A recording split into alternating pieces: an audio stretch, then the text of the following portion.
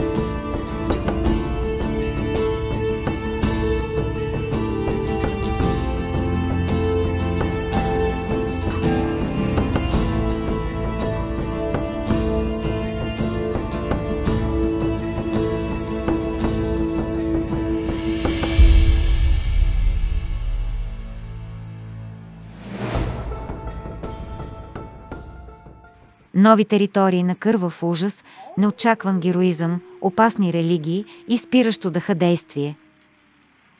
Лаклан не забавя темпото нито за миг в това увлекателно продължение на своята поредица. Той повежда читателите в създаден от неизтощимото му въображение свят, сливащ в едно реалната история, митологията и необикновените съдби на героите. Пъблишърс Уикли Викингите обсаждат Париж. Къщите по бреговете на Сена горят, а в катедралата на укрепения остров се води ожесточен спор. Положението е безнадежно. Викингите искат сестрата на графа, за да пощадят града. Може ли графът да тъй амбиции за трона на империята, ако не е готов на всичко, за да спаси поданиците си? Може ли да се смята за мъж, ако не е готов на всичко, за да спаси сестра си? Съвестта го потиква към едно – държавните интереси, към съвсем друго. Графът и църквата се оповават на жив светец, слепия и Сакат Жан от Сен-Жермен, да призове Бог на помощ и да ги измъкне от безисходицата. Но викингите имат свои богове.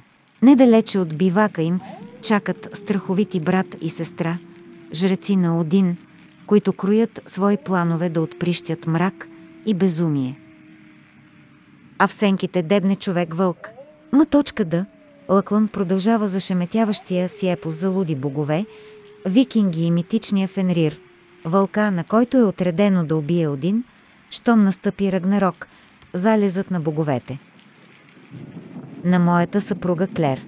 Той хвана змея, древната змия, която е дявол и сатана, и го свърза за хиляда години – след това го хвърли в бездната и го заключи, като тури печат върху му, за да не преластява вече народите до свършека на хилядата години, след което той трябва да бъде пуснат за малко време.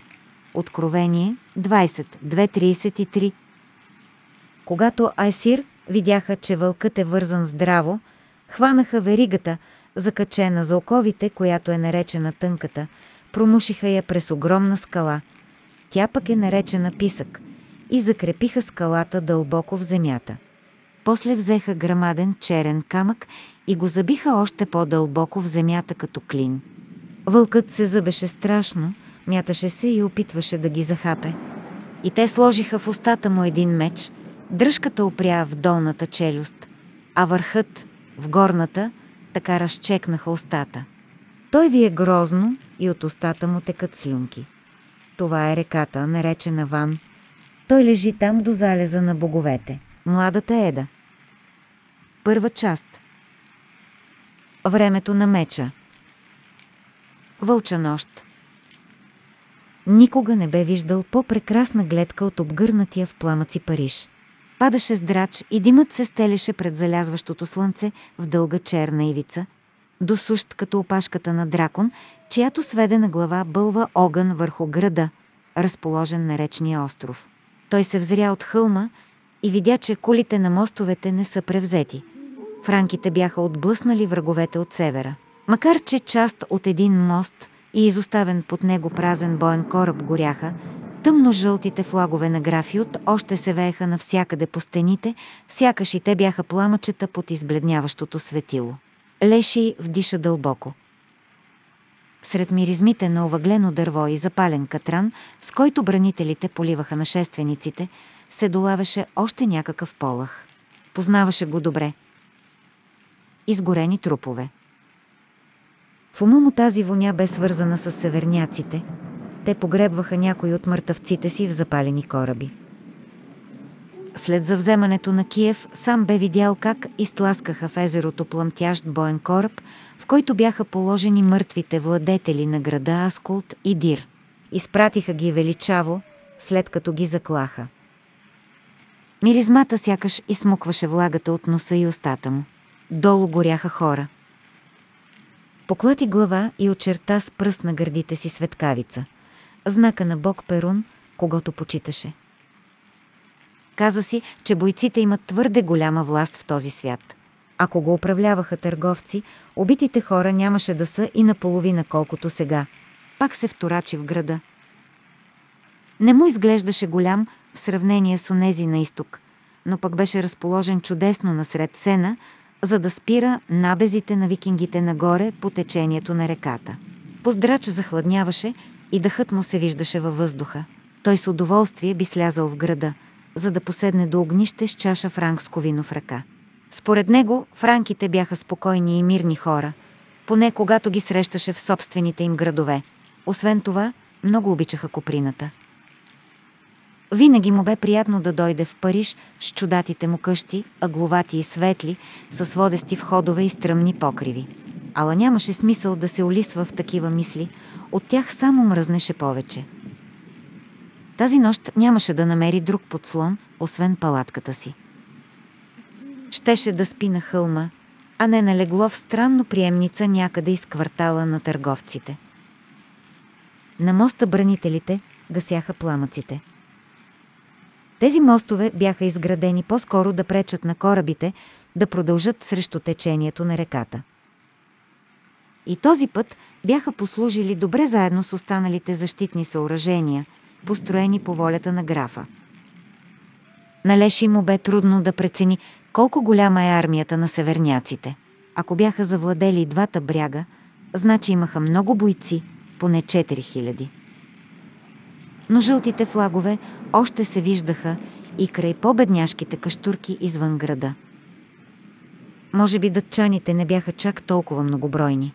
Все пак биха могли да опустошат с лекота всички постройки, които не бяха защитени от градските стени. Само, че не си губеха времето с тях. Явно северняците смятаха, че могат да пренебрегнат тези къщи. Искаха да напреднат към по-богатите големи градове нататък по реката. Париж не беше нищо повече от препятствие по пътя им и нямаха намерение да жертват умели войни в схватки за някакви си колиби. Леши им се възхити неволно. Повечето военачалници, които познаваше, почти не успяваха да сдържат бойците си, щом зърнеха враг. Но тези тук бяха дисциплинирана войска, а не непокорна сган. Можеше ли да отиде в някоя от къщите извън града и да си плати нощувката? Едва ли. Всички бяха настръхнали и само с голям късмет би му се разминало обесването на първия клон и от нашественици, и от бранители, ако се мерне пред очите им. Личеше, че викингите са заели и двата бряга. Бяха издърпали корабите си на сушата и черните им знамена провисваха в пролетното безветрие на твърде много места. От тези знамена тръпки го побиваха. Нагледа им се и на изток. По тях бяха изобразени гарвани и вълци. Тък му такива твари благоденстваха там, където минеха северняците. Леши си рече, че градът все пак ще бъде превзет, но това няма да се случи твърде скоро. Значи тя е там. Попита той на латински, единствения език, който и двамата със спътника му разбираха. Така беше предречено. Ще се нуждаеш от късмет, за да я измъкнеш. Няма да посрещнат гостоприемно един северняк. Не търся гостоприемството им. Най-добре е да се присъединиш към своите хора и да влезеш в града заедно с тях. Ще успеят непременно. Армията им е огромна. Те не са мои хора. И ти си от север. Варяг, както ви наричаме. Но не съм датчанин. Всички сте варяги чахлик. Датчани, норвежци, викинги, нормани, варяги. Различни думи за все същото. Името ми не е чахлик, но те описва точно.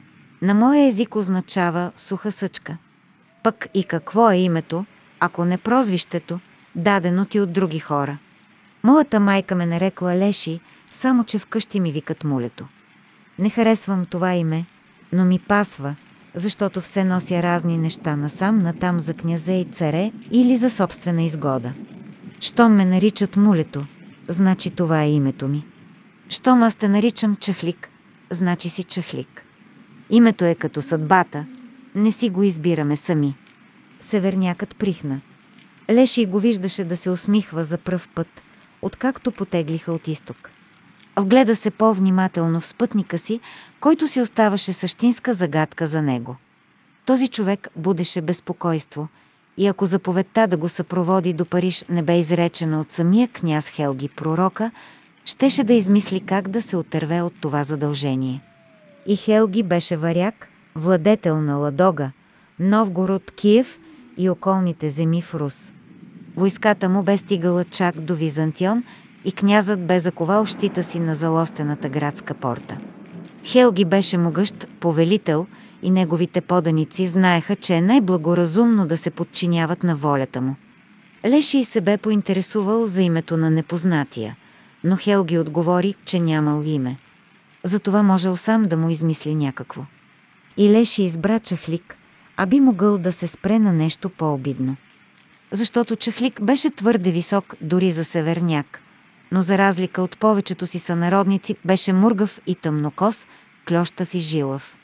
Поскоро приличаше на израсло от земята чепато дърво, а не на човек. Леши познаваше всеки, мяркал се дори веднъж в Ладога, както и повечето жители на съседния Новгород и мнозина в далечния Киев. Но никога не бе зървал този мъж. Отначало опитваше да подхваща разговори с него. Аз търгувам с Коприна, братко, а ти с какво се занимаваш? Спътникът му обаче не отговаряше, само се взираше в него с пронизващите си тъмни очи. Но Леши и сам се досети с какво се занимава непознатият, щом князът ги изпроводи да пътуват сами. Стигаше му да види как другите търговци по пътя не сядаха край техния огън, а приближилите се любопитни селяни се отдръпваха веднага, без да продумат. Дори разбойници ги зяпаха от хълмовете, но не събираха смелост да ги нападнат. Непознатият вдъхваше страх, той витаеше около него като миризма на звяр.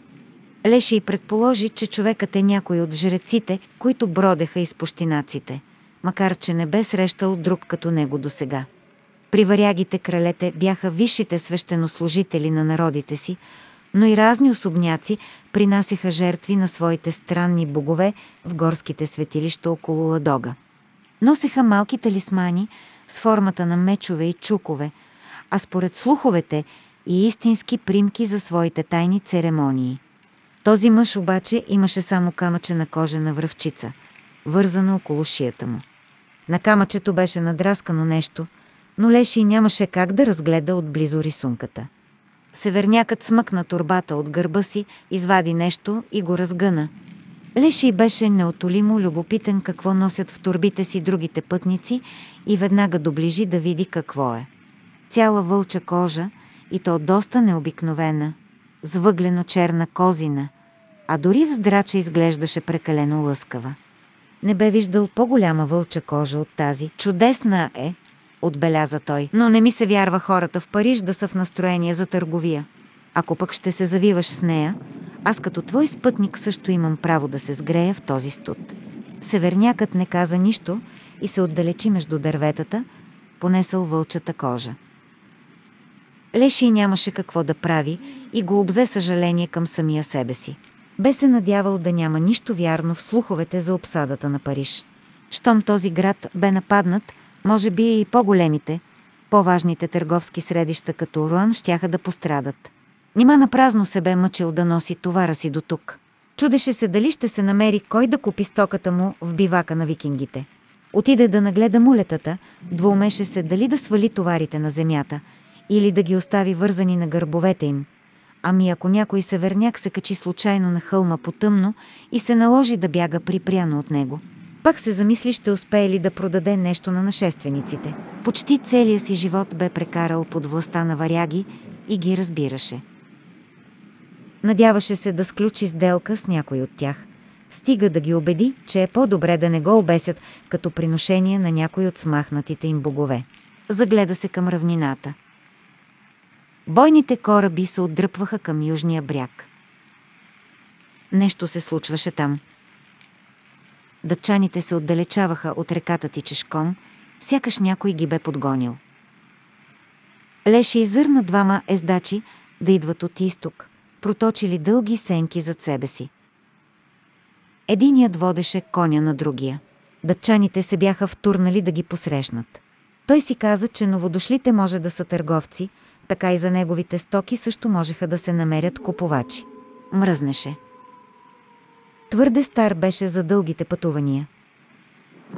Ако му бе провървяло повече напоследък, сигурно би измислил как да откаже на Хелги и да си остане в Ладога.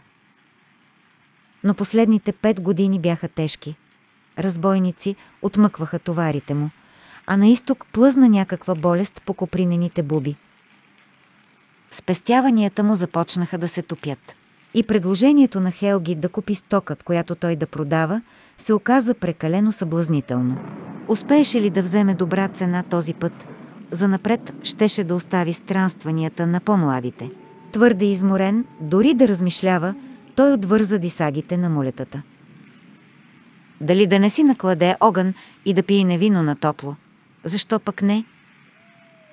Още малко дим в мрака нямаше да прави впечатление, а никой нямаше да види огъня, скрит зад билото на хълма. Погрижи се за животните, разтла одеялото си, стъкми огън, пи на вино, издъвка малко форми с парче, сухар и твърдо сирене. Преди да се усети, заспа и изведнъж се сепна под пълната надвиснала луна. Какво го събуди? Някакъв напев, тихо мънкане на думи като шум от далечна река. Потрепери и стана да си вземе на металото. Главата му се проясни.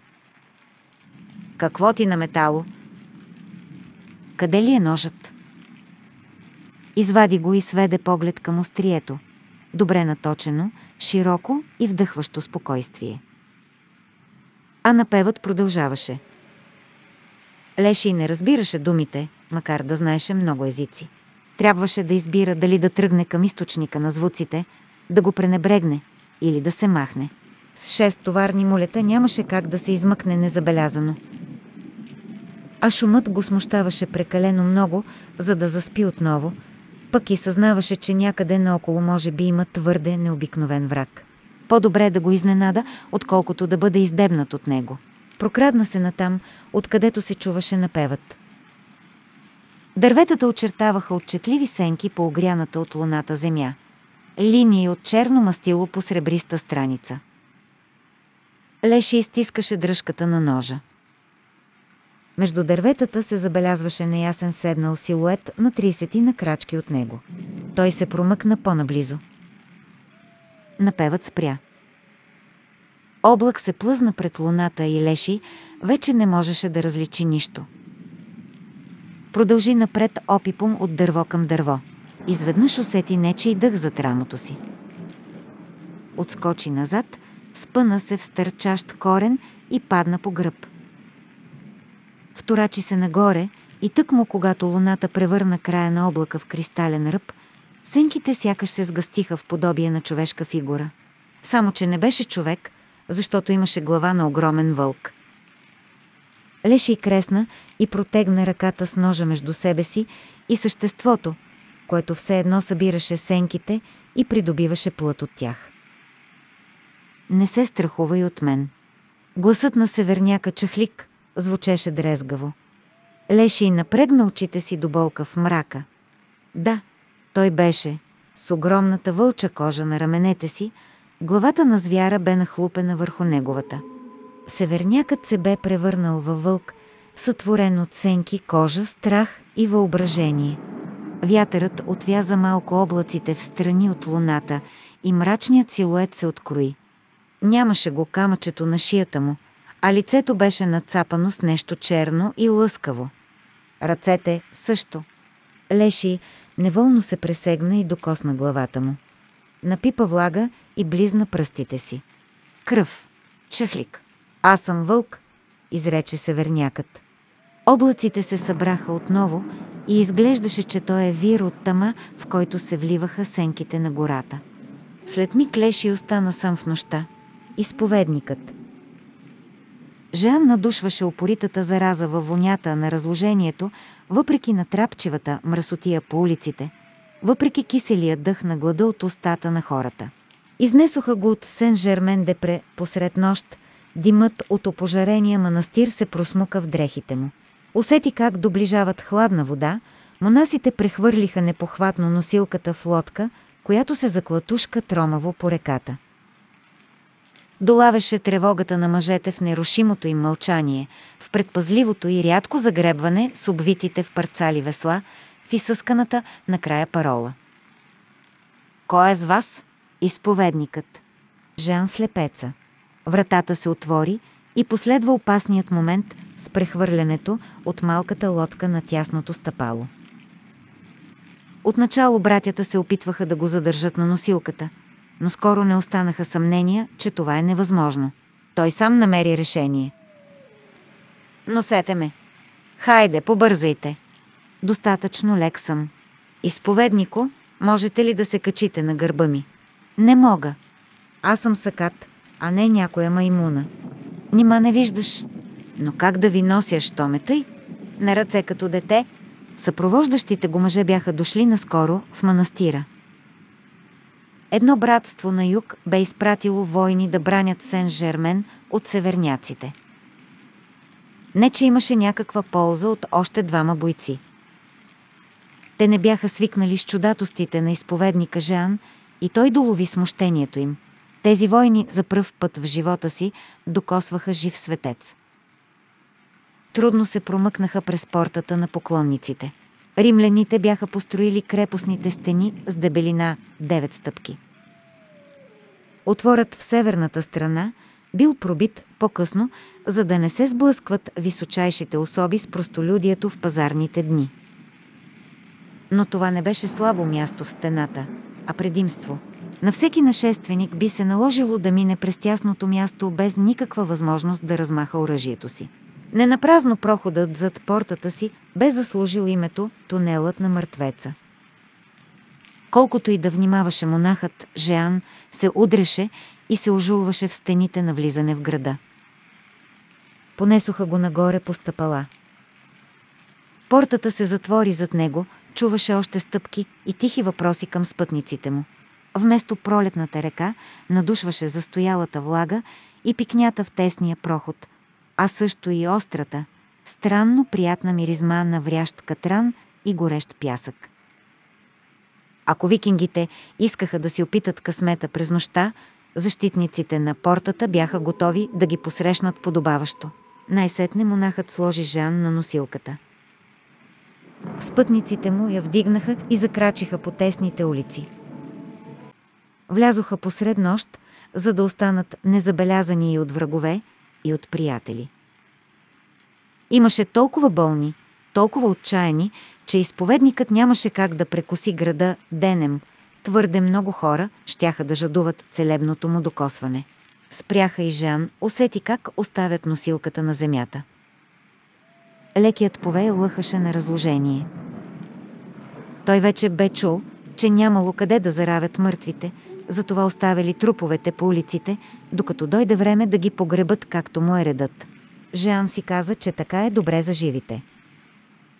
За душите им е благодатно да се сблъскат с истината за смъртта, да се взират в неизбежността на края и да размишляват за греховете си. Въпреки това, съжаляваше хората в града. Колко ли е тежко да загубиш любим човек и всеки ден да минаваш покрай тленните му останки? Изповедникът разбираше, че е твърде вероятно този остров да се превърне в клопка за него. И по двата бряга на реката имаше места, които нашествениците още не успяваха да превземат. Затова и снабдяването на града с припаси и потайното промъкване с лодка, както докараха него, още бяха възможни, макар и рисковани. Само, че хората бяха изнемощели и обесърчени след почти 4 месеца битки. Северняците биха могли да съсредоточат усилията си върху кварталите извън градските стени, вместо да нападат мостовете, които им пречеха да продължат с корабите си нагоре по реката.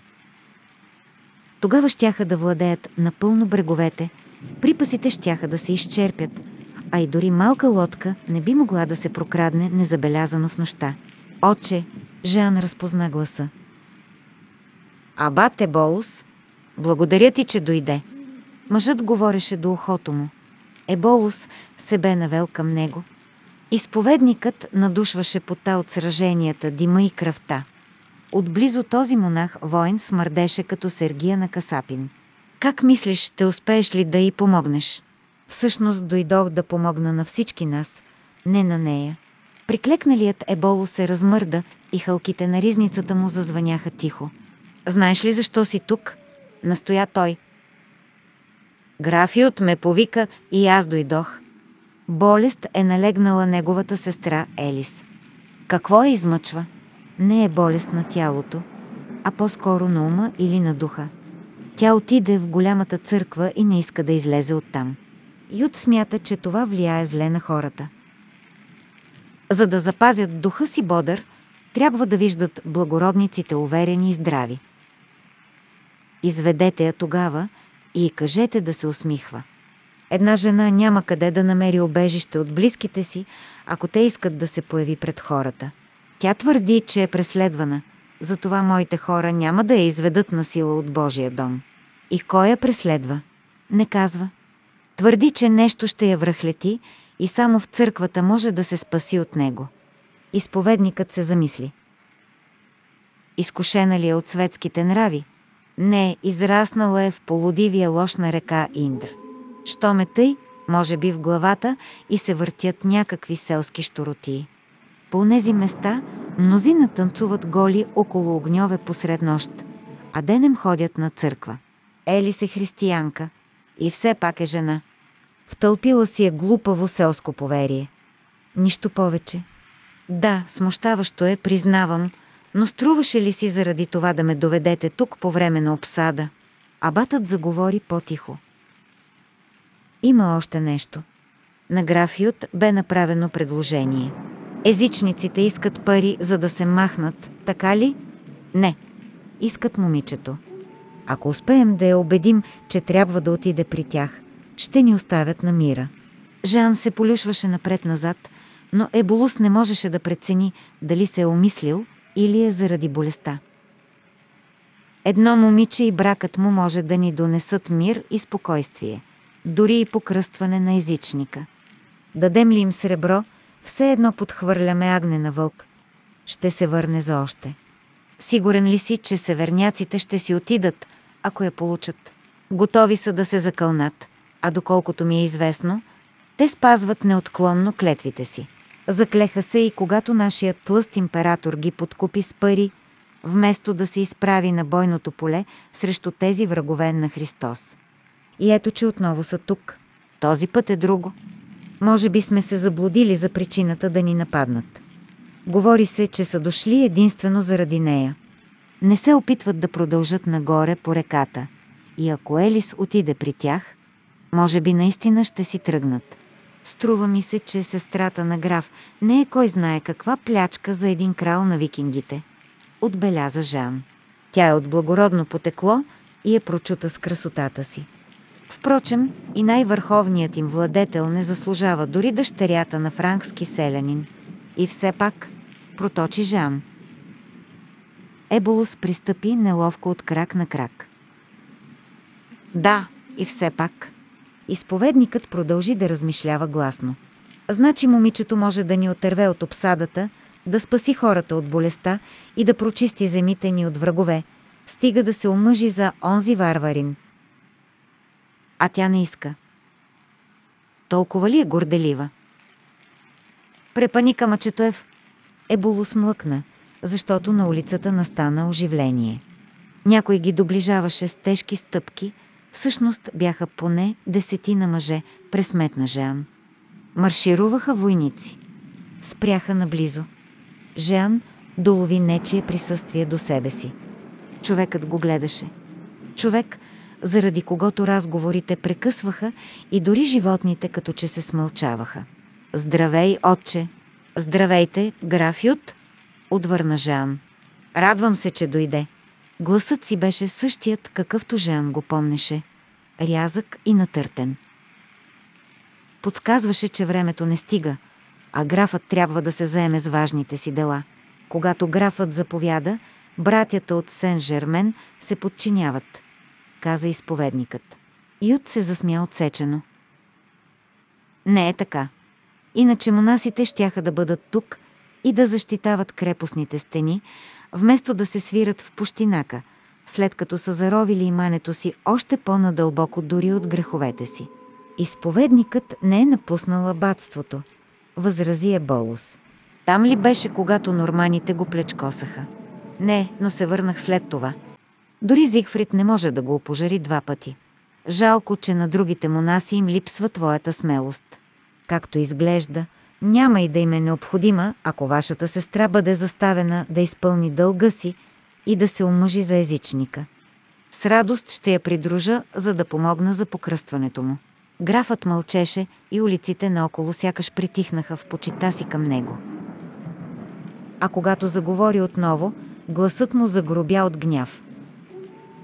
Не са казвали, че я искат за невяста. Изповеднико не успях да обясня. Намеси се е болус. Тези езичници. Явно му беше трудно да продължи. Да, подкани го Жан. Нашите съгледвачи казват, че им била нужна за техните богове. В гласа му май се прокрадва срам. Жан занемя. Чуваше детски плач в далечината. Накрая овладя гласа си. Това променя всичко. Жертвоприношение. Няма да даваме християнски дъщери на езичници, за да ги убиват. Каквато и да е разплатата. Не сме и помисляли да го направим, съгласи се Ют. А защо не? Сопна се Болус. Имаме ли избор? Ако хората научат за това предложение, а те ще научат, ще я извлекат на сила от църквата и ще я хвърлят на варварите, без да ги еня, че ще бъде пожертвана. Изповеднико, ти не можеш да видиш улиците. Болестта погубва толкова хора, че няма къде да погребем мъртъвците. Нямаме и сребро, с което да се откупим от враговете. Кралят вече 20 години го дава на северняците. Трябва да спечелим време, за да се подготвим за настъпление. Няма да изпратя сестра си на заколение. Отсече Ют. И колко войни ще платят с живота си? Загубих един от братята си. Още от тях ще паднат в боя. Това ще е благороден край за нея. И какво ще говорят тогава за граф Ют? ще казват, че е слабак. Затова е дал единствената си сестра да я озлочестят и убият. Ако е нужно, ще се изправя сам срещу тях насред изпепеления град, но няма да допусна това. Раздразнението напираше у изповедника. Искаше му се да ходи напред-назад, да пляска с длан по стените, да отприщи и телесно този плам, който Бог бе разпалил в душата му. Но тялото не му позволяваше. Обърни ме, каза нагрижещия се за него монах. Не разбрах, отче. Ожулва ми се хълбокът. Обърни ме на другата страна. Монахът изпълни желанието му и нагласи възглавницата. Жан отправи безмълвна молитва за избавление от гневливостта и чак тогава заговори отново. Не бива да правим такива отстъпки пред езичниците. Едно е да омъжиш момиче за крал безбожник, може би дори е добро дело. Така имаме надежда, че чрез молитви, всеотдайност и смирение тя ще насочи душата на неверника към Христос. Но съвсем друго е да застрашим безсмъртната й душа, както и своите души, като съзнателно я предадем на идолопоклонници. Ето листи филиостоос, ет филиастоас коас генерасти михи ети моластия ис ад деворандум нумкуит, парва астейт форницатио тоай мулантис филиус меос, ет дедисти иулус цунсецрансеис. Изрече думите толкова бързо, че и Еболус, който знаеше добре латински, се наведе към него, за да чува по-ясно. Какво? Очуди се той. Изповедникът завъртя глава от досада. И взе синовете си и дъщерите си, които ти ми роди, и ги принасяше жертва, за да бъдат погълнати. Малко ли ти блудства? Но ти и моите синове колеше и... Едно е болус го прекъсна. Отче, знам латински не по-зле от тебе. Слухът ме подвежда, не умът. Тогава ме слушай внимателно. Сопна се Жеан, чието бузи се сгорещиха. Предадеш ли това момиче на северняците, ще изложиш на опасност не само нейната безсмъртна душа, но и своята. По-добре е хиляди да загинат праведно, отколкото една да умре, тъй че да погносим Господ. Прав сте да я закриляте, графиот. Владетелите показват своята набожност, като защитават подвластните им люде. Сурово божество почиташ, изповеднико. И сумтя абатът. Почитам Бог. Това е всичко. Тогава отиди при нея. Намеси се Ют. И я накарай да се покаже пред хората. Само това искам. Може би има начин всички да бъдем удовлетворени, подхвърли Еболус. Да, ако тлъстият император Шаро си размърда задника и ни прати малко войници. И смя се Ют. Абатът въздъхна тежко. Това ще е същинско чудо, а Бог ни дарява пестеливо с чудесата си. Не можем да изпратим момичето на сила при северняците, защото бихме постъпили като онези от Синедриона, които завели Христос при Пилат. Но тя може да направи това по своя воля. Ще стане мъченица.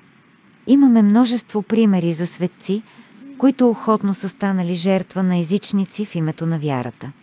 А вие, графиот, няма да проявите слабост. Ще имате мъченица в семейството. Нима ще й откажете да прояви същата храброст, с която всеки ден браните крепостните стени. Тя е моя сестра. Натърти графът. А това тук е вашият град. Ако Париж бъде превзет, какво ще говорят тогава за графиот? Може би се надявате да станете крал на франките някой ден, но амбициите ви ще бъдат погребани в пепелищата на града. Абатът се вторачи в очите на Ют. Опитваше се да отгадне как приема думите му. Не откри съпротива и това го насърчи да продължи. Има вече подобен случай. Света Перпетуа била разкъсана от диви зверове в римския колизеум, защото отказала да се отрече от Господ.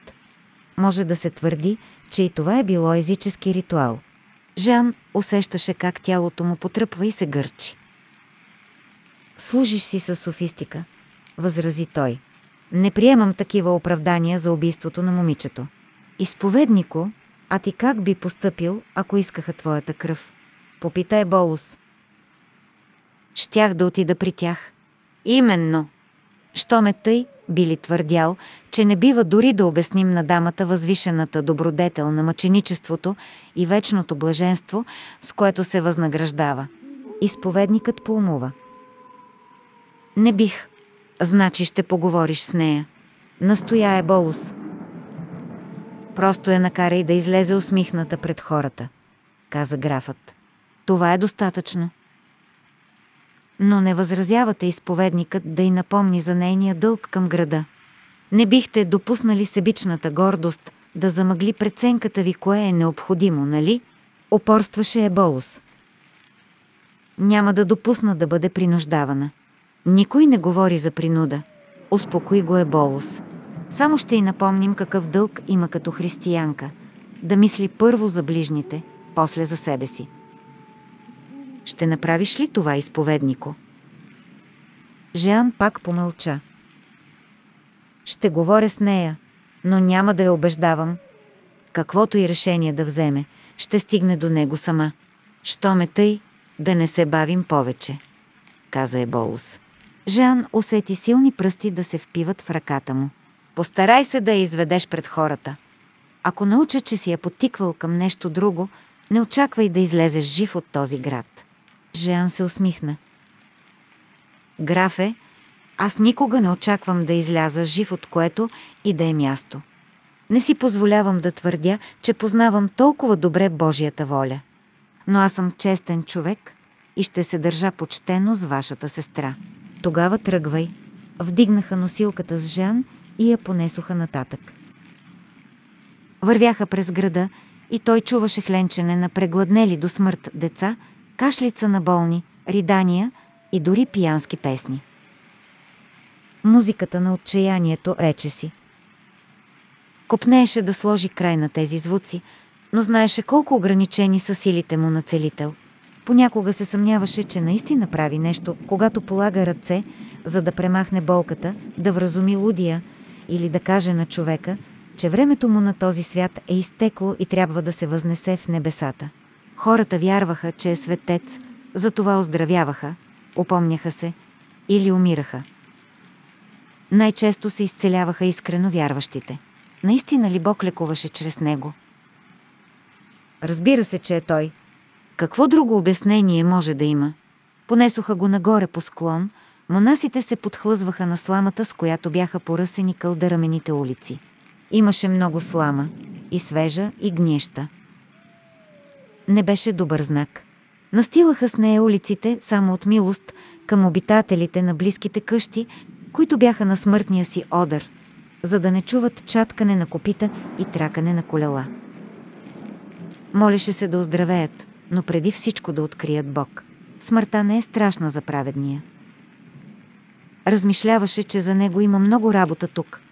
Да дава последно причастие, да опрощава грехове и да подготвя хората за небесата. Ют бе казал, че момичето може да спаси града. Не. Градът можеше да се спаси сам, като коленичи пред Бог, помоли за прошка и го приеме в сърцето си. Тогава мисълта за телесната гибел нямаше да вдъхва ужас на хората тук, както не можеше да оплаши и него. Слама, за да е тихо. За Жан тя беше символ на човешката привързаност към земните неща, към тънката като коричка реалност. Някой ден ще дойде Христос и той ще руши, ще поваля, ще съзира всички грехове и ще поиска сметка за тях. Къде ще останат тогава нашите преструвки и оправдания, нашите отехи и удоволствия?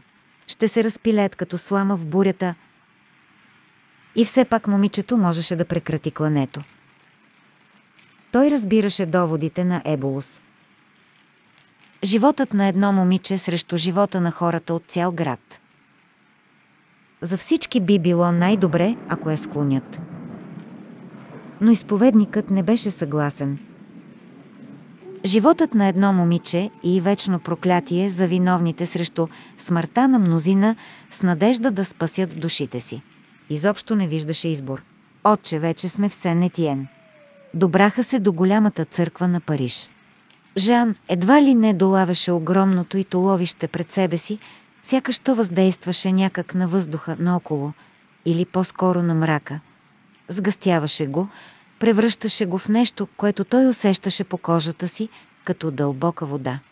Откакто ослепя, Жан почти стигна до усет за натиска на сгради или дори на хора върху въздуха около тях. Сигурно би се изкушил да каже, че е развил у себе си още едно сетиво, ако не беше практичен човек. Просто си казваше, че след като е прибивавало толкова дълго в тама, съзнанието му търси друг досек със света. Пък и помнеше, разбира се, каква беше църквата преди да го порази болестта. Тя беше първата гледка, която го слиса в Париж, когато монаси го доведоха тук от обширните гори край Рейн. Вероятно, и това можеше да обясни усещането в момента. Жан не помнеше почти нищо за началото на живота си. Някакви хора го намерили някъде. Това здание беше сред първите му спомени. И сега си представяше ясно как великанският осмостенен купол се извисява над него от многоъгълната си основа. До тогава не бе зървал нищо, което можеше да се сравни с тази църква. Монахът, който го доведе от изток, влезе вътре да обсъди бъдещето на момчето, а Жеан остана навън, стъписан от оживената парижка улица. Помнеше как обиколи църквата, като плъзгаше длан по 12-те и стени, всяка с релефно изображение на мъж. Сега знаеше, че са били апостолите. В паметта му бяха останали врязаните надълбоко в стените тъмни прозорци, неимоверната тежест на каменния градеж, а след влизането куполът и лъскавият мрамор, по който се боеше да стъпи, защото го помисли за повърхността на Вир. Докато чакаше братята от Сен-Жермен да го приберат, запомни слънчевите лъчи през прозорците при вечери и сенките. Тъмни като дълбока яма. Тя сама ли е вътре? Да, много е късно. Внесете ме в църквата и ме служете до нея. Вдигнаха го от носилката и го внесоха. Усети как войнат затътри крака неуверено. Внимавай, сгълча го изповедникът. Съжалявам, отче. Тук всички сме слепи, няма и една светлинка. Жеан и сумтя. По време на обсадата в църквата са престанали да палят свещи. А и защо да бъде осветена нощем? Виждаш ли момичето? Не. Аз съм тук, който и да ме търси. Прозвуча ясен и силен глас с леката досада, която високопоставените често изпитват при разговор с простолюдието. Жан познаваше този тон. В манастира понякога идваха благородници, макар че повечето бяха мъже. Дамите се интересуваха от светци и Жан се бе съгласил да разговаря и с нея, когато тя беше на 12 години. Тогава той беше на 18. Сега пък тя беше навършила 18, гласът й бе станал по-звучен, но той го позна. Преди години момичето го попита защо е толкова грозен, а той отговори, че такава е волята на Бог и му е благодарен. Изповедникът вдиша дълбоко, за да се успокои с миризмата на тамян и восък и да подреди мислите си. Какво да каже? Вече не знаеше, беше уверен единствено какво няма да каже, че тя трябва да отиде при враговете, защото това е нейн дълг. Само ще и изброи възможностите и ще остави решението на нея. Госпожо, аз съм изповедникът Жан. Изпратили са ми светец, отвърна тя. Не звучеше като глас на наплашено селенче, чиято глава са напълнили с приказки за дяволи. Говореше тъкмо както би очаквал от дама в графския двор. Една от образованите жени, които обичаха да изтъкват пред свещениците, колко добре познават Библията и дори си позволяваха да спорят за тълкуването и, макар издържано. Госпожо, още не съм умрял, а не си въобразявам, че знам какъв съм във взора на нашия Създател. Ти си делител, изповеднико. Да не си дошъл да ме излекуваш от моята решимост. Свикнал да слуша, вместо да вижда, Жан откри страха в гласа й. Нямаше нищо чудно, че е оплашена. Възможностите за избор пред нея не бяха от най-привлекателните. Госпожо, дойдох да поговоря с вас. Нищо повече. Навън изригна шумотевица. Хора викаха и пищяха, камбани звъняха, рогове тръбяха. Звуците, придружаващи сражение. Северняците нападат отново, така ли? Промълви Жан. На това прилича, отче, отвърна монахът. Оглушителен трясък отекна до църквата и монахът ахна от изненада. Братко, Бог се усмихва на онези, които падат в битката с неговото име на уста, каза изповедникът. Едва ли е нещо сериозно? Може би просто се опитват да попречат на Ют да възстанови кулата. Занеси ме при нея, както те помолих. Монахът продължи напред в огромната пуста църква. Жан чу чаткане на огниво, подуши тлееща прахан, после и горящ восък. Чу и рязкото вдишване на младата жена, която го бе видяла. Госпожо Елис, опасявам се, че изминалите години не са ме разхубавили. Надявах се, че поне моите обноски са се подобрили с времето. Смънка момичето стъписано. Позволявате ли да поседя при вас? Да. Врявата навън се засилваше. Изповедникът се досещаше, че бранителите на града се сражават без брони, защото не са имали време да ги сложат. А този разговор скоро можеше да се окаже нелепо безсмислен, ако северняците успееха да нахуят в града. Колко ли бяха? Хиляди. А защитниците едва ли наброяваха повече от 250.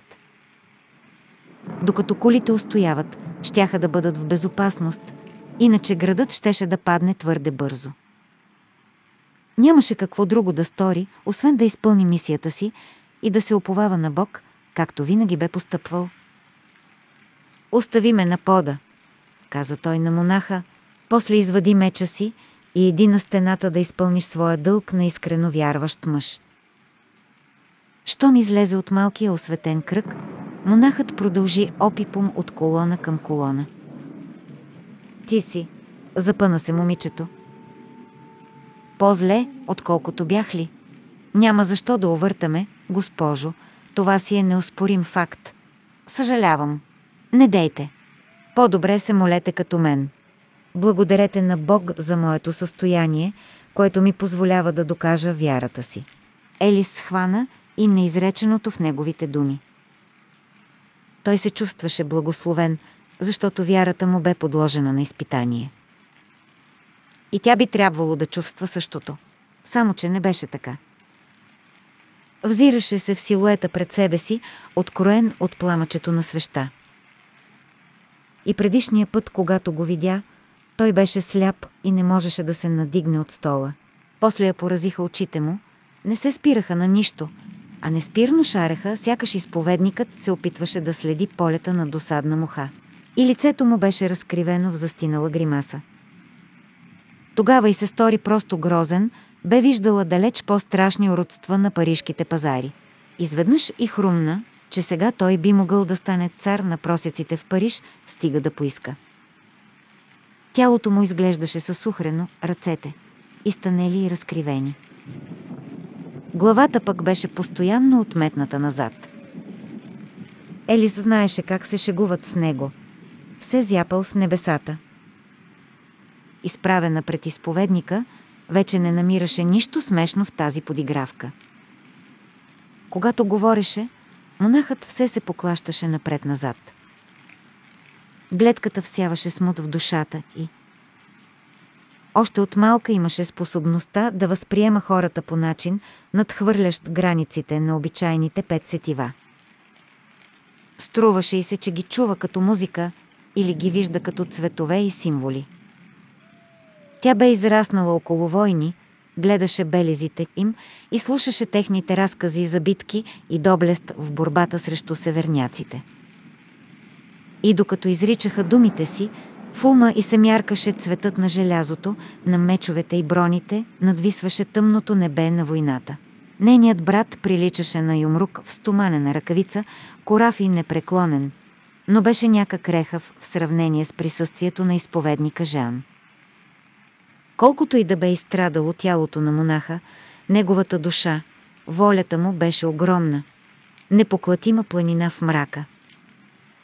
Тя взе свеща и отиде при ултара, където отраженията от свещниците и потирите проблясваха с всяка нейна крачка. Абатът не бе позволил да ги скрият Иначе все едно признаваше, че северняците ще влязат в града. Елис коленичи. Бог подложи мен на изпитание, макар и по-малко. Трябва ли да благодаря за него? Жеан подбра думите си внимателно. Трябва да бъдем благодарни за всичко, което проистича от Бог. За нея изповедникът беше само глас в тамата. Аз не се боя от северняците, каза му тя. А от какво се боите? Ели се прекръсти и Жеан чу тиха молитва. Гласът й трепереше, колкото и да се мъчеше да го овладее, за да не прояви слабост пред човек от простолюдието. Нещо идва, за да ме сграбчи.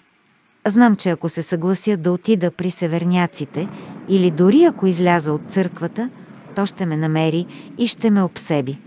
То носи заплаха за всички ни. Не можете да останете в църквата до края на живота си. Напомни изповедникът. Какво е това, което идва? Тя не отговори веднага. Изповеднико, когато те порази слепотата, осенило те видение, нали? Да. Явила ти се Дева Мария. Да. Тя каза ли ти нещо? Не. Защо си убеден, че е била тя? Знаех, че е тя. Пролича и подарбите, които пробуди у мен. Пророчествата ли? Да. Жан помнеше деня, който преобрази живота му. Ловци го намерили в горите, когато бил на 5-6 години и го оставили в манастир в източните франкски земи на Остразия. Не бил на себе си и бълнувал. Монасите само установили, че някой е научил момчето да говори езика на франките и той явно е преживял тежък потрес, заличил почти всичките му спомени. Пътуващ монах го отведе на запад, където църквата го приоти милосърдно в Сен-Жермен – Възстановяването му беше колкото смайващо, толкова и бързо. На 9 години вече помагаше на монасите, учеше, играеше и се смееше. И по много от своите способности се открояваше сред връзниците си.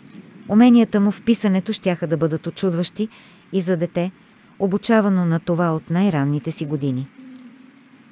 И езиците учеше с лекота – освен франкския, както го говореха благородниците, той овладя латинския, използван в документите, гръцкия, дори норвежкия и саксонския. Още по-изумителна беше дарбата му в шахмата. Той само бе наблюдавал играта на двама монаси, преди да опита сам. И още в първата партия победи един от най-добрите играчи в манастира. За него казваха, че е благословен – а после му се яви светата дева. Посред лято през гладния месец юли той нямаше какво друго да прави, освен да се штура из нивите с още зелени посеви. Слънцето бе надвиснало над житата, небесната си нева заслепяваше.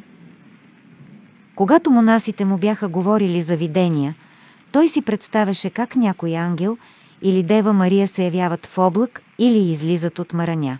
Но тя се изправи пред него толкова жива, че сякаш можеше да протегне ръка и да я докосне.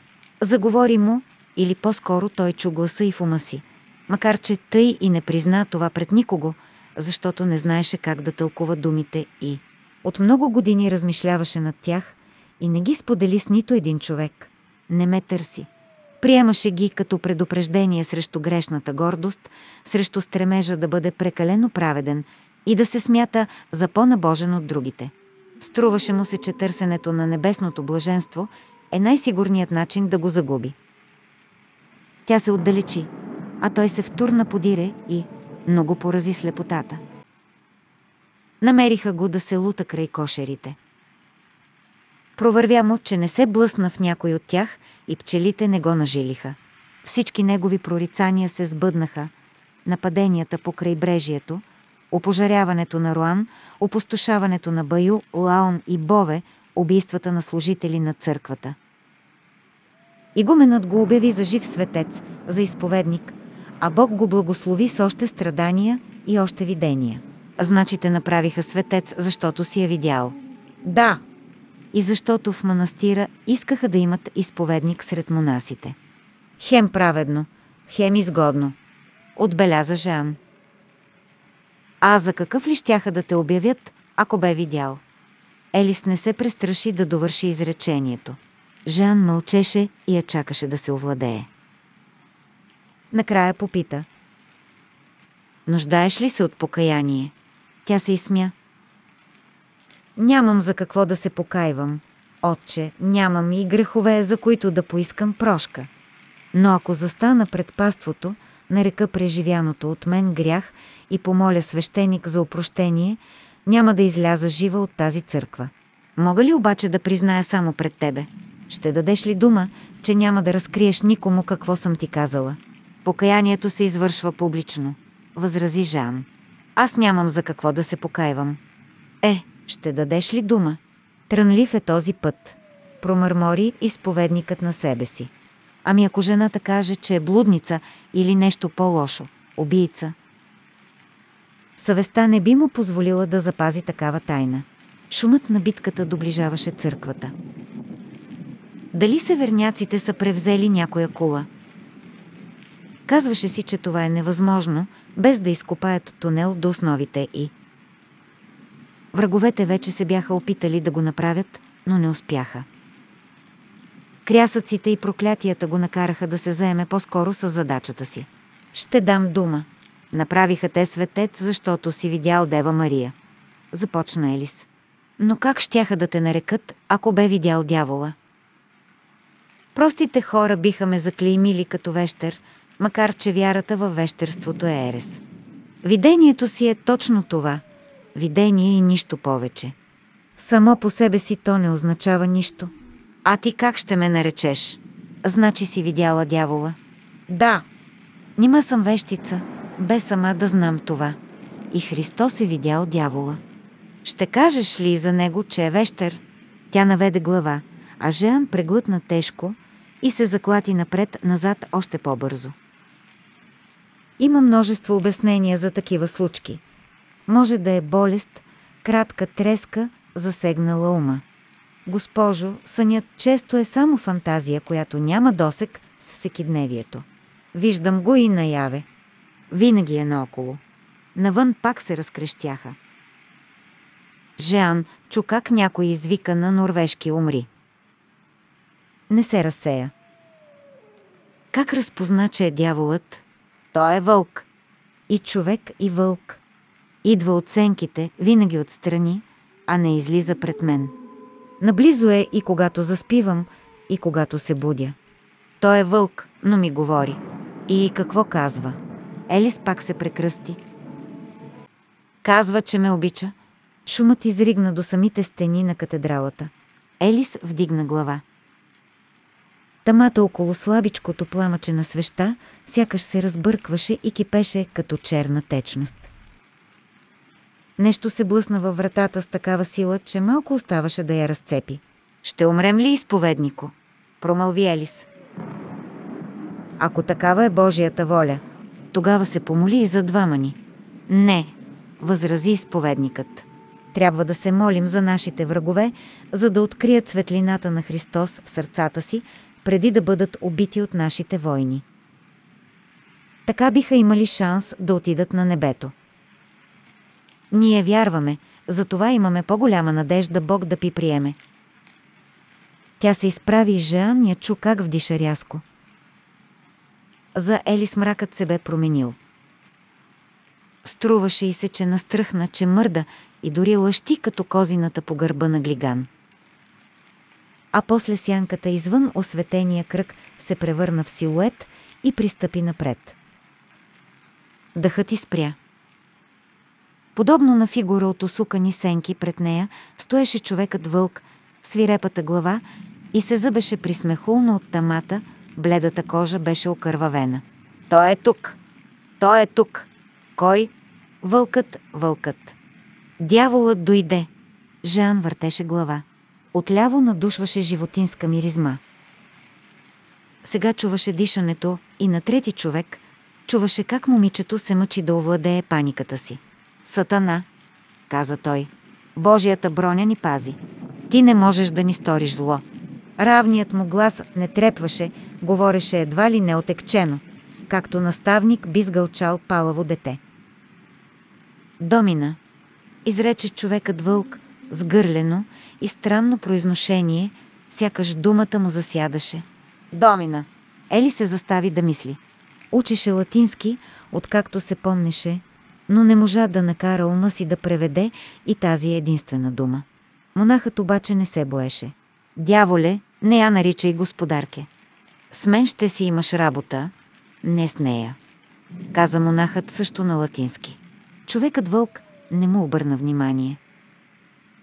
Домина. Името ми е Синдре, наричат ме Имир Кирулов. Тук съм да те закрилям. Най-после Елис успя да проговори на латински. Срещу какво? Срещу това, посочи той и вратата на църквата се отвори с трясък. Смъртта и гарванът. По-късно Елис си спомняше първите мигове от нападението съвсем откъслично. Нещо проблесна като извит пламък или кървав лунен сърп, лъснал от мрака. Чак след време осъзна, че е бил мечът на онази грозна твар. Острието улови светлината от горящи зад църквата сгради, заискри в миг и изчезна от погледа, но не и от мислите й. Тя никога не бе виждала подобно оръжие. Формата му сякаш беше символ на гибелта, плитка дъга на злобата. Тогава прозвуча думата, която разкъса тамата подобно на остър нокът. Храфн! Изръмжа човекът вълк. Тя не разбра думата, но у нея сякаш се пробуди нещо, което носеше със себе си образи, миризми и звуци. Видя огромно поле, осеяно с трупове нападнали в битка, вятърът развяваше уръфани бойни знамена. Отначало и се привидя, че във въздуха се кълби гъс дим, но сетне разпозна звука. Бръмчаха безброй мухи. И той беше на тази равнина. Вълкът. Не го виждаше, но долавеше, че е там, звяр с горещ дъх, който душеше и сумтеше някъде в страни. Тя се надигна, примигна тръсна глава и се върна на сила в реалността. Опря длан в близката колона, за да се задържи права. Видението беше толкова ярко и я споходи толкова ненадейно, че се оплаши да не полудява. Изведнъж в църквата се развихри безумието на битката. Мъже се чаха, ритаха, хапеха и се удряха с юмруци в тъмнината. В трепкащото зарево видя своя брат Ют. Щитът му бе вързан на гърба, за да размахва свободно и дългия и късия меч. Нямаше съмнение, че дъчаните са нахлули в града. Брадви просветваха, лица се мяркаха и изчезваха. Мечове отбиваха копия, своите ставаха неразличими от враговете. Човекът вълк я сграбчи за ръката и я бутна напред. Върви към вратата. Никой няма да те повали. Елис, Елис! Крещеше брат и, но бе притиснат от двама противници и не успяваше да се добере до нея. Променливата светлина от пожарите едва надделяваше над мрака вътре. Оценките изплуваха метал, дърво, остриета, върхове на копия, щитове, лица, ръце и крака. Три пъти към нея се хвърлиха мъже в опит да я завлекат на някъде, но внезапно ги обгръщаха ръмжащи сенки и те се свличаха с страшни писъци. Тя вървеше опорито към вратата. Оставаха и 10 колони до изхода, 8, после 5, накрая само 2. Спасението беше близо. И тогава към нея се завъртя огнената дъга на вдъхващия ужас меч. Елис, Елис! Лицето на нейния брат се кривеше от оплаха, все едно се топеше в жегата от запалените къщи. Огън лъхна горещина по кожата и вкуси пепел и кръв в устата си. Мечът беше като мълния, проточила се към нея. Зърна неясно движение и чу звук като отпадане на чувал. Сенките се пресегнаха и събориха нападателя на пода. А после Елис бягаше по тесните улици, тласкана от невидима ръка. Озърташе се, опитваше да види кой я бута. Пак човекът вълк. И макар, че тя тичаше с все сила, той просто подскачаше наблизо с пъргави крачки, за да наблюдава и преследвачите. Храфн! Изкрещя той към църквата и изрече нещо неясно на северняшко наречие. Думите не означаваха нищо за нея и все пак тя схвана посланието. Той предупреждаваше врага да не доближава, защото ще умре. Ели се препъна, но човекът вълк не и позволи да падне. Накъде ли я водеше? Луната й се привиждаше като фенер, облял улиците с ярка, някак куха светлина, но под стрехите на къщите оставаха непрогледни сенки. Излязоха на площада и тя разбра на къде ще продължат. Към портата на поклонниците. Стигнаха и до нея, но беше залостена и охранявана. Двама войни с копия пристъпиха напред. Госпожо, ние ще ви опазим. Човекът вълк я накара да спре, без да поглежда доближаващите го мъже, само се озърташе. Качи се в къщата, каза и скочи във водата и плувай. Той няма да те последва в реката. Дори да те пленят, предай се на всеки друг. Но не и на него. И не му позволявай да види лицето ти. Не му позволявай. За кого говориш? Два глухи удара, после и се причу, че звъннаха хиляда монети, паднали на кълдърама, броните на двамата войни. Стрели с черни пера бяха пронизали единия в окото, другия в шията. Върви! Човекът вълк скочи пред нея, за да я заслони с тялото си. Още един приглушен звук и тежко охкане. Стрелата се заби в гърба на човека вълк. Въпреки това му останаха сили да я тласне към вратата. Елис я дръпна, след това бутна. Вратата се отвори и тя нахълта в малката къща. Лунни лъчи пронизваха тамата вътре. Тя видя сгушени на гъсто жени и деца, ококорени в ужасна среща. Провря се между тях към стълбата. В къщата избухнаха писъци и тропот.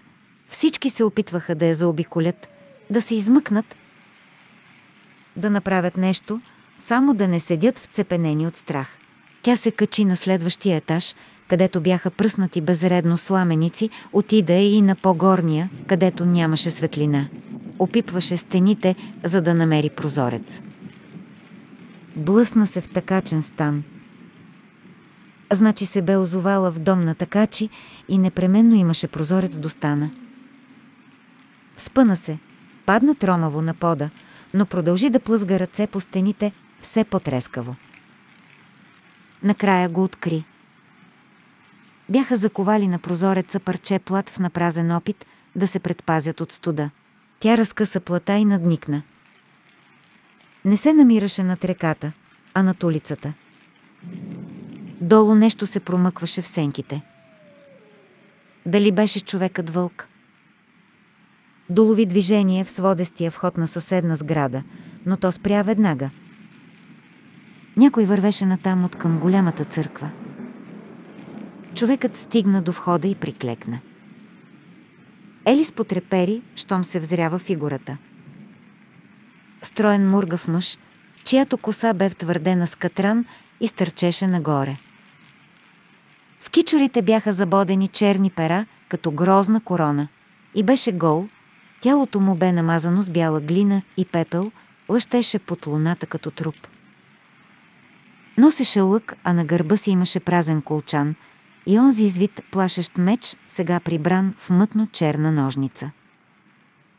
Тя осъзна, че нещо не е наред с кожата му.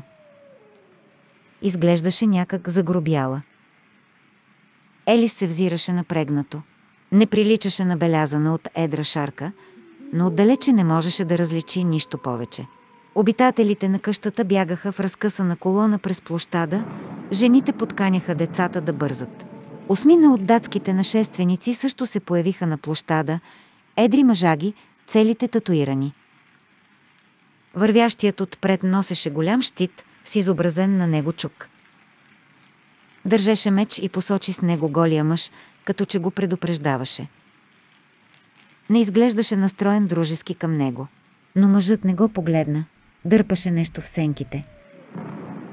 Стрела, която не можеше да измъкне, накрая извлече с нея и тялото на човека вълк на светло. Не! Ахна Елис и мъжът се извърна към нея. Тя закри лицето си с длани и надзърна между пръстите си като оплашено дете. Щом я видя, той нададе стържещ, тържествуващ вик и се хвърли към къщата. Онзи с щита изруга на своя език, а Елис хукна през стаята.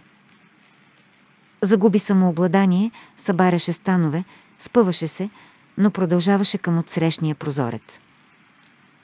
Съдра за крилото го парче пергамент и приклекна да погледне реката. Водата беше на три човешки ръста под нея. Не можеше да скочи, нямаше как да се насили. Чу как съществото се качи на етажа под нея с бързи леки стъпки. Прехвърли единия си крак над перваза, но тутък си го прибра. Твърде високо. Изправи се и огледа стаята.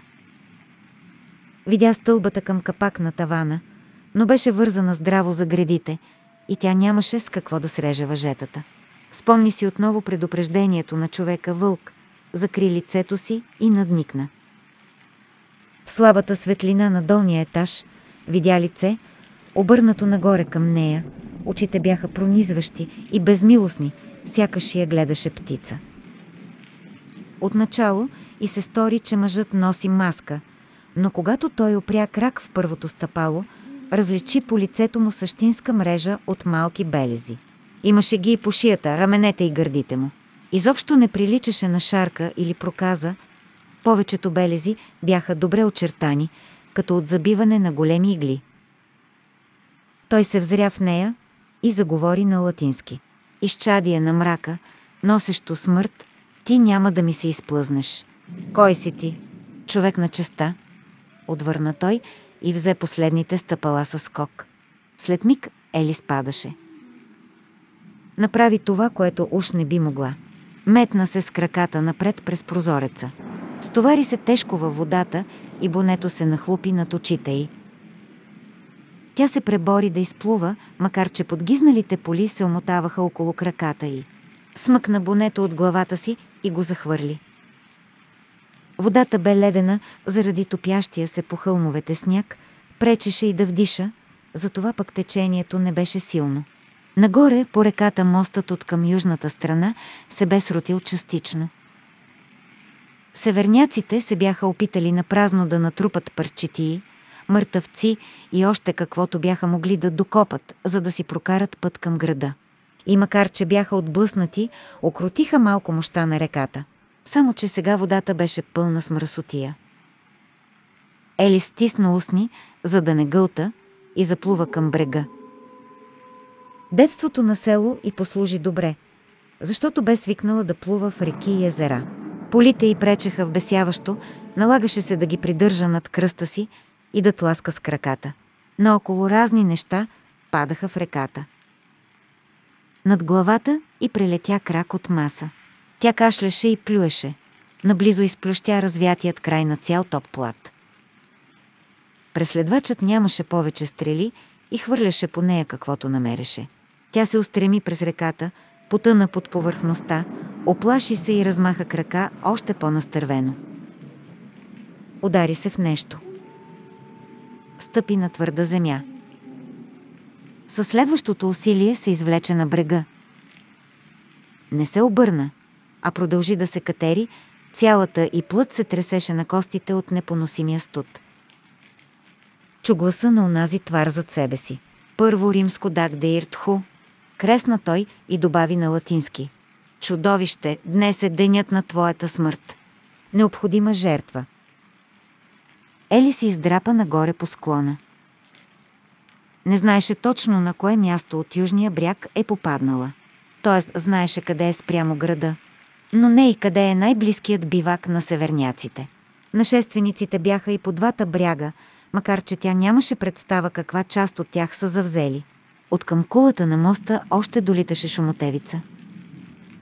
Ели се разтревожи, когато проумя, че нападателите се оттеглят. Сега ударите на камбаните оповестяваха на жителите на града, че северняците са отблъснати. Врявата на сражението стихваше и бойците на кулата крещяха обиди към враговете си, присмиваха им се за бягството и ги питаха къде се е дянала прословутата бойна ярост на викингите. Враговете се връщаха в биваците си и Елис разбираше, че може да се озове насред отстъпващите пълчища. Между къщите и колибите минаваха мъже. Тя различи очертанията на един с опряна на рамото брадва, друг носеше копие. Нямаше как да познае дали са дътчани или нейни сънародници. Когато северняците се бяха стълпили, за да нападнат моста, от гората сигурно са излезли франки да връхлетят бивака. Нашествениците бяха толкова многобройни, че нямаше как да постигнат победа срещу тях с тези набези, но можеха да ранят някого от стражите, да откраднат прасе и най-вече да попречат на неколцина датчани да се включат в атаката срещу града. Твърде опасно беше да доближи тъмните силуети. Нямаше откъде да знае какви са.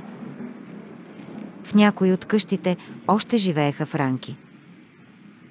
За Елис беше загадка, защо северняците не превзеха всичко по южния бряг, но чу обяснението на своя брат. В колибите извън крепостните стени живееха бедняци, но пък много наброй, и то заякнали от работата на полето. Вярно, северняците бяха многократно повече от тях. Но защо да прахосват силите си? Според Ют ще ли да плечкосат тези къщи на връщане. Искаха да се здобият с роби, но не и да ги мъкнат със себе си нагоре по течението на реката, ако изобщо успееха да минат отвъд мостовете на Париж. Робите щяха да им пречат в разграбването на онези земи. Затова оставяха франките да се изхранват сами, докато се върнат да ги пленят. Брат и подхвърли, че викингите се отнасяли към франките както готвач към кокошките си. Още разтреперана от студ, Ели се обърна да погледне къщата на такачите. Мъжа с перата го нямаше, но на прозореца се показа друго лице. Онзи с чук на щита. Той пусна щита си във водата и миг по-късно скочи в реката. Друг го последва веднага. Щяха да я търсят, а бяха поне неколцина. Тя се втурна слепешком към тъмните къщи, тичаше колкото сили имаше. Още някой цопна във водата, друг кресна сърдито на норвежки, защото съратникът му бе паднал прекалено близо до него. Трябваше да намери скривалище през нощта, да огледа местността и да потърси начин да се върне в Париж или да се приоти при свои хора наоколо. Нямаше да е лесно. Захвърли бонето си в реката и нямаше с какво да покрие косата си. Франките се отличаваха с търпимост, дори допускаха жени да пътуват без придружители през земите им. Но сега биха могли да я сметнат за блудница, с която всеки мъж се държи както му скимне. Не биваше да припарва до мъж, особено нощем, но ако успееше да намери жена от своя народ, на която да обясни защо е облечена толкова нескромно, щеше да вземе назаем някакво покривало за косата си и да остане при нея до сутринта.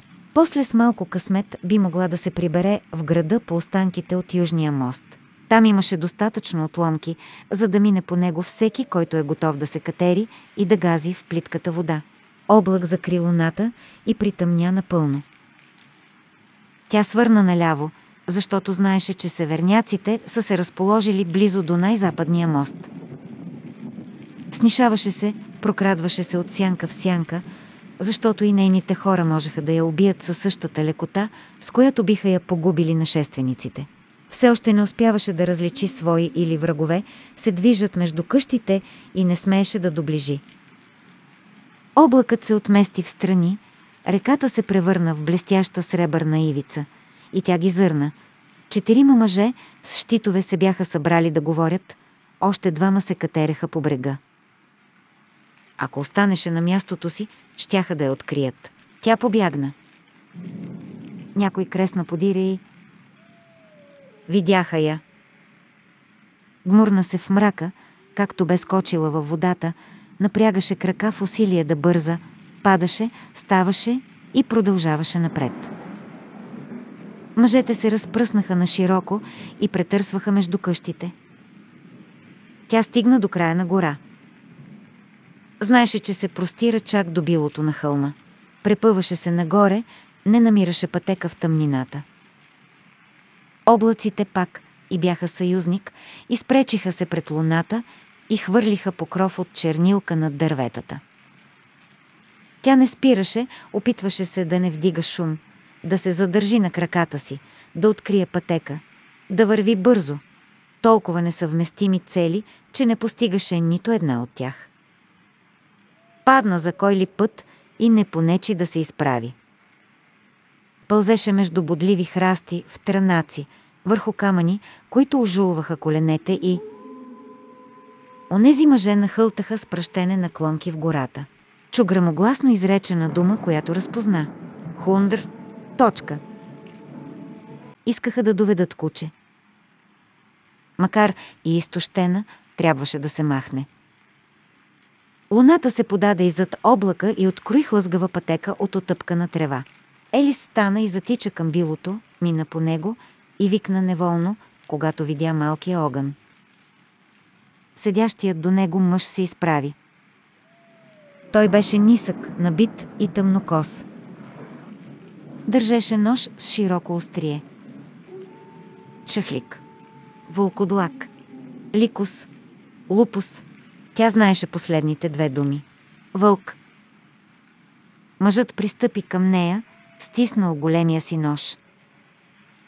Тя си спомни за страшния си сън и за онзи, който се опита да я защити, за човека вълк. Спомни си и за съществото във виденията, което казваше, че я обича.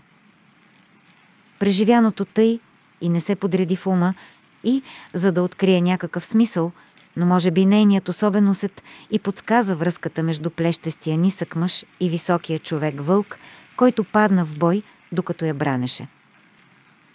Без друго живота ти беше в ръцете на този непознат. Тя му каза на латински.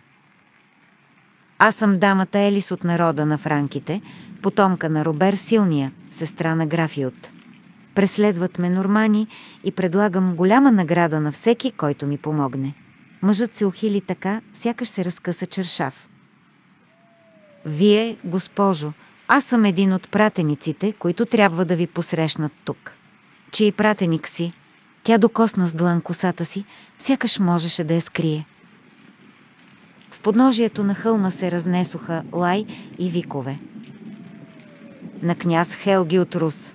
Що ме тъй били спасил живота ми, за да изпълниш волята на своя княз. Не мога да избягам от тези мъже. Можеш ли да ме скриеш?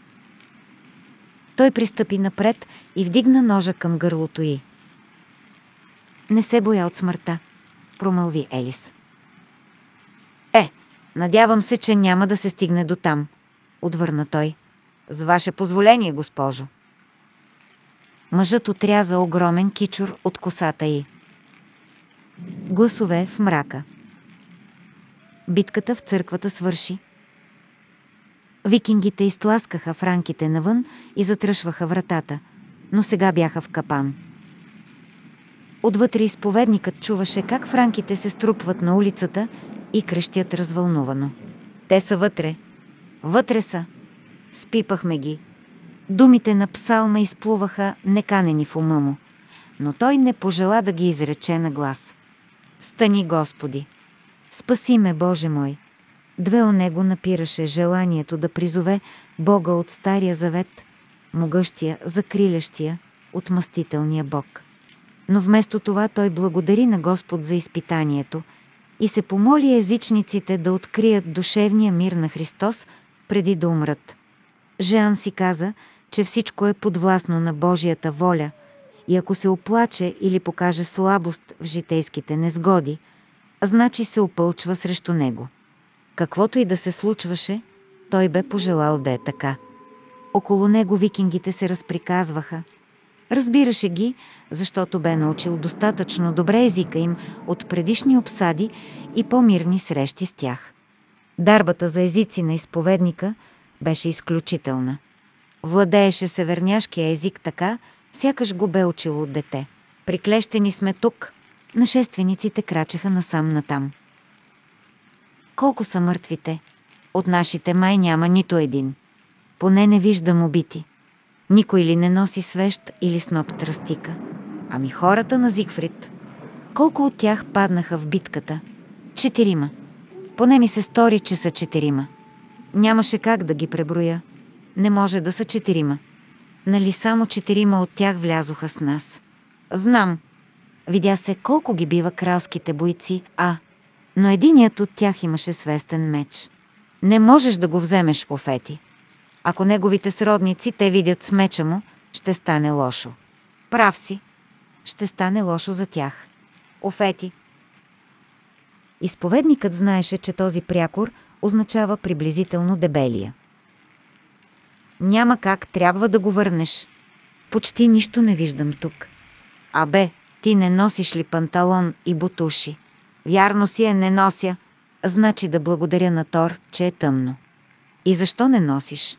Тък му щях да позволя на една от нашите лагерни дами да се наслади на богатия ми опит, когато оня задник гарвана се покатери по стената. Не ми се вярваше да одобрите, ако губя време да се пременя, преди да хукна заедно с вас. Тя ти е откраднала панталона, щом си, и обърнал гръб, така ли? И на курвите вяра да нямаш, такива времена настъпиха. Съгласи се Офети.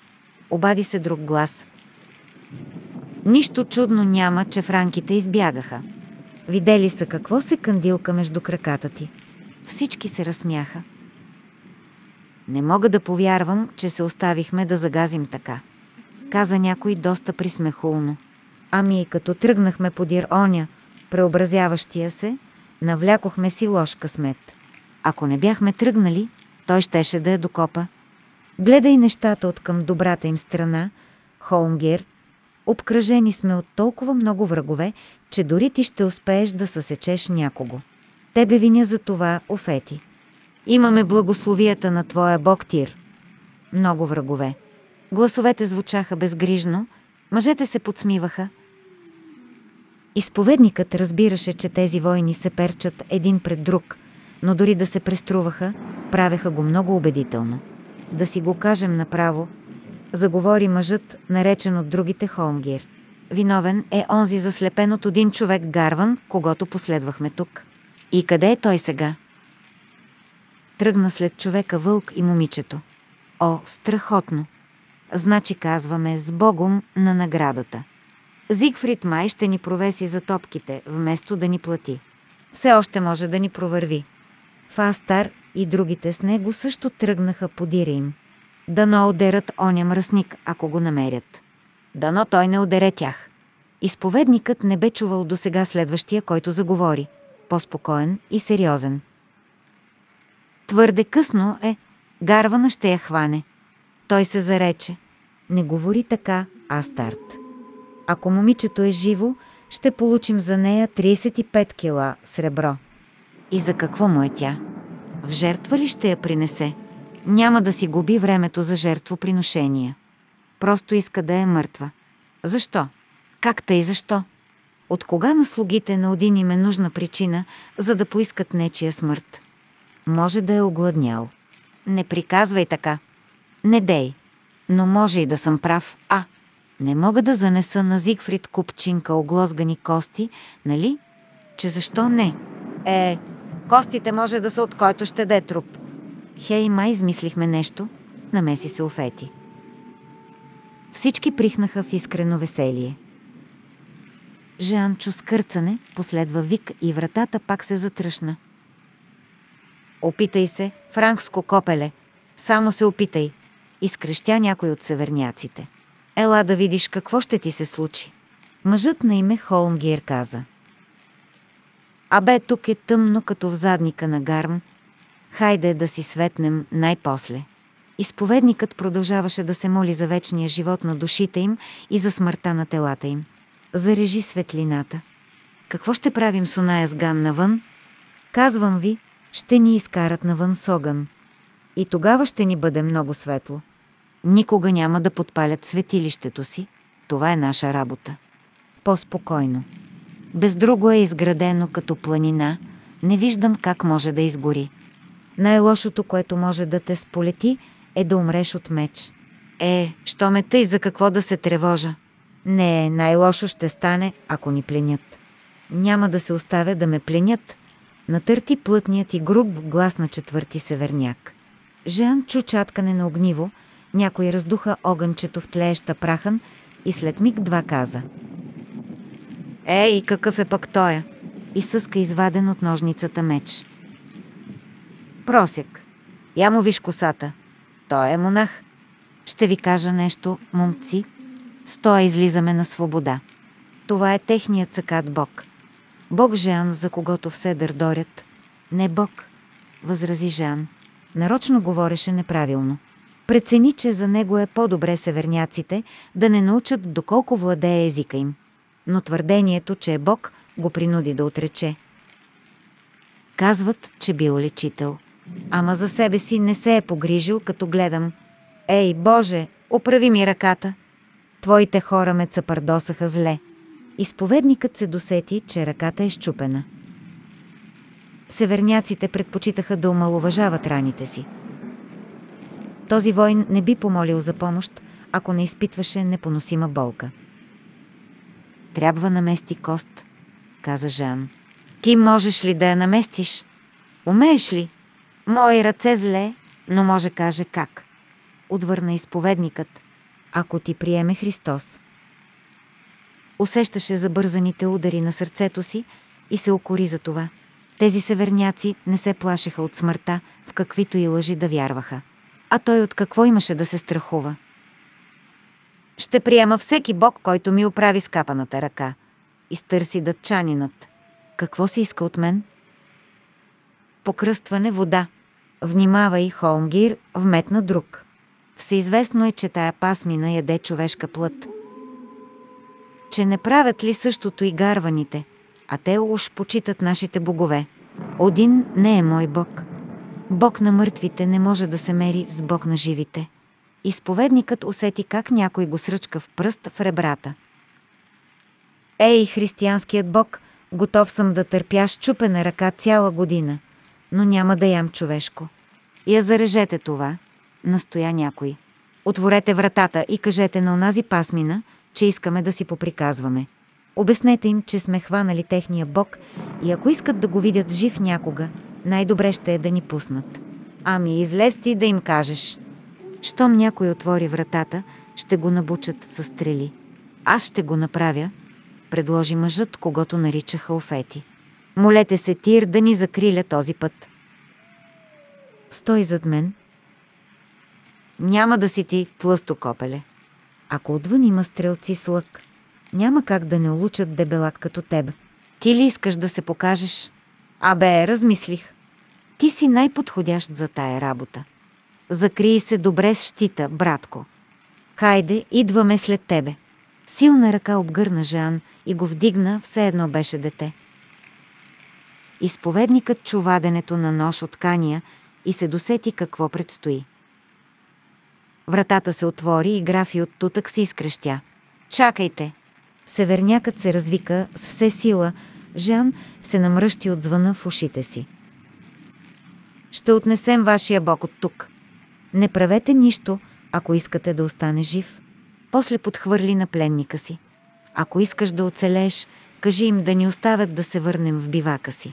Гласът на изповедника не трепна, когато заговори на изисканото наречие Франсик, за да знаят хората, че се обръща към франкските предводители.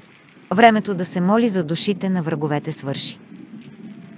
Те отказаха да се покръстят и отхвърлиха Божията милост. Тези хора са врагове на Бог, а аз имам надежда да се възнеса в небесата.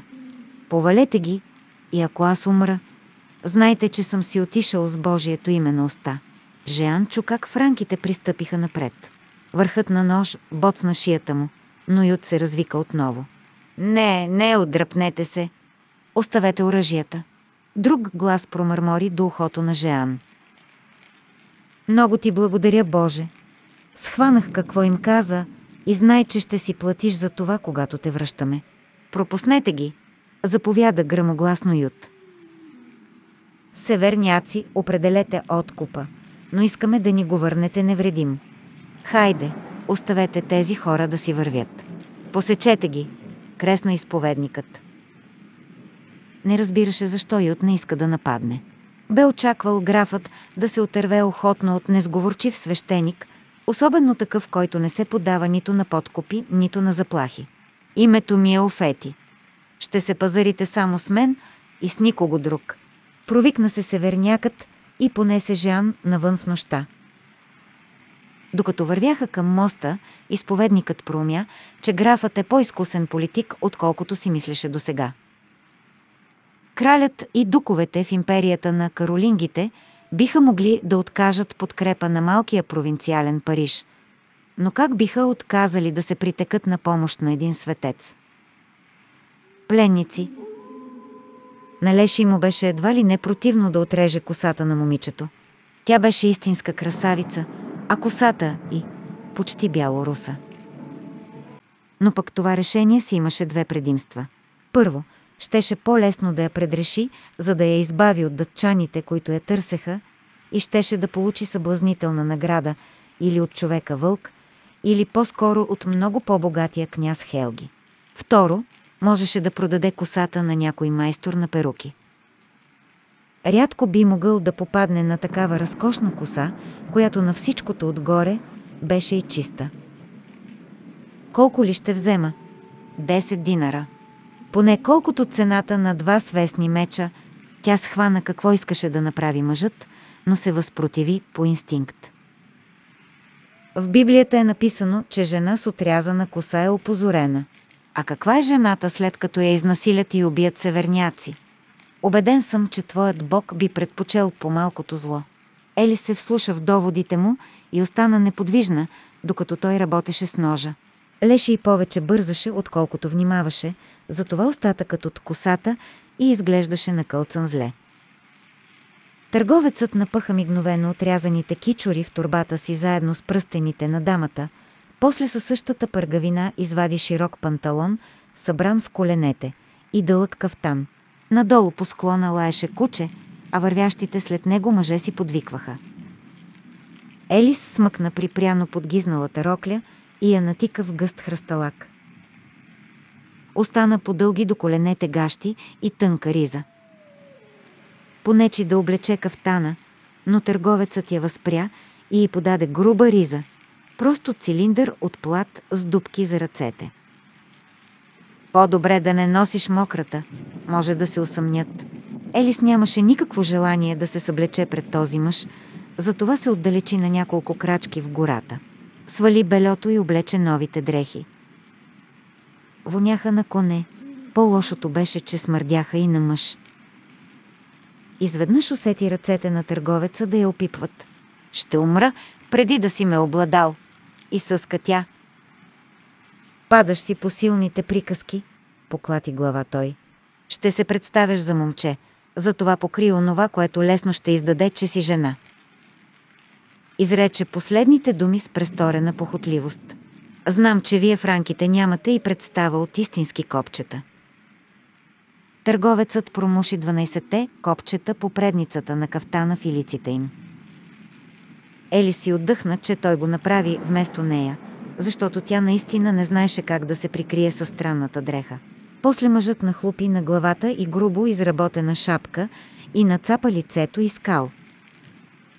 Сега Елис изглеждаше досущ според замисъла му. Млад роб с отрязана коса в знак на подчиненото му положение. Ти си моят ням слуга, каза и той. В тази дреха гърдите ти се сплескват, но не е зле да кръстосваш ръце отпред, когато има някой наблизо.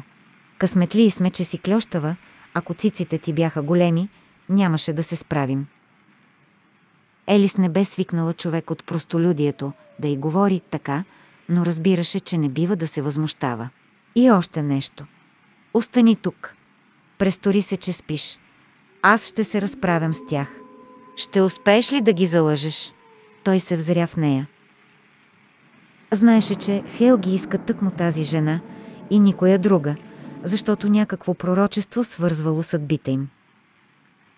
Но Хелги бе завладял наскоро земите си и франките се отнасяха към него с пренебрежение. Не биха се съгласили да му дадат за жена тази благородна дама. Затова бе решил да я вземе на сила. Леший си мислеше, че с наградата от княза ще може да живее в безделие и спокойствие до края на дните си. Цял живот залъгвам хората. Успокоя Леший. Легни и чакай. Елис го послуша и той се върна при огъня. Чуваше как северняците се качват все по-наблизо, викаха си един на друг и на жената. Хайде, мила, по-добре ние да те хванем, отколкото гарваните, повярвай ми. Твърде скъпоценна си за нас, за да ти сторим зло. Еладе, скоро ще се сгрееш до огъня, ако се покажеш. Не спираше и кухият лай на надъханото куче. То се появи първо, доближи огъня и започна да души нетърпеливо наоколо. Леши издиша тежко. Свикнал бе да сключва дръзки сделки, да разчита само на себе си, докато прекосяваше огромните равнини на изток, чак до Серк, където обитателите на пустинята му продаваха мечове и коприна, на запад до големите пазари на Дания и Швеция и дори на юг до Византион, царя на градовете. Но този път нямаше да му е лесно. Поне шестима войни и то настървени от издирването и предшествалата го битка. А той имаше само ножа си, с който да брани стоката и най-скъпата си придобивка дамата, която щеше да го направи богаташ. Овладя се и заговори на северняшкото наречие ясно и правилно, макар че направи произношението си малко по-подчертано от нужното, за да няма съмнение, че е чужденец. Приветствам чедата на моя добър приятел Онгендус, известен и като Ангантир. Как е със здравето благородният крал на дътчаните? Малко си закъснял с въпроса чужденецо. Той е покойник от 20 години. Всички мъже бяха мокри от главата до петите, капките просветваха под луната също като върховете на копията им. Едрото куче с гладка козина се разсея за малко с остатъците от вечерята на Леши и задъвка овнишки кокъл. Леши се сети за майка си. Тя би отнела кокъла от кучето, за да го пусне в супата, макар че беше малък. Той пък предпочиташе да захвърля тези остатъци. Не защото беше богат, а защото се стремеше да бъде богат. Един арабин му каза преди време, че ако се държи като богаташ, наистина ще забогатее. Тогава съветът му се стори умен, но не постигна особен успех, като го следваше. Не, че го провалиха през трувките, в тях нямаше грешка. Поне ми кажете, че неговият благороден син Зигфрид е пораснал и сега властва над дътчаните. Той беше най-силното и благородно момче. Играех с него, когато беше малък. Говори ли още за мен? Кажете ми, че ме споменава. Вярно, наш господар е Зигфрид. Ти негов приятел ли си? Бях му като втори баща някога. Аз съм Леши, търговец от Ладога, известна сред вас като Алдей Гюборг, пратеник съм на княз Хелги, датчанина, владетел на източното езеро и на земите на Новгород и Киев. Елате да се сгреете край моя огън. С вас сме сродници. Тук имам и вино, ако го харесвате. Името ми е Фастар, син на Хрингър. Не е време за вино, братко, каза един от мъжете. Подгонили сме момиче, което беше скоро на този бряг. Видя ли я? Търговецът преглътна. Хареса му, че го нарекоха братко. Няма никого, освен мен, Двамата северняци, които стояха отпред, си зашепнаха и единият го изгледа косо. Старши, не може ли да починем малко и да пинем вино? Обади се нисък и жилав мъж със студеното безизразно лице на обиец. Можем да обикаляме цяла нощ и пак да не я намерим. Нека оставим кучето да потърси наоколо и ако не надуши следа, да се откажем и да изпием запасите на този търговец, предложи друг. Леши се озърна неспокойно към дисагите, в които бяха шишетата. Виното беше добро и смяташе да го продаде, а хич не му се искаше да го излочат тези простаци. Е, може да дойдете и утре, ако искате, подхвърли той. Брат ми ще докара достатъчно вино да се удавим в него. Ще се погрижа вие да го опитате първи. Колко ще се радва Зигфрид да види отново и двама ни? Търговецо нямаш охрана, отбеляза Фастар. Пътувам с преобразяващ се магиосник. Той ме закриля, ако е нужно. Невероятно е само някой да вдигне меч срещу мен и сякаш го поразяват сенките. Умира мигом. Войните пак си замърмориха. Леши дочу думата храфн, гарван. Днес ли дойдохте? Така си е. Видяхме как ви посрещнаха в бивака. Леши виждаше, че цялата му измислица ще се разпори по шевовете. Каза им, че познава Зигфрид, но не знаеше, че той е станал крал на дъчаните. Сега тези мъже се заблудиха, че вече е бил в бивака им. Тогава защо не се бе представил пред краля? Той обаче беше убеден, че настоящето си има начини да променя миналото и се надяваше да му се размине, щом северняците изгълтат достатъчно вино. Затова постъпи както всеки път, когато предвкусваше изгодна сделка. Не продума, само свира мене и се усмихна. Къде е гарвана сега? Попита онзи с чук на щита, представил се като фастар. Леши пак се усмихна и вдигна рамене. Няма как да е заобиколил толкова бързо, нали? Той не се ли върна по моста? Попита един от по-младите войни и се озърна. Тръпки ме побиват от тая пасмина, дето се кланя на один. Особено от жената. Тя не е тук, нали? Вещицата не се занимава с такива като тебе. Успокои го Фастар и погледна Леши. Търсим една франкска жена от благородничките. Видяхме я да скача от къща над стената. Ще дадат добър откуп за нея. Леши дори не мигна и отвърна. Няма никого с мен. Доведох Гарвана тук. Той ми беше благодарен и обеща винаги да бди над мен. Не знам какво друго е искал да прави. Питаше се, кой ли е този Гарван? Бе видял, че и неговият спътник се преобразява, само че във вълк. Но щом варягите се плашеха от гарвани, нямаше нищо против да превърне чахлик в гарван. Защо не заведе гарваните при краля? Значи бяха повече от един. Изчаках да видя как ще бъдат посрещнати. Умно си постъпил. На мястото на Зигфрид щях да ги накълцам на мръвки, щом ги зърна. Първо она е жена, сподели един костелив боец. Повечето пръсти на лявата му ръка липсваха. Кучето бе оглозгало кокала, вече обикаляше и душеше между дърветата. Леши умуваше невъзмутимо какво да обяснява, ако намерят Елис. Кучето излая, чу се как дърпа нещо, разкъса се плат. Животното започна да лае възбудено и пискливо. За северняците тези звуци означаваха, че е открило нещо. Втурнаха се към гората с високо вдигнати копия, сякаш се канеха да повалят глиган. Достойни дътчани, подвикна след тях Леши, вашето куче просто се натъкна на моя слуга.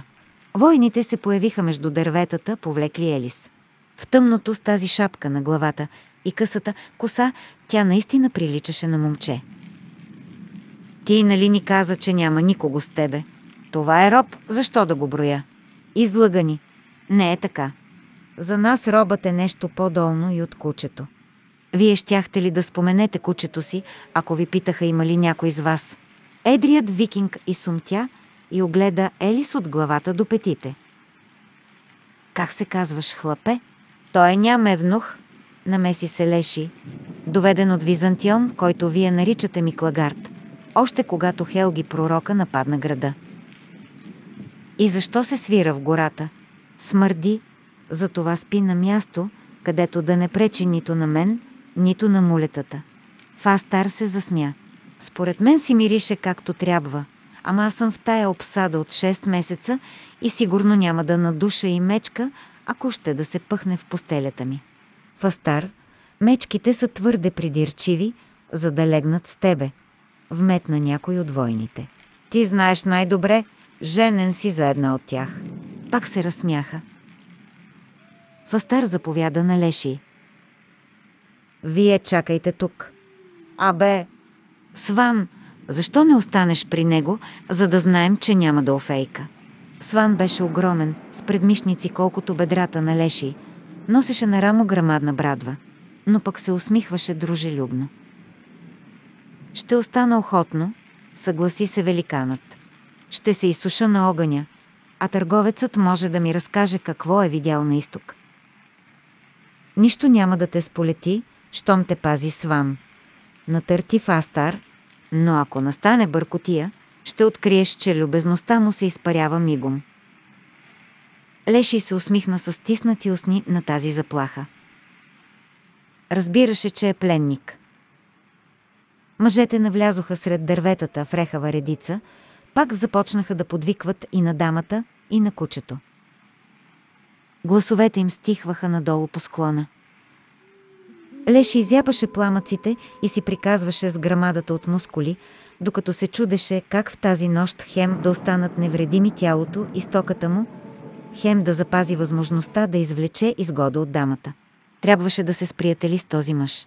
Сван не беше склонен да говори за себе си, затова Леши му разказваше за изтока, за градовете Ладога и Новгород, където северняците властваха над местните хора благодарение и на военното си надмощие и на съгласието на покорените. Различните племена все не стигаха до съгласие, затова бяха повикали варягите, както наричаха северняците, да ги управляват. За княз Хелги казваха, че произхождал от самия Один и не само имал пророческа дарба, но и владеел незнайни магии. Как тъй попадна под закрилата на гарваните? Попита накрая Сван. Изглеждаш свестен човек. Защо се забъркваш с смахнати човекоядци? Рядко се случваше Леши да не забележи нечия слабост. И сега видя как Сван се огледа крадешком. Плашеше се от онези гарвани, каквито и да бяха те. Понякога човек не може да избира, подхвърли търговецът. Други избират вместо него. Добре казано, кимна севернякът. Значи те ти се натрапиха. Оплашиха ме почти до смърт. Щом Сван се страхуваше, Леши и също щеше да покаже страх. Знаеше, че сходството и единомислието са ключът към симпатията на този човек. И може би към собственото му оцеляване. Как да не те оплашат? Съгласи се Сван. Корав гъдняр си е оня Хугин, можеш да го уважаваш за това. Какъвто ще да е, ама сестра му е луда за връзване. Как и беше името, приятелю? Напомни ми. Търговецът си рече, че Сван не е глупав. Явно бе доловил някаква неувереност у него и реши да го провери. За щастие Леший беше ненаситен за предания и легенди, пък и бе обходил толкова земи. Спомни си, че гарваните на Один се наричат Хугин и Монин, каза той. А, вярно. Тия двамата не са от приказливите. По-малко и от момчето. Кимна Леши към младата дама. То винаги ли седи с кръстени ръце? Такъв е обичаят на неговия народ. Ако бяха свикнали да държат ръцете си върху дръжките на мечовете, нямаше накрая да стават роби, подхвърли Сван. Леший се ухили и го посочи многозначително с пръст, а изражението му сякаш казваше «Мъдър човек си ти». Точка. Сван остана доволен от неизречената похвала. Чу се шумолене от към гората. Леший се сети за човека вълк. Не знаеше дали завръщането му би означавало спасение или гибел.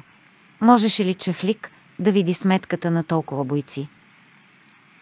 Оказа се обаче, че кучето, загубило интерес към гонитбата, се връща на последното място, където бе похапнало. Вие дътчани ли сте? Хрумна му налеши нов въпрос.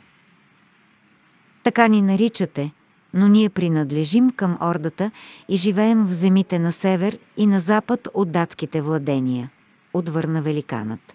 Всички сме съратници от един боен кораб, общо 12 войни. Клановете от берсерки не смятат ли 12 за магическо число? Да, вярваме, че е така. Значи сте берсерки. Леши се стараеше да отбягва берсерки и винаги беше на штрек, когато някои от тях идваха в ладога. Те разпалваха на лудничавата си бойна ярост с разни отвари от гъби и билки, издържаха и на рани, които биха убили обикновен мъж. Говореха за тях, че са настървени не само в битките, а смятат целия си живот за неспирно сражение. Едно е, казваше си Леши, да си сприхав, съвсем друго е да ставаш такъв нарочно. Известни сме като берсерките на бога Щук, което ще рече, че не сме берсерки.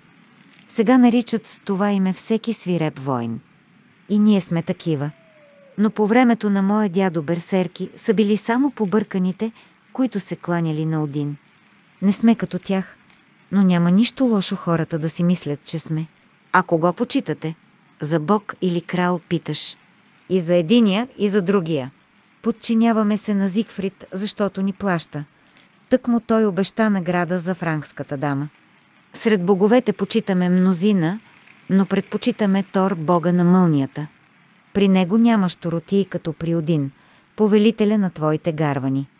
Никакви безумия, никакви магии, никакво бесене на хора по дърветата, за да е доволен.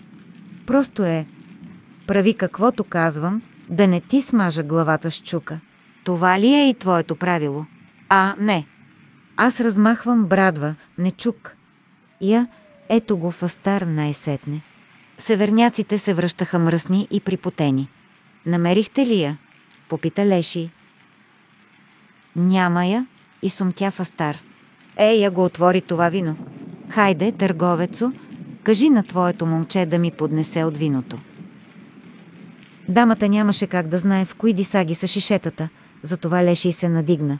Почитае ми дътчанино, да не съм луд да позволя на момчето да научи къде е виното. Братко, вашите роби сигурно са много послушни, щом им се доверявате толкова.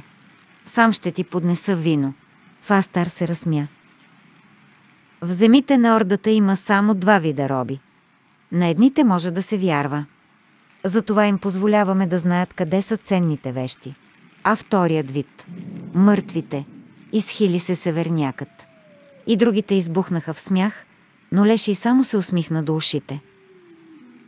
На изток казваха, че смехът е като семейния дом. Нуждаеш се от покана, за да влезеш.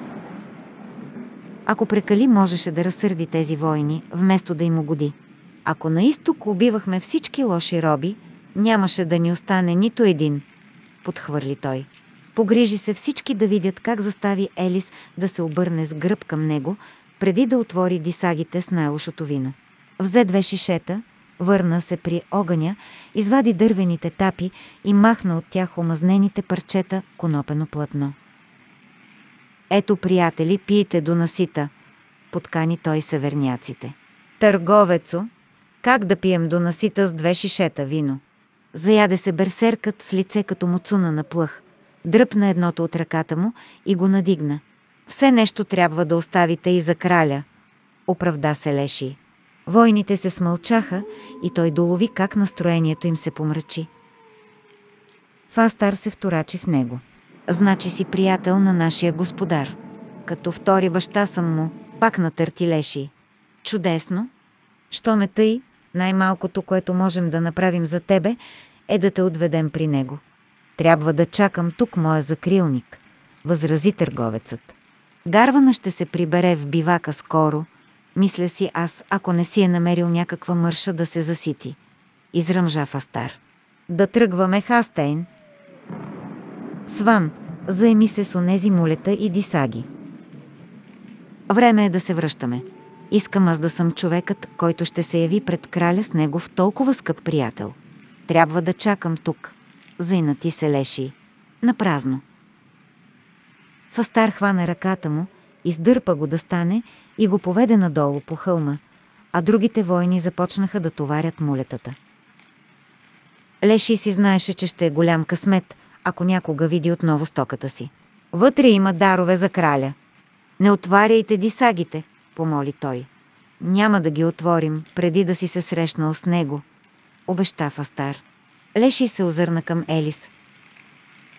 Ей, идиотче, не дей да стърчиш като дърво. Сопна се той. Навий килима и внимавай да го вържеш добре. Ако пак падне в кълта, ще натикам и твоето лице в нея. Ели зяпна недоумяващо и търговецът се усети чак сега, че й говори на северно наречие. Но щеше да е по-добре за нея, ако се държи лошо. Казах да вземеш килима. Изкрещя и с все сила. Хвана края на килима, престори се, че го навива и посочи мулето. А Елис още не бе разбрала и една дума от казаното. Не е читав онзи роб, който оставя работата на господаря си. Подсмихна се дребосъкът с лице на плъх. Търговецо, сигурен ли си, че тук момчето е робът? Охили се и сван. Сложи килима върху мулето. Прошепна Леши, настойчиво до ухото на Елис и продължи грамогласно на езика на войните. Заслужаваш да те прибия, ама ще станеш още по-безполезен. Свърши си работата. Елис нави килима припряно, леши и се подиграваше, като повтаряше несръчните й движения и се полеше насреща и. За северняците това беше превъзходно забавление, а Леши постигна каквото искаше. Направи дамата недостойна дори за тяхното презрение и така истината за нея стана невидима за техните очи. Те вярваха, че виждат слабоумно момче и се наслаждаваха на подигравките на търговеца. Той запечата образа на тъпия роб в умовете им и те вече трудно биха забелязали нещо, което не се вписваше в този образ. За него тези хитрости бяха всекидневие, макар че обикновенно правеше обратното. Внушаваше някому колко са редки и ценни предлаганите стоки, колкото и далече да беше това от истината. Обърна се да погледне в Астар. Очаквам да се насладя на гостоприемството ви. Дъчанинът му се усмихна. И ние на твоето. Отговори и махна с ръка към примигващите светлинки на бивака, проснат в тъмната долина, подобно на огледало, отразяващо звездите. Пробуждане. Елис не вярваше, че ще доживее утрото. Всичко потръгна зле за нея, дори в най-нищожните дреболии. Мулетата отказваха да помръднат, дисагите се накланяха на гърбовете им, тя се препъваше и падаше в хлъзгавата кал по склона. Пръстите на краката и изтръпнаха от студа, а тревогата, че ще се досетят коя е, не я напускаше и за миг. Елис би могла да понесе всичко това. Израсна в селско имение и прекара много нощи из горите около дома си. Спеше с приятелките си под звездите, пиеше вода от ручии и отиваше на лов с дъщерите на местния граф. Нейната леля я научи да стреля с лък и казваше, че макар да не се отличава с точност, поне и върви в лува на сърни. Държеше лъка неправилно, слагаше стрелата неправилно, опъваше тетивата неправилно, шаваше при изстрела и все пак често се случваше да улучи целта. Отдавна бе свикнала с живота на открито. Не бе свикнала обаче да понася присмех. От страх ставаше несръчна и всеки път, когато се подхлъзваше или някое му ли се запъваше на мястото си, леше и пръв подхващаше подигравките. Нисичкият северняк с стиснатите устни се държеше особено жестоко, прокрадваше се зад нея и я спъваше с дръжката на копието си, а после се кикотеше в захлас. Никой не се бе отнасял така с нея и сега откри, че е направо непоносимо. По бузите и се стичаха сълзи, които само разпалваха присмеха. Накрая Леши и я избави от най-лошото. Каза на злобния дребосък, че ако робът пострада, ще поиска отплата от господаря му. В нейните очи бивакът беше като видение от ада. Безмилостни, мръсни и белязани лица сякаш изкачаха в светлината от огньовете, мъже и жени се снушаваха като животни, а на две-три крачки от тях някой гълташе лакомо варивото от паницата си или точеше брадвата си. Тази войска опустошаваше различни земи от години и приличаше на подвижен град. Имаше и деца, като горски духове, които дърпаха дисагите, дърдореха и на своя чужд език, дори я опипваха.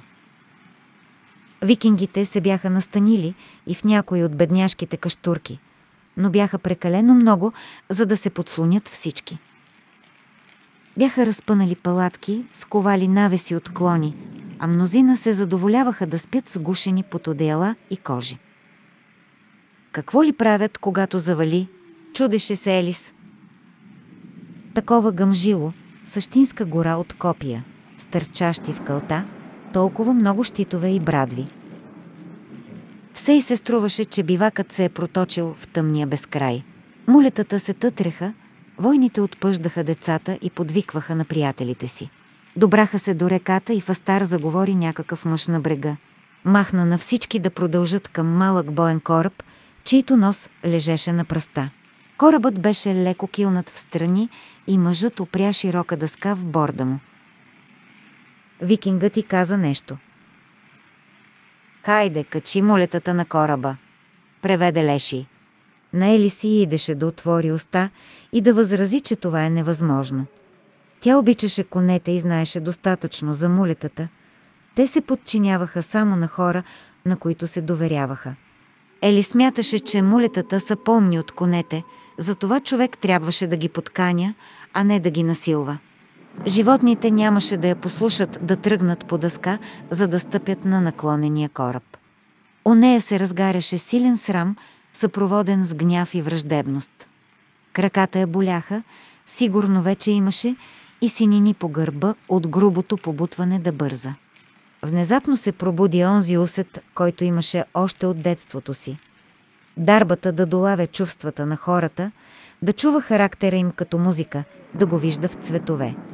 Северняците бяха смесица от мъжество, жестокост, щедрост, храброст, веселие. Търговецът беше по-сложна бъркотия.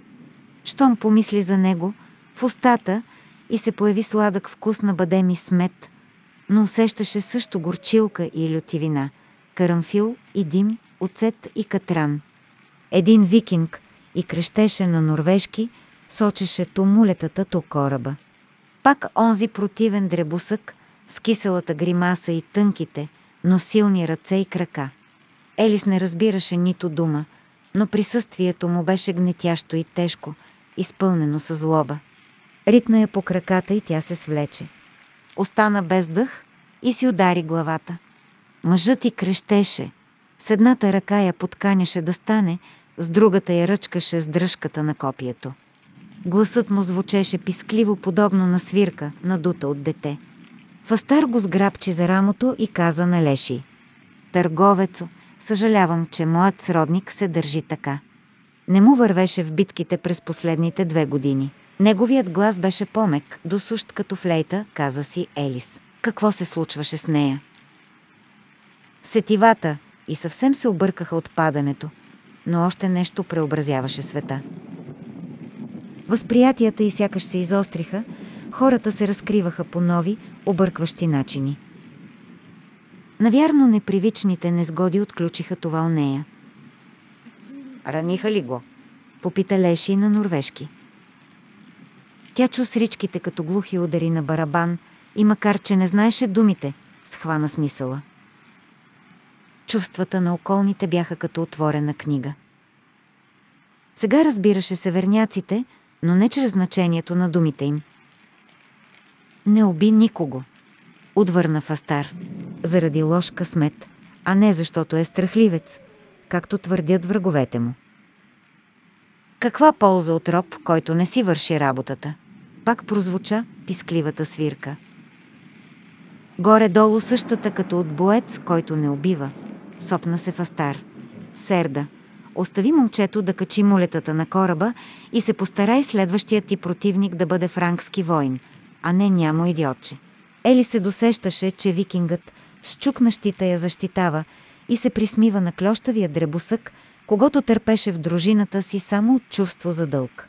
Позна, че Серда е името на ниския мъж, за когото съратниците му бяха не по-малко опасни, отколкото за нея. И той съзнаваше това. Тя се изправи и нощта, сякаш кипна наоколо. Мислите и емоциите на хората в бивака жужаха като боболечки. Споходия някакъв образ. Видя се да стои на висок връх над огромна долина. Нещо живееше в нея, сияеше и топтеше. То беше звук, трептене, което носеше в костите си заедно с още незнайно какво. Не би могла да го назове, но си го представяше подобно на сплескано латинско «М», означаващо и числото хиляда, което грееше в тъмнината на съзнанието и. Имаше живия блясък на козината по гърба на дореста кобила. На души и миризма на кон, стори и се, че странната форма тропа с копита и се облива в пот. Тя беше жива, изразяваше се чрез Елис. Опита се да даде някакво име на тези очертания, но в ума и се натрапваше само думата кон. Знаеше, че формата някак е свързана с конете. Качи молетата на кораба, каза и Леши. Елис погледна най-близкото животно. Щом пристъпи към него, то се обърна на другата страна, но тя не се обесърчи и докосна главата му. Представи си как топтящата форма увисва във въздуха пред нея и звукът на диханието и се разпростира чрез нейното тяло. Почувства страха и недоверието на мулето, но странната фигура и вдъхна спокойствие, което тя някак предаде на животното. Мулето се окрути и потърка Муцуна в ръката й. И Елис го поведе нагоре по дъската. Когато всички животни се събраха на кораба, войните също се качиха на палубата заедно с Леши. Оттласнаха се с веслата и поеха към отсрещния бряг. Всички викинги седяха, но за нея нямаше място и тя опря гръб на релинга. Потопи се в най-необикновените мигове в живота си. Нейното съзнание сякаш не и принадлежеше. В него избояваха и заживяваха други неща, подобни на онзи конски символ. Подскачаха и се въртяха на границата на ума и... Ели спомнеше, че ги бе откривала и преди, когато се разболя от скарлатина в детството си. Дали не ги пробуждаха крайната оплаха и неувереност? Може би безмерната паника под погледите на берсерките бе потиснала разсъдъка и, за да им позволи да се появят отново. Ели се разтрепери. Какво и ставаше? Струваше и се, че необичайното присъствало винаги у нея, сега надделява над всекидневното и аз все едно от край време се е заблуждавала какво представлява всъщност. Тя беше дъщеря на граф, която някой ден щеше да бъде омъжена, за да донесе облаги на своя род. Сега изглеждаше, че онова в нея. Музикалният усет, чувствителността и към отношението и настроението на околните. Израства като великан и засенчва всичко, което тя беше до този ден. Как наложи волята си на мулетата? С вещерско заклинание ли? Нима беше възможно да е вещица, без да съзнава. Вдигна глава да погледне моста, проточил се от града към другия бряг. Корабът плаваше в страни от него, за да остане извън обсега на стрелците. Виждаше се как бранителите на града поправят и укрепват кулата. Идеше и да изкрещи, да се хвърли във водата, но знаеше, че ще я прониже викингско копие, преди да е загребала десетина пъти с ръце. Над града още се стелеше дим и се виеше нагоре пред луната като цепнатина в небето. Нещо тупна от кулата върху моста. Скочи някакъв мъж. Тя се огледа. Никой друг на кораба не забеляза, а май и защитниците на кулата не се усетиха. Самата тя зърна движението за мимолетен миг, но вече знаеше какво видя. Далечният силует пръскаше наоколо усещане като ледена вода. Хищно присъствие на свирепа твар с остър ум, с проблясващи очички. Не би могла да го изрази с думи, но го чу като звук. Сякаш небето се раздра. Чу го като крясък на гарван. Търговецът се премести да седне до нея и каза тихо на латински. Съжалявам, че проявих неуважение. Правя го, за да те опазя. Сълзите пак напираха в очите й. Не се тревожи, всичко ще бъде наред, добави той. Усмихна се и кимна към северняците. Някои от тях бяха заспали още с отделянето на кораба от брега, макар и да не беше завярване. Ще видиш, че някой ден главите на всички тези мръсници ще бъдат набучени на портата на твоя брат. Той докосна с длан гърба и... Не се съмнявай, че ще ти помагам. За мен най-важно е ти да си добре. Елис, която чуваше чувствата като музика и ги виждаше като цветове, се вторачи в него и изрече беззвучно една дума. Лъжец. Среща. Монахът не продумваше, макар да беше сигурен, че севернякът е сега ще му смаже ребрата. Огромният мъж го носеше на рамото си, при това тичаше. Рамото се забиваше непрекъснато в тялото на изповедника, пречеше му да диша, но Жеан не си позволи да се оплаче. Долови кога излязоха от града. Щом минаха през портата, стана постудено, защото стените задържаха горещината от подпалените сгради. Минаваме, минаваме, крещеше мъжът под него. Жан чуваше и стъпките на други, войните, които бяха в църквата. На онзи, който го носеше, бяха лепнали прякора дебелака, но явно не беше муден и издържаше да тича дълго въпреки товара, макар че се задъхваше и ругаеше. Как ще го прехвърлим през барикадата? Жан знаеше, че мостът е препречен и в двата края, за да бъдат затруднени нашествениците. Франките, покрай които се провираха, ги обсипваха с хули, но никой не вдигна оръжие срещу тях. Подчиняваха се на заповедта на Ют. Избутай го нагоре. Вдигни го де. Барикадата не беше нищо повече от струпани потрошени каруци и отломки. Изповедникът усети как го подхвърлиха. После падна болезнено на нещо. Нямаше време да се опомни. Груби ръце го подхванаха и го запратиха по-нагоре, удари се още по-лошо в някакви парчетии. Изохка, когато безполезните му стави се раздвижиха. Пусни го долу. Аз ще го хвана. Не. Изтръгна се от устата на Жан, но вече падаше и бе уловен от някого. Единствено, волята не му позволи да загуби съзнание. Отървахме се. Слава на Тор! Пуснаха Жан на земята. Той стена неволно, колкото и да не му се искаше. Затваряй си устата. Сгълча го някой.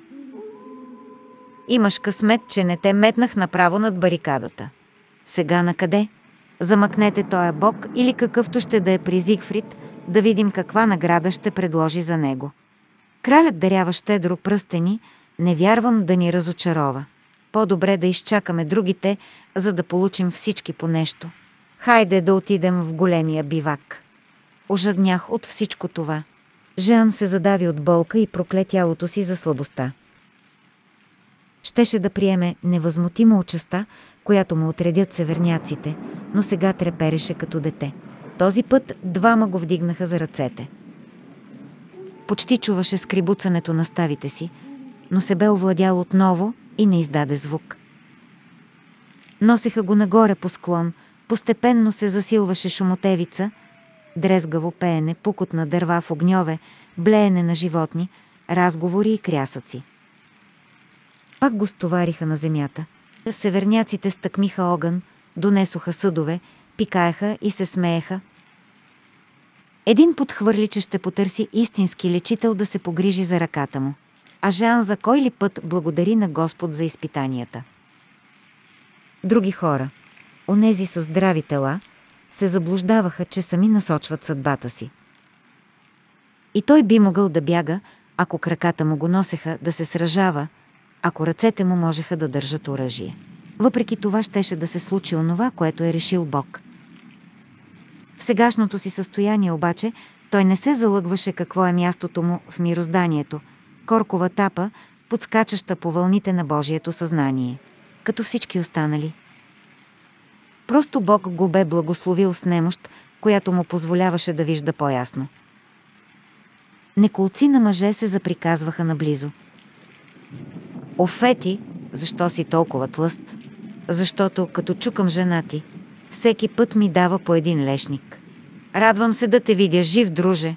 Смях, тупане по гърбовете и въпроси на кого, какво се е случило, кой е мъртъв и кой е жив. Бяхме 12, когато влязохме, и още сме 12. Защо не кажем на останалите във войската да си вървят от дома? Май можем и сами да превземем този град. Докопахте ли момичето? О, да. Само дето забравих да ти кажа веднага. Значи не. Позна. Ние пък докопахме, ей, той е любезен търговец и виното му. Търговецо представи се.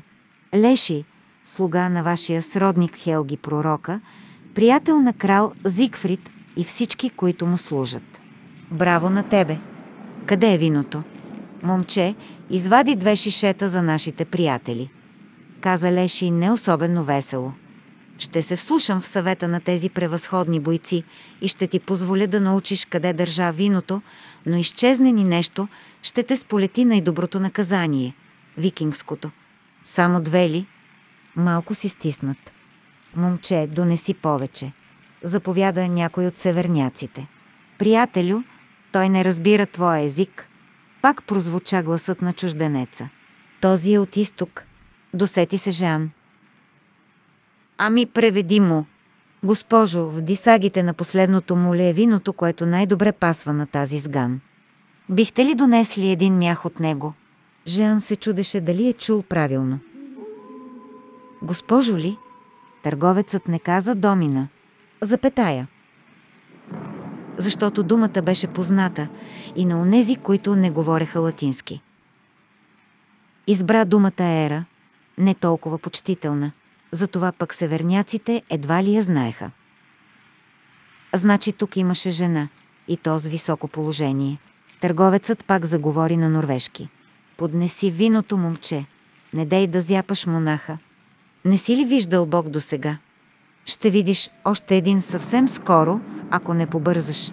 Наоколо се разсмяха, а чужденецът продължи на латински. Смелост, госпожо. Така е най-лесно те да видят онова, което ние искаме да виждат. Това момче пак се разциври. Ей, хлапе! Монахът просто е сакат. Такива като него седят край всеки път. Кълна се в штръкналите топки на Тор, че в Миклагард отглеждат лиглювци. Защо ли не си опитаме късмета и там? Щом се стряскат от уродливост, стига да им покажем топките на офети и тутък си, ще ни отворят портите. А така, донеси още един мях. Да изпием всичко, а при краля можем да идем и по-късно. Заслужаваме да се отпуснем след такива премеждия, нали? Не може да е тя. Жан прошепна едва чуто. Домина. Пръсти се плъзнаха нежно по лицето му. Най-странното усещане. Долови, че е тя, макар да не бе докосвал никога нито нея, нито друга жена но допирът сякаш носеше нейния отпечатък почти като изискано ухание. Болката и униженията не го разтърсиха, но този кратък досек с нея успя. От седем годишен до сега други го бяха пипали само за да го вдигнат или изкъпят. Прекрасна хладна тръпка плъзна от челото към коленете му. Откакто го смятаха за достатъчно зрял да говори в църква, той предупреждаваше хората да странят от плътските наслади – но за него те бяха само сухи слова, призраци от страниците на Библията, която му четяха други монаси. Презираше ги без да ги познава. Ала едно докосване стигаше, за да прозре. Тя ли беше? За пръв път от много години слепотата му беше омразна. Трябваше да я види, да се увери. Мъжете наоколо насядаха да пият, нощта ставаше по-студена. Успокои се, като насочи мислите си към предстоящата среща с Зигфрид. Жан нямаше да се моли или пазари за живота си. Знаеше, че колкото по-дълго остане в бивака, толкова по-вероятно е император Шарл да му се притече на помощ. Постара се да забрави необикновените чувства, породени от докосването, за да освободи разсъдъка си. Как би постъпил на мястото на Зигфрид? Викингът не беше глупак и сигурно щеше да проумее, че е опасно да държи монаха като свой пленник. Щеше ли да поиска откуп за него? Жан се съмняваше. Защо да си прави труда? Градът щеше да бъде превзет скоро и тогава кралят можеше да вземе безплатно каквото си поиска. Изповедникът осъзна, че докато е жив, може да послужи единствено като обединяваща цел за враговете на Зигфрид. Това го убеди, че ще бъде убит по заповед на краля. Съсредоточи се в молитвите си, но не успяваше да изтика мисълта за този допир, от който кожата му сякаш зазвъня. Жан имаше своеобразно чувство за хумор и откри ирония в случката – опозна греха на плътската наслада тъкмо на време, за да попадне заради това в ада. Знаеше, че каквато и участ да му отредят норманите, тя ще е Божие наказание за гордостта му. Грехът на Луцифер, който беше слабост, и на Жан. Да се смята за по-добър от околните. Позволяваше на хората да го наричат светец при живе. Но светците бяха страдали и умирали, затова Бог реши и на него да се случи същото. В Реймс северняците бяха смазали трима свещенослужители с тежки камъни.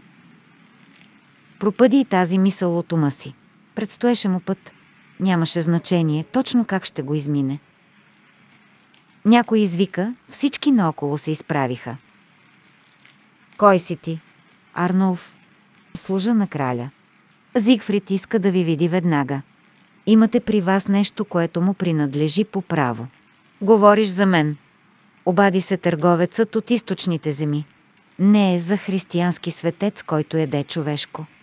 Иска него. Жан си помисли, че може би ще види лика на Христос по-скоро, отколкото е очаквал. Сама. Изповедникът Жан беше пленник. В бъркотията на бягството и от страх да не я хванат, Ели съвсем забрави, че и той беше до нея, когато северняците нападнаха. Ами нейният брат. Ют нямаше равен на себе си в битките, ако се вярваше на наставниците от юношеството му. Изобщо не й бе хрумвало, че е възможно да го ранят и дори да го убият. Но северняците бяха излезли от града с заловения от тях изповедник. Ют не би позволил това, ако е жив. Тя се смръзна. Внезапен потик я накара да докосне монаха, да го насърчи или просто да му покаже, че не е сам. Лесно си представи отговора му. Никога не съм сам, защото съм с Бог. И все пак и се стори редно да протегне ръка към него. Умът и се проясняваше, но е налегна ужас. В църквата тя не успя да обясни на изповедника колко живи бяха виденията и... После вълкът се появи по-точно, човек-вълк, който се пожертва заради нея. Чувството за дебнеща заплаха в сънищата се развихри истински в живота й. Ами онова нещо, което се пробуди у нея и повлия на мулетата. Какво беше то? Опита се да насочи вниманието си към настоящето. Внушаваше си, че трябва да е загрижена за опасността от северняците наоколо, не от някакви дяволи. Всички войни бяха видимо пияни и се препъваха, докато търсеха оръжията си. Не разбираше думите им, но си личеше, че са неспокойни. Стараеше се да стои на страна от дребосъка. Докато се наливаха с вино, другите ставаха по-грамогласни и приветливи. А той се затвори в себе си, само седеше до огъня с усмивчица на презрение към съратниците си. Всички тръгнаха надолу по полегат склон към най-голямата къща. Не огледна като всички извън градските стени, построена от гради и измазани с глина плетени стени. По прозорците висяха парчета пергамент. Ели се досети, че северняците са ги нарязали, щом са се нанесли, защото не бяха свикнали нещо да спира теченията в къщата. Дреболия, която обаче открои тяхното варварство пред погледа и... Как беше възможно франките да губят битки срещу такава сган? Но нейният брат твърдеше, че императорът е ленив дебелак и предпочита да прахосва богатството на своя народ в подкопи за северняците, вместо да се изправи на бойното поле срещу тях, както подобава на мъж. Ют бе доказал с делата си, че те могат да бъдат победени, но Шарл упорстваше и им плащаше да се махнат. Графът казваше, че щом им плащат с злато, северняците винаги ще се връщат за още, но ако им платят с тумана, ще се отърват от тях. Доближиха къщата и тя спря молетата. Навсякъде имаше войни, някои стояха на стража, навлекли броните си, други седяха и играеха на зарове или се хранеха, трети спяха. Ели си спомни, че в една от турбите е пъхната отрязаната и коса. Какво ли ще си помисли кралят, ако я види? Севернякът на име Фастар вдигна ръка и заговори на останалите. Леше и долови оплахата и започна да превежда шепнешком. Момци, това е кралят. Поне веднъж не забравяйте, че избрахте мен да говоря от името на всички. Аз се оговорих с него, значи мен ще иска да чуе. Да не съм чул и една думичка от вас, ясно ли е? Ами ако попита някого какво е ставало, само кажете, че сте правили каквото съм ви заповядал. Зададе ли още въпроси? Отговорете му, че не знаете и аз съм наясно с всичко. Ако не ви говори, не си отваряйте устата. Да влизаме и да се махаме от тук колкото може по-скоро. Домъкнете монаха.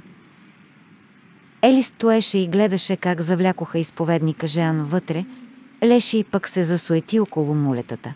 Фастар го бе забравил, прекалено разтревожен от повикването на краля. Търговецът нямаше намерение да му напомня за себе си. Ели смръзнеше, а в ума си чуваше отново дрезгавото грачене на гарвана. Огледа се към реката и страховитата, но чука на кула на моста. Нейните хора щяха да я надупчат с стрели, преди да доплува достатъчно близо, за да им викне. Оставаше и единствено да бяга към Неустрия на север, но северняците бяха завладели повечето земи и там. Трябваше да чака сгоден случай, а не биваше да забравя и дълга си на християнка и да бди над изповедника. Мислеше си, че се е превърнала в прекалено желана плячка. Хора, вълци или гарвани, дътчани. Всички искаха да я хванат. За сега беше по-безопасно да си остане нямо идиотче. Погали ушите на стоящото отпред муле и то отърка муцуната си в нея. Поне един съюзник бе спечелила. Пазарлъци и заплахи. Жан усети миризма на печено месо и аромат на борови иглички в огъня. Подът беше настлан с наскоро отрязана тръстика. Гълчавата в къщата секна, щом той влезе. Господарю Зигфрид, започна Фастар, пленихме този мъж, един от боговете им, и го доведохме пред тебе, за да постъпиш с него както желаеш. Хванахте ли момичето? Не, господарю. И защо? Тя се скри някъде на южния бряг в тъмнината. Що ме тъй, защо и вие не сте там? Скоро ще съмне. Изгубихме дирите и господарю, а този човек е много ценна плячка и си казахме, че ще поискаш да ти го доведем веднага. Или пък ви е дотегнало, искали сте да се върнете при пиенето и жените, затова сте решили да ми подхвърлите някоя огриска, та да не се гневя. Никой не продума. Кралят и сумтя. Жеан чу звук, като стъргане на метал по дърво. Чаша или купа на масата. Или меч. Гарва нали я докопа? Не, господарю, доколкото знам. Той простреля друг преобразяващ се, но не догони жената, струва ми се. Не му харесва да си мокри перушината, вметна Офети. Фастар издиша през зъби. Монахът долови раздразнението му, че другите пак пренебрегнаха нареждането да мълчат. Друг преобразяващ се, казваш. Да, господарю. Човек вълк. Откъде е дошъл? Може ли той да е вълкът от преданието? Не знам, господарю. Все едно, вече е мъртъв. Значи едва ли е онзи вълк? Някой виждал ли е гарвана от тогава? Сигурно пак е в гората с сестра си, ако и тя не е умряла. Ако е умряла, ще я сготви. Пак се обади Офети. Млъкни! Троснато заповяда Фастар. Кралят се засмя неприветливо. Фастар, не ти ли е хрумвало да клъцнеш гръкляна на онзи гарван? Щях да го сторя в града, господарю, но той е прекалено бърз. Нима? Не говорех сериозно. Той ми е полезен като съюзник. Само сме на различно мнение, кой е верният път напред. Не на мен се пада да отсъдя господарю. Правилно. Изповедникът чу доближаващи го стъпки и Зигфрид каза. Този ли е богът? Да, господарю. Сакатият светец. Този не е бог, Фастар. Подбирай думите си по-точно. Но ти, свещенико, говориш от името на Бога, нали? Жан не отговори. Прочут си, знаеш ли? Продължи кралят. Вашите бойци крещят името ти, докато обсипват с огън и камъни моите кораби. Той да не е ням, да не би и езикът му да е разкривен като тялото. Разбира ли нашата реч? Може да говори. Мисля си аз, намеси се Офети. Каза нещо в техния храм. И какво каза? Че не е Бог. Е, поне в нещо да сме единодушни. Фастър, как се натъкнахте на него? Той беше в храма с момичето. Значи е била в ръцете ви, но ви се е изплъзнала. Господарю, човекът вълк е изведен навън. Той е магиосник. Нищо не можах да направя. Струших добър меч в него, а момците щупиха и две-три копия в кожата му. Жеан се усъмни. Не ги беше чул да говорят за това, а трудно биха премълчали толкова необичайна случка.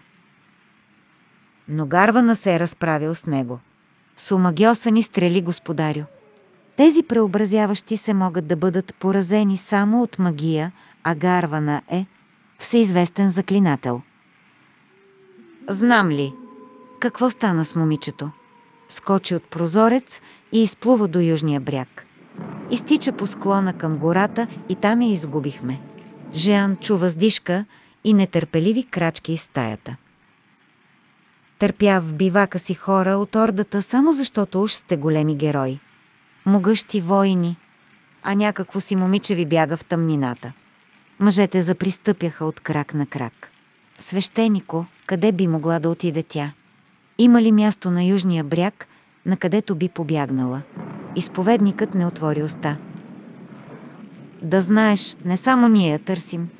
Ако аз я пленя, тя ще живее. Ако я спипат други, няма да й помогне и вашият бог.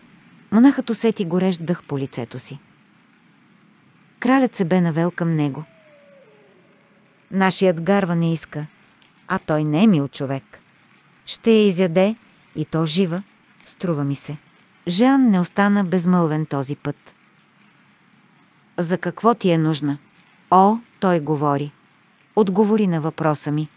Къде е тя? Не знаех, че е била преследвана. Не познавам земите около града. Както сам виждаш, не ми е присъщо да бродя по полето.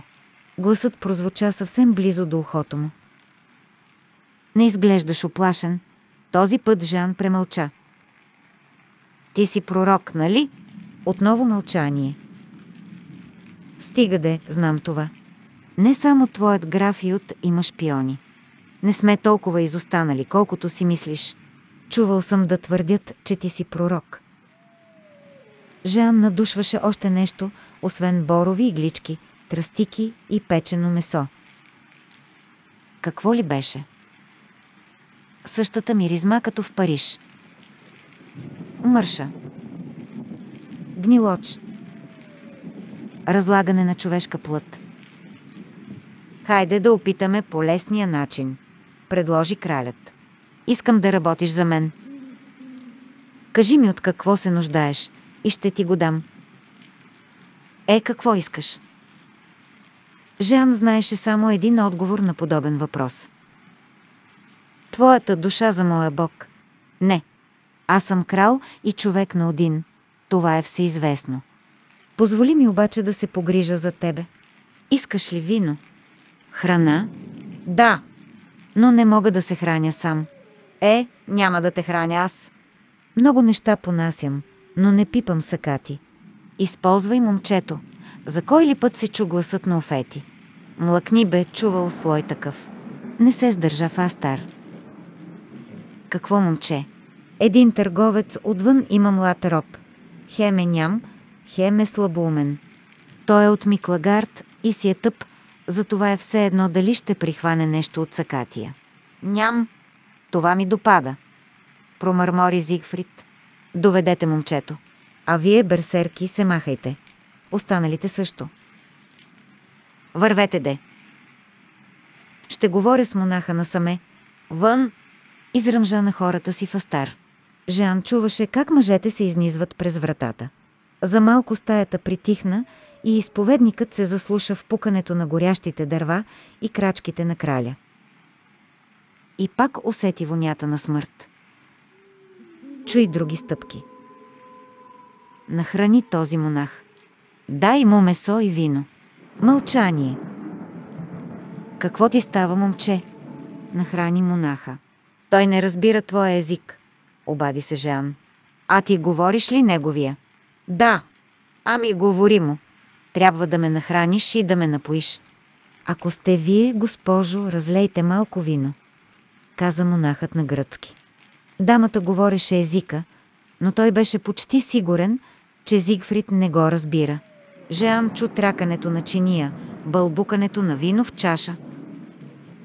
А когато чашата опря в устните му, малко вино прокапа под дрехата му. Внимавай, хлапе! Това питие се намира твърде трудно, за да го хъбиш. Тросна се Зигфрид. Изповедникът яде месо и хляб до насита. Чак сега осъзна колко гладен е бил. Не губете надежда, госпожо. Ще се справим. Същата ръка докосна рамото му и той усети студената тръпка в тялото си. Свещенико, нека ти обясня моето затруднение. Подхвана кралят. Вашите хора на крепостните стенини се опълчват много по-дълго, отколкото очаквах. Не ми е лесно да задържам армията си тук. Ако не нахлуем скоро в града, мнозина ще се разотидат по домовете си или дори ще предложат на мои врагове да умножат войските им. Тук има предостатъчно предводители на отряди, които са ми верни само докато трупат плячка. Разбираш ли ме? Да, моите поданици са суеверна пасмина. Ако зависи от мен, още утре ще приема твоята вяра и ще се възползвам от всички облаги и възможности за изгодни бракове, които тя ще ми донесе. Твоят Бог говори за мир, но е силен във войните. По времето на нашите дядовци се убедихме в могъществото на стария крал Шарл. Затова харесвам Твоя Бог. Той прави кралете богати и силни. Христос не иска хора, които идват при него от такива подбуди. Не съм го питал какво иска, нали? По-скоро му казвам какво ще получи. Както и да е, има едно пророчество. Нашите прорицатели го знаят. Онази твар, която подгони вашата дама, също го знае, половината на божни малоумници на север го знаят. То гласи, че нашият Бог один ще се яви на земята в човешки облик. Това е лъжа. Може да е лъжа, а може и да не е. Няма значение. Огромното мнозинство от хората на север ще последват онзи, в когото виждат въплатения Бог. Ако се окаже, че съм аз, ще последват мен. Защо още не си обявил, че си ти? Щом вярваш, че това не е нищо повече от лъжа, защо не се възползваш от нея? Обявил съм, че аз съм Богът. И не съм казвал, че смятам пророчеството за лъжа. Все пак то е известно на мнозина и в него има насоки.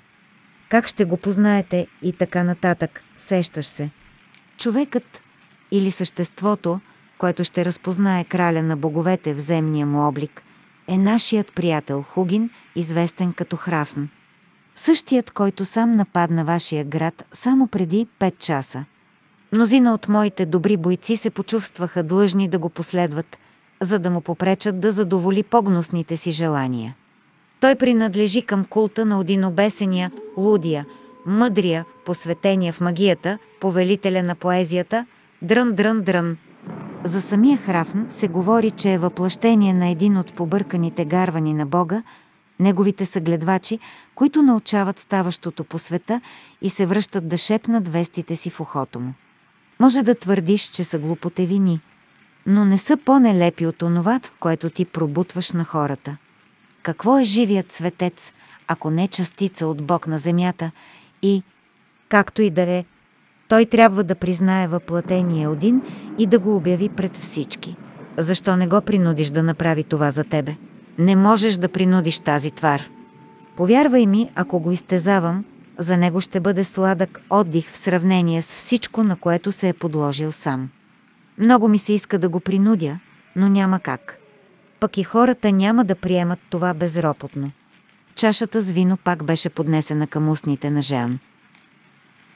Той вече знаеше, че до него е Елис. Долови, че тя трепери. Не ми остава друго, освен да сбъдна пророчеството. Натърти кралят. И ето, че става интересно. Нашите хора вярват, че в последния ден на боговете Один ще се бие с вълка Фенрир. Този звяр ще убие Бога. Появата на вълка тук, в средната земя, ще покаже кой е Один. Звярат ще дойде да го убие. Значи ще докажеш, че си крал на кралете, като умреш. Също като вашия Христос. Не е ли така? Това е богохулство. Я по-кротко.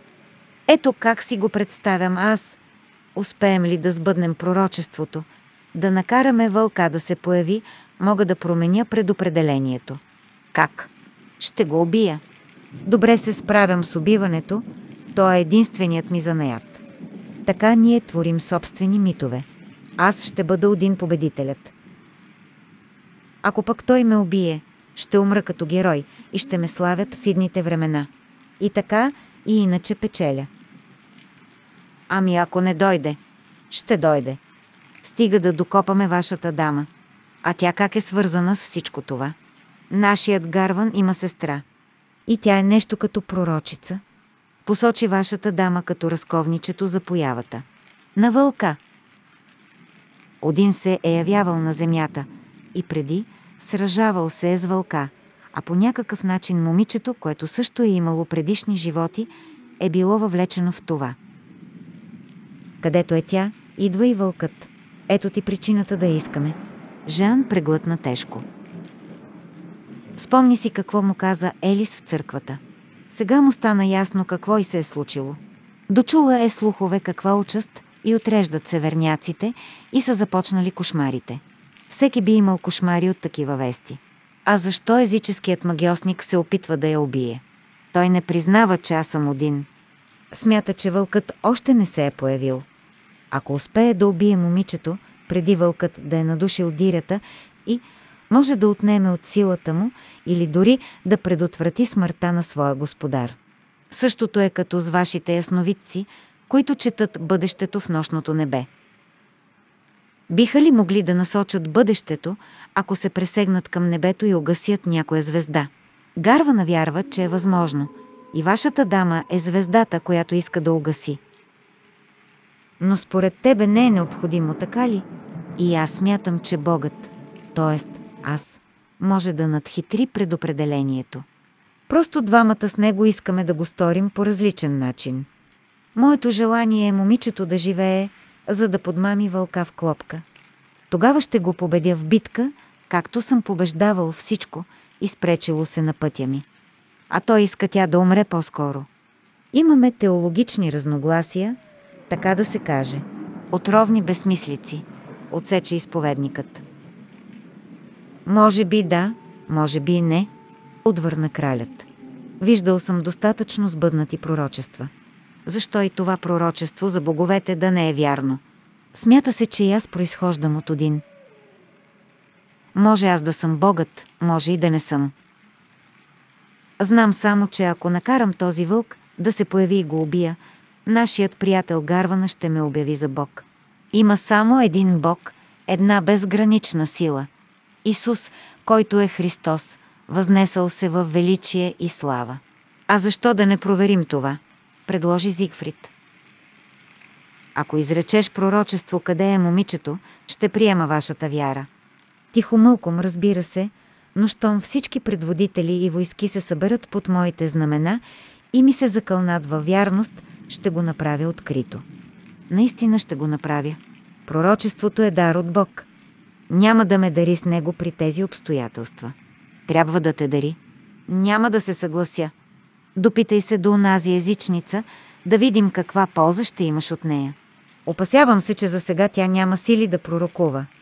Средствата за достигане до пророчество са твърде. Кралят потропа с пръсти по нещо.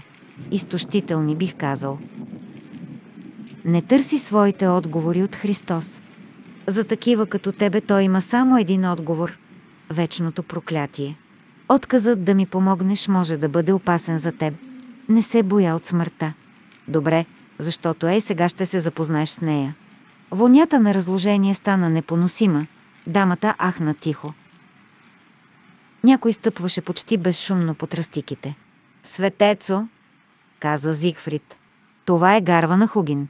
Почти успя да умъртви сестра си, докато изтръгваше пророчество от нея. Твърде лесно би могъл да стори същото и с тебе. Храфн. Очите на съществото сякаш пронизаха Елис със същия блясък на черни кристали, както в тавана на онази къща. Тя отстъпи в сенките. Дали я позна? То сведе поглед към свещеника. Може и да не знаеше коя е. Съществото пристъпи към свещите и тя успя да го разгледа добре. То беше костеливо и овитов на метало от черни пера, черната му коса бе изправена с катран, перата в нея оформяха черна корона. Сега виждаше ясно, че лицето му е страховит хаос от белези, дълбоки, макар и малки рани, някои гноясали и подути, други зараснали, трети още кървящи. Съществото вонеше на труп. Ели се вторачи в него. Свещеникът трепна, когато то се наведе към ухото му и заговори на латински. Пророкът, ти ли си Жан, когато наричат изповедника? Нямам вземане-даване с дяволи. Аз не съм дявол. Ще работиш за нас, прорицателю. Ако имаш дарбата, аз ще ти покажа как да я използваш. Чудовище, как научи този език? Жан усети, че трепери. Както всеки път, когато се гневеше. Прокле се, защото знаеше, че враговете могат да сметнат това за признак на страх. Известно време ме възпитаваха за монах. Значи си обърнал гръб на Христос. Сен Морис той ме намери! Мъжът сви юмрук с пръстите нагоре, а после в Сен Морис ме захвърли. Той обърна пръстите си надолу. Вярата може да бъде и намерена, и загубена, и споведнико. Жан знаеше името на манастира. Сен Морис беше обител на августинци на изток, в планините на Вале. Едно от големите средища на християнството, известно със съкровищата и реликвите си, както и с вечното песнопение – Лаос Переннис. Монасите бяха започнали да пеят псалмите преди почти 4 столетия и от тогава се редуваха неспирно. Как се бе появило това чудовище на такова място? Откъде ме познаваш? Чувал съм за тебе. Казаха ми, че би трябвало да се страхувам от тебе. Страхувай се от Бог. Отвърна Жан, защото е подготвил особени страдания за такива като тебе. Съществото се усмихна. И за тебе, както виждам. Ели се опитваше да налучка по произношението откъде е тази твар. Говореше като северняк, но не датчанин. По-скоро идваше от земите на търговеца. Можеш ли да заставиш свещеника да намери момичето? Попита Зигфрид. Ели се досети какво каза по настойчивостта и жестовете му. Гарва на кимна, но отговори на латински.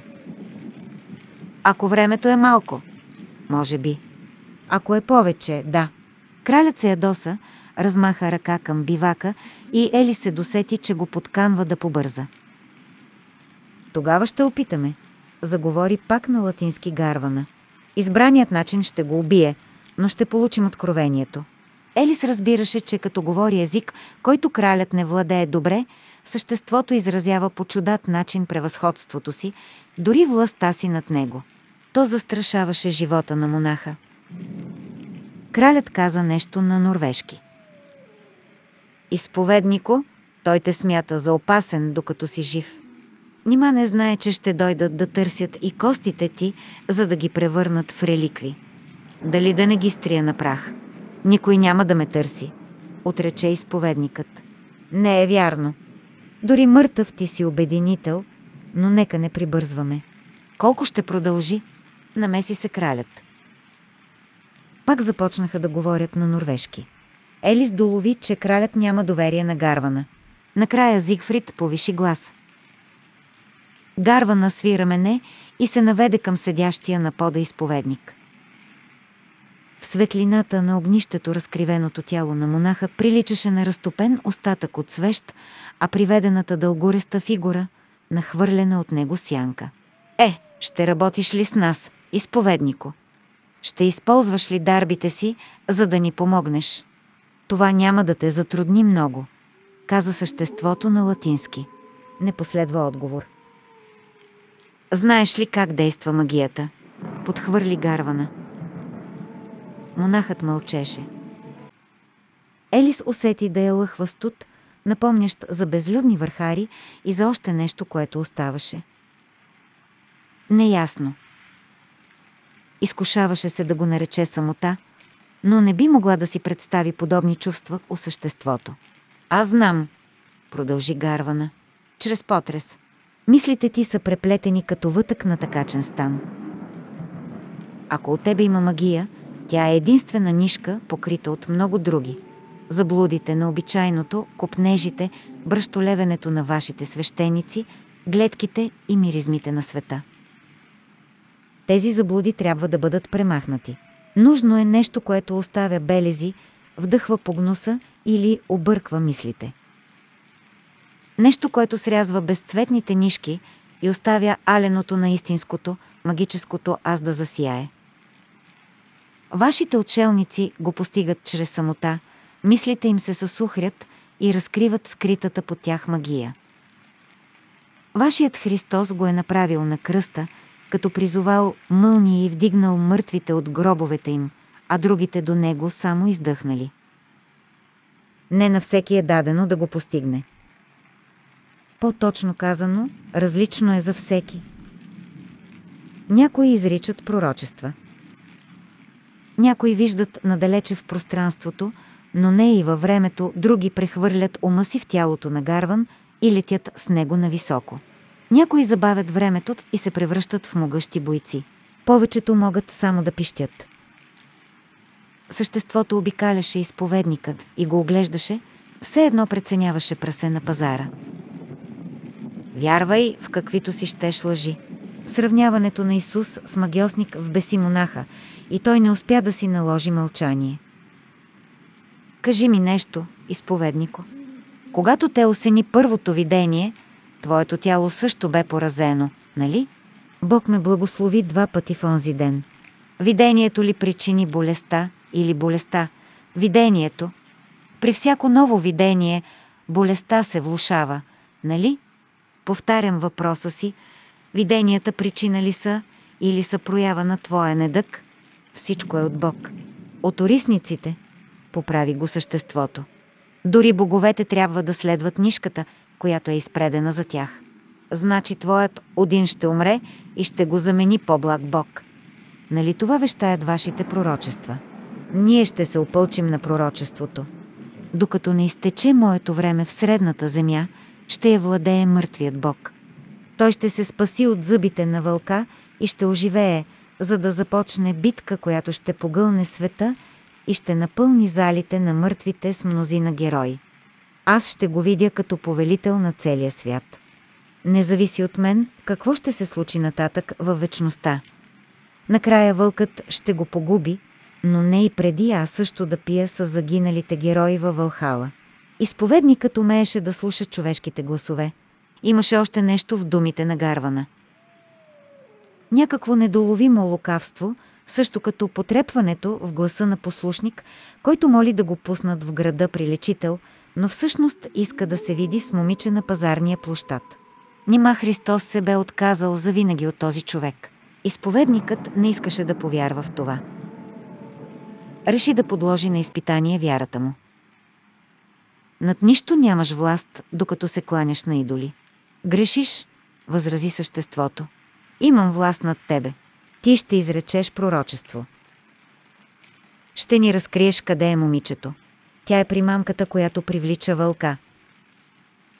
Да не си въобразяваш, че звярат се радва, щом помисли за смъртта си в последната битка. Не. Само тази жена го потиква да продължи по предопределения път. Тя е оръжие в ръцете на съдбата. Така е предречено. Няма да направя нищо за тебе. Ще го направиш. По един или друг начин. Ели си стръпна.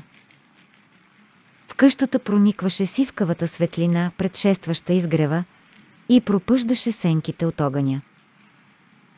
Скоро съществото щеше да я вижда добре. Тя се свря в най-далечния ъгъл, както подобава на наплашен роб. Когин се изправи и погледна Зигфрид. Пак се заприказваха на норвежки и Гарвана протегна ръка на север. Зигфрид пребледня. Съществото се усмихна и каза на Жан. Кралят е твърде чувствителен за войн, но той трябва да разбере, че няма лек път към магията. Сетне посочи обезобразеното си лице. Аз знам най-добре, а сега ме извини, изповеднико, но ме призоваха. Трябва да изцеля болно дете въпрос на воля. Когато Елис излезе, берсерките спяха в краката на мулетата, излегнати върху дисагите. Леше им бе платил да охраняват стоката му. Търговецът се зарече да си върне парите все някак, особено откакто се убеди, че услугите им са излишни след краткото сбиване в началото. Когато обитателите на бивака се убедиха, че виното е свършило, а в дисагите няма храна, бързо загубиха интерес. Коприната не засища и не отолява жаждата. Щом Леши и показа на тълпата парче жълта коприна, всички се върнаха към привичните си занятия – да гладуват, да се оплакват и да поддържат оръжията си годни за битка. Въпреки умората Леши не се унасяше. Чувстваше се стар и премръзнал в сутрешната мъгла. Видя съществото на излизане от къщата и лесно се досети какво представлява шаман-магиосник и най-вероятно безумец. Потръпна при вида на тази странна фигура. Рече си, че няма значение, защото е виждал и по-страшни хора, макар да не си спомняше къде и кога. И кралят излезе от къщата. Търговецът се поклони до земи, чудеше се какво ще обяснява, след като кралят не го познае. На владетеля също му личеше, че е недоспал. На крак «Войни!» провикна се той. Берсерките се размърдаха мудно, изтръскаха русата от косите си и май им се прииска да не го бяха правили, защото веднага ги налегна махмурлукът. Заведете монаха горе в бивака на гарвана. Господарю, предпочитам да не отивам там, заинати се Фастар. А аз предпочитам да отидеш. Елис доближи търговеца, който се прозяваше, а очите му бяха зачервени. Трябваше да пазя стоката цяла нощ, каза той. Това е твое задължение. Елис го стрелна с красноречив поглед. Макар тя да се преструваше на роб, търговецът не биваше да прекалява. Леши се подсмихна. Да, тя не беше роб, а скъпоценна стока.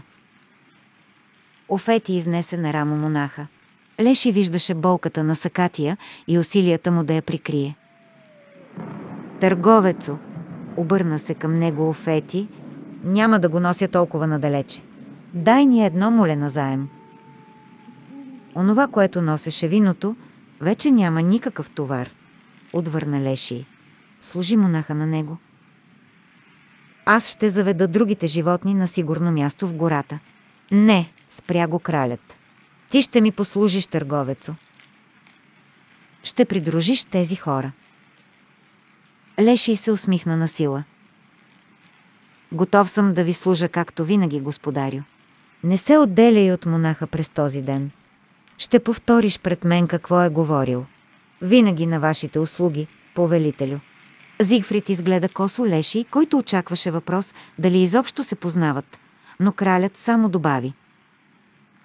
Можеш да оставиш тук мулетата и товара, те не са ти нужни сега. Господарю, ще ми се да бдя над тях. Не ти предлагам, а ти заповядвам. Нищо няма да бъде откраднато от дисагите, нито мулетата ще бъдат изядени.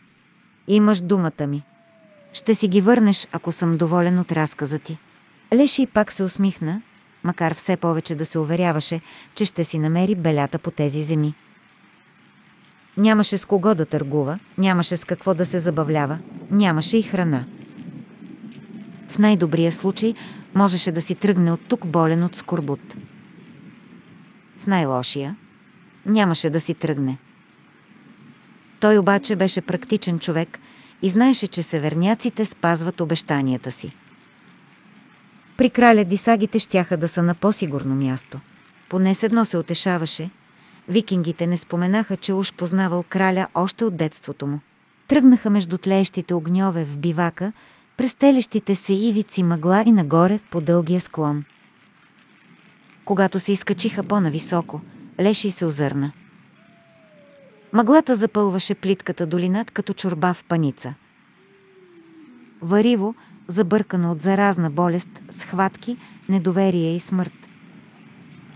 Стигнаха до началото на гората, където неколци на мъже вече режеха дърва и продължиха под короните на дърветата. Имаше тясна пътека, просто ивица малко по-отъпкана трева. Влажната гора беше прекрасна. Руса изкреше под бледото слънце, зюмбюли проблясваха като скъпоценни камъни в рехавата мъгла. Леши обаче не можеше да се порадва на утрото. Той беше пленник. Погледна Елис. Ами тя каква беше? Пленница на пленник. Голямо сгромолясване в една единствена нощ за благородната дама. Едва ли бе изминал и час, когато излязоха на поляна, обградена от огромни дъбове, които вече се разлистваха. Тук е, каза Фастар. Леши не виждаше никакви следи от бивак. Храфн, кресна Фастар. Храфн, някъде по високите клони Гарван се размърда в гнездото си. Не си този, който търсим, подхвърли Офети. Никой не се засмя. Птицата се настани наклон над тях и ги зяпна. Странни твари са те, отбеляза Офети. Не гнездят заедно, но щом някой от тях надуши храна, скъсват се от грачене, за да повикат и другите на пиршеството. Дано няма още някой като храв наблизо, намръщи се Фастар. Защо не ме оставиш да изкормя този тропоят? Наежи се Офети. Фастар се усмихна. Ако се натъкнем на него там, където не е под закрилата на Зигфрид, ще се надпреварвам с тебе, кой пръв да му клъцне гръкляна. Не бива да говорите така, намеси се Сван. Той е жрец на Один. Лекува хората, а в бой струва колкото десетима, видях го с очите си. Фастър и сумтя, но не пожела да продължи спора. Храфн, нещо се размърда в шубраците. Ох, кълна се в дебелия грездей на Фрейр, че е тя, промърмори Офети. Що ме тъй, да оставим пленниците и да приключваме, предложи Фастар. Не искам да се бавя тук, за да гледам какво става. Фастар, толкова ли си се размекнал? Подхвърли на смешливо серда. Леши изви глава към коравия дребосък, който бе тормозил Елис такова удоволствие. Убил съм поне двайсети на мъже. Отвърна Фастар, но смъртта им беше честна, с меч, брадва или копие. А от това се гнося. Не ти ли харесва да гледаш как страдат твоите врагове? Упорстваше Серда. Харесва ми да умират бързо. Сопна се Фастар, за да се връщам по-скоро при пивото и жените. Всеки му своето. Вдигна рамене дребосъкът. Ако искаш, аз мога да остана с тях. Постъпи както желаеш. Гласът на Фастар секна, а Леши се ококори, неволно отворил уста. Елис направо изпищя, но никой не я погледна. Всички бяха прекалено заети да се сдържат да не повърнат. Веднъж Леши срещна прокажен по дългите пътища и побърза да се махне надалече. Но такава уродливост не би могъл и да си представи. В края на поляната излезе жена с разрошена черна коса. Носеше мръсно бяла дълга риза, окървавена отпред от две незараснали рани на шията. Олюляваше се, като че не изстигаха силите да се задържи права. Но вниманието на търговеца се прикова в очите й. Нямаше ги. Лицето й беше осеяно с белези, но повече и по-страшни, отколкото имаше нейният брат, а главата и изглеждаше подута почти като чудовищна гъба на дънера на дъб. Наглед нямаше нос, устата беше разръфан процеп, а вместо очи заеха кухини, чиято форма трудно можеше да се определи. Какво й е причинило това? Питаше се смаяният Леши. Не познаваше подобна болест, макар че черно-червеното й лице беше очевидно възпалено, по-издуто от едната страна и някак хлътнало от другата. Но най-смразяващи бяха празните очници. Жената се клатушкаше по поляната, накрая се спъна и падна. Запълзя слепешком на колене и длани, душеше шумно въздуха и напипваше пътя си към тях. Какво да правим? промърмори Фастар. Не гледай мен, сопна се Офети. Това е техният бивак. Тя иска монаха, да и го, намеси се Серда. Как, в името на ледените цици на норните, позна какво иска това нещо. Озъби му се Офети. И ти ли започна да четеш мисли? Жената чу гласовете им и наклони глава. Леши я гледаше как се изправя и застава с лице към тях на двайсетина крачки, отпуснала ръце покрай тялото си. Всичко ставаше прекалено смахнато. Търговецът пресметна, че половин ден бързо ходене стига, за да напусне земите, завладени от северняците. Ако можеше, би тръгнал с дамата направо към Ладога. Вярно, би се наложило да зареже коприната и мулетата, но князът щеше да му се отплати щедро, ако получи момичето. За пръв път, откакто тръгна от източните земи, Леши и съжали, че човекът вълк не е до него. Той би им дал поне някакъв шанс да избягат. От нас се иска да оставим монаха тук, обади се друг берсерк. Хайде да го оставим и да си вървим. Фастар завъртя глава. Трябва да научим къде е онова момиче. Ако Храф не иска да научи тъкмо това, трябва да го изпреварим и да отидем първи при нея. Нека чуем прорицанието и да я открием, преди той да е забил ногтите си в нея. Добре да е да сваля ли монаха на земята или не, попита Фети. Свали го. Леши се огледа. Дългорестата фигура на Хугин се появи от към другия край на поляната. Носеше три турби и бе облякал урафан панталон и съдран е лек от мръсно сива вълна, която изглеждаше мазна, сякаш не е била накисната във вряща пикня, за да се изчисти. На хълбока му висеше ножницата с зловещо извития меч. Разбира се, Леши отдавна знаеше за тези оръжия, легендарни сред маврите и синкаво-черните хора в Африка.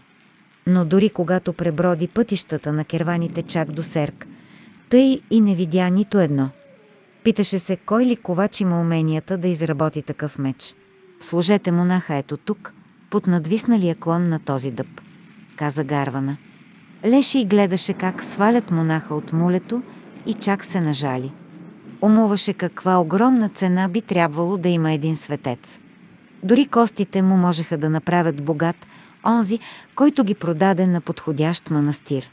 Търговецът си рече, че току виж му падне сгоден случай да открадне трупа, какъвто несъмнено щеше да се превърне монахът, щом Хугин си свърши работата с него. Изповедникът не издаде звук, докато го оставяха на земята. Гарва на коленичи до него и опря длани в челото и гърдите му.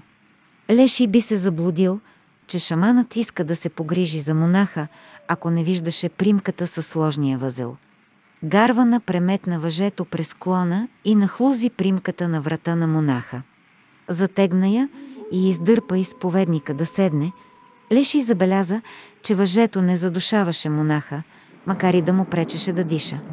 А от него се искаше да стои тук, за да предаде после на краля какво е казал изповедникът. Но щом му беше трудно да диша, как щеше да изрече прорицание? Така ще можеш ли да научиш къде се е дянало момичето? Усъмни се Офети. Може би, отговори Хугин. Монахът изпъшка и притихна. Леши му се възхити. От сега си знаеше, че този човек няма да отстъпи пред болка, увещания или молби. Такива като него ставаха мъченици. Леши никога не забравяше за изгодата си и му хрумна, че може да изкрънка по някоя гореща гозба в манастирите, докато разказва на монасите как е умрял техният събрат.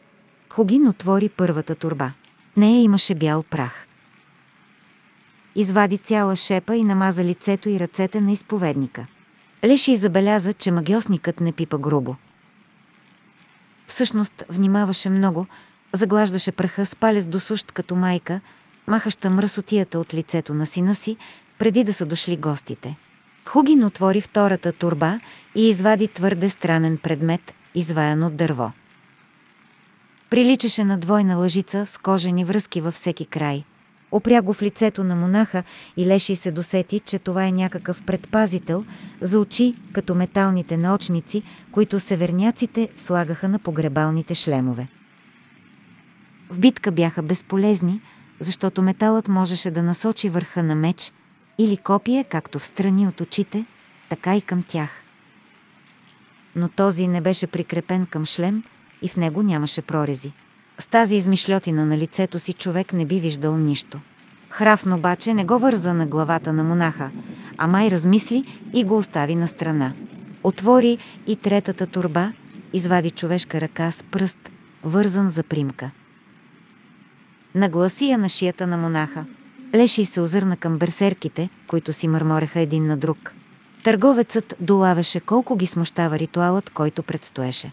Хогин отиде при съсипаната си сестра, застанала насред поляната. Хвана я нежно за ръка, поведе я към монаха и я настани до него. Тя обви с ръце изповедника и запя. Имаше прекрасен глас. Думите не бяха на език, който Леши знаеше, но сякаш звъняха. Песента му размъти главата.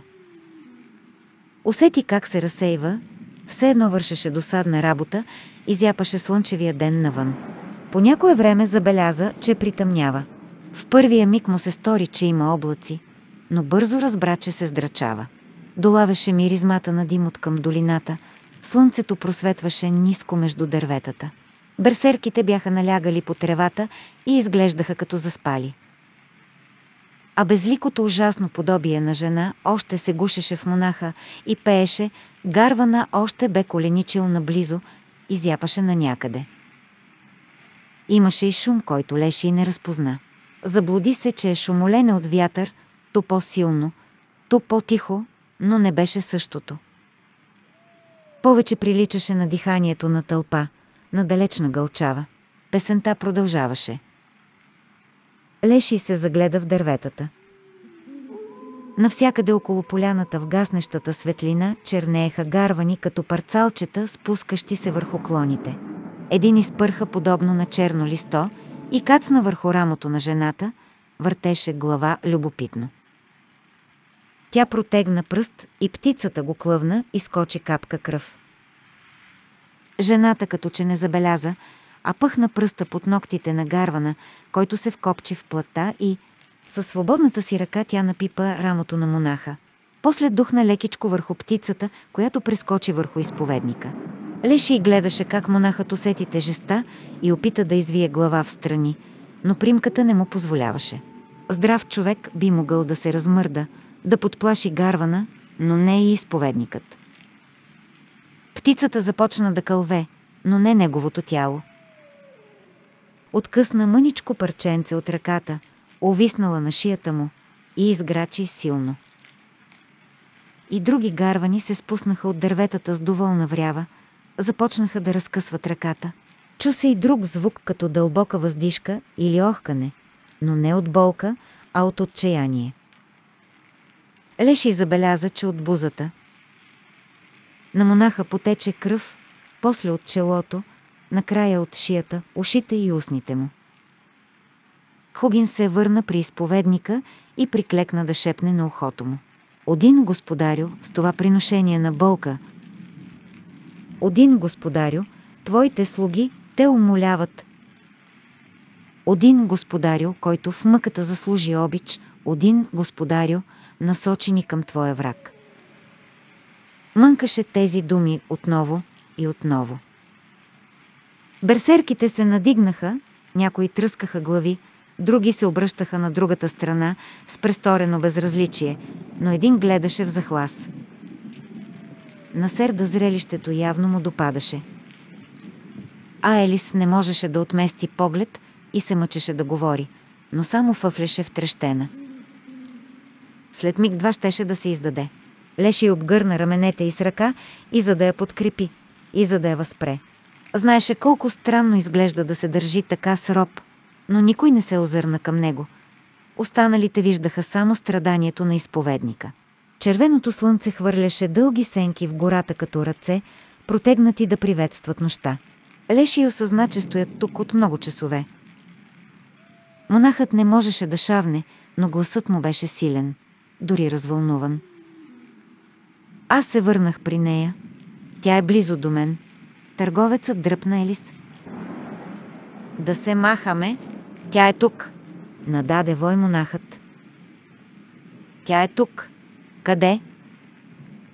Къде е тя? Питаше Гарвана тихо като баща, приспиващ неспокойното си дете. Тук. Тя е тук. Можеш ли да я намериш? Къде е тя? Наблизо е. Тя винаги е била близо до мен. Господи Исусе, дай ми сили да устоя. Няма да я предам. Една птица подскочи към лицето на монаха и клъвна колебливо окото му. Хугин стисна ръката му и пак заговори напевно. Один, господарю, вземи тази мъка заради своите мъки, девете нощи и дни набрулено от стихи и дърво. Один, господарю, който даде око за знание, поведи ни към твоите врагове. Елис, Елис, закрещя монахът. Ела при мен, ела при мен. Толкова дълго те търсих. Елис, Адисла, не си отивай. Това ще ме погуби. Адисла ли? Коя е пък тази? Сепна се Елис. Името като че беше северняшко, но и прозвуча странно познато. Подаваше се на желанието да помогне на изповедника. Понечи да пристъпи към него, обаче Леши я спря. Увереността му, че тази магия няма да постигне нищо, бе изместена от още по-силната вяра, че магията ще успее. Очакваше само след миг монахът да каже точно къде е дамата. Птиците вече падаха от клоните като в черна есен, струпваха се върху тялото на изповедника, вряскаха и грачаха. Леши забрави колебанията си. Не го интересуваха нито молетата, нито коприната. Трябваше да мисли само за собствения си живот и за наградата, която можеше да получи за тази жена. «Хайде, тръгваме!» подкани той Елис. Не успя да я помръдне. Тя беше като вкоренена на мястото си, разтреперана и вторачена в изповедника. А Хугин пак накара ужасната си сестра да запее.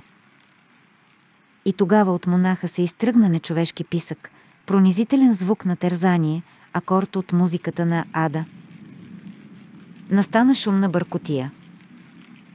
Гарвана се изправи с скок и разпъди птиците от тялото на изповедника. Замахна с нож към въжето и монахът се свлече като чувал пясък. Елис не можеше да се сдържа повече и хукна към Жеан. Провря се между берсерките и профуча край Хугин, който се бе обърнал и стискаше главата си с длани. Леши се хвърли подире и се наведе, за да окрути някак плачещото момиче. Помни, зашепна и, че си няма. Няма! Не казвай нищо, иначе ще споделиш мъките на този човек. Опитваше се да не гледа монаха, но докато дърпаше Елис, го зърна за миг. Езикът на изповедника висеше от устата му. Приличаше на парче от черен дроб, лъскаво от кръвта и разръфано в края. Търговецът се изуми от постъпката на монаха. Жеан не допусна да чуят прорицанието, както и да го омагиосваха и изтезаваха. Направи единственото нещо по силите си, за да не издаде Елис.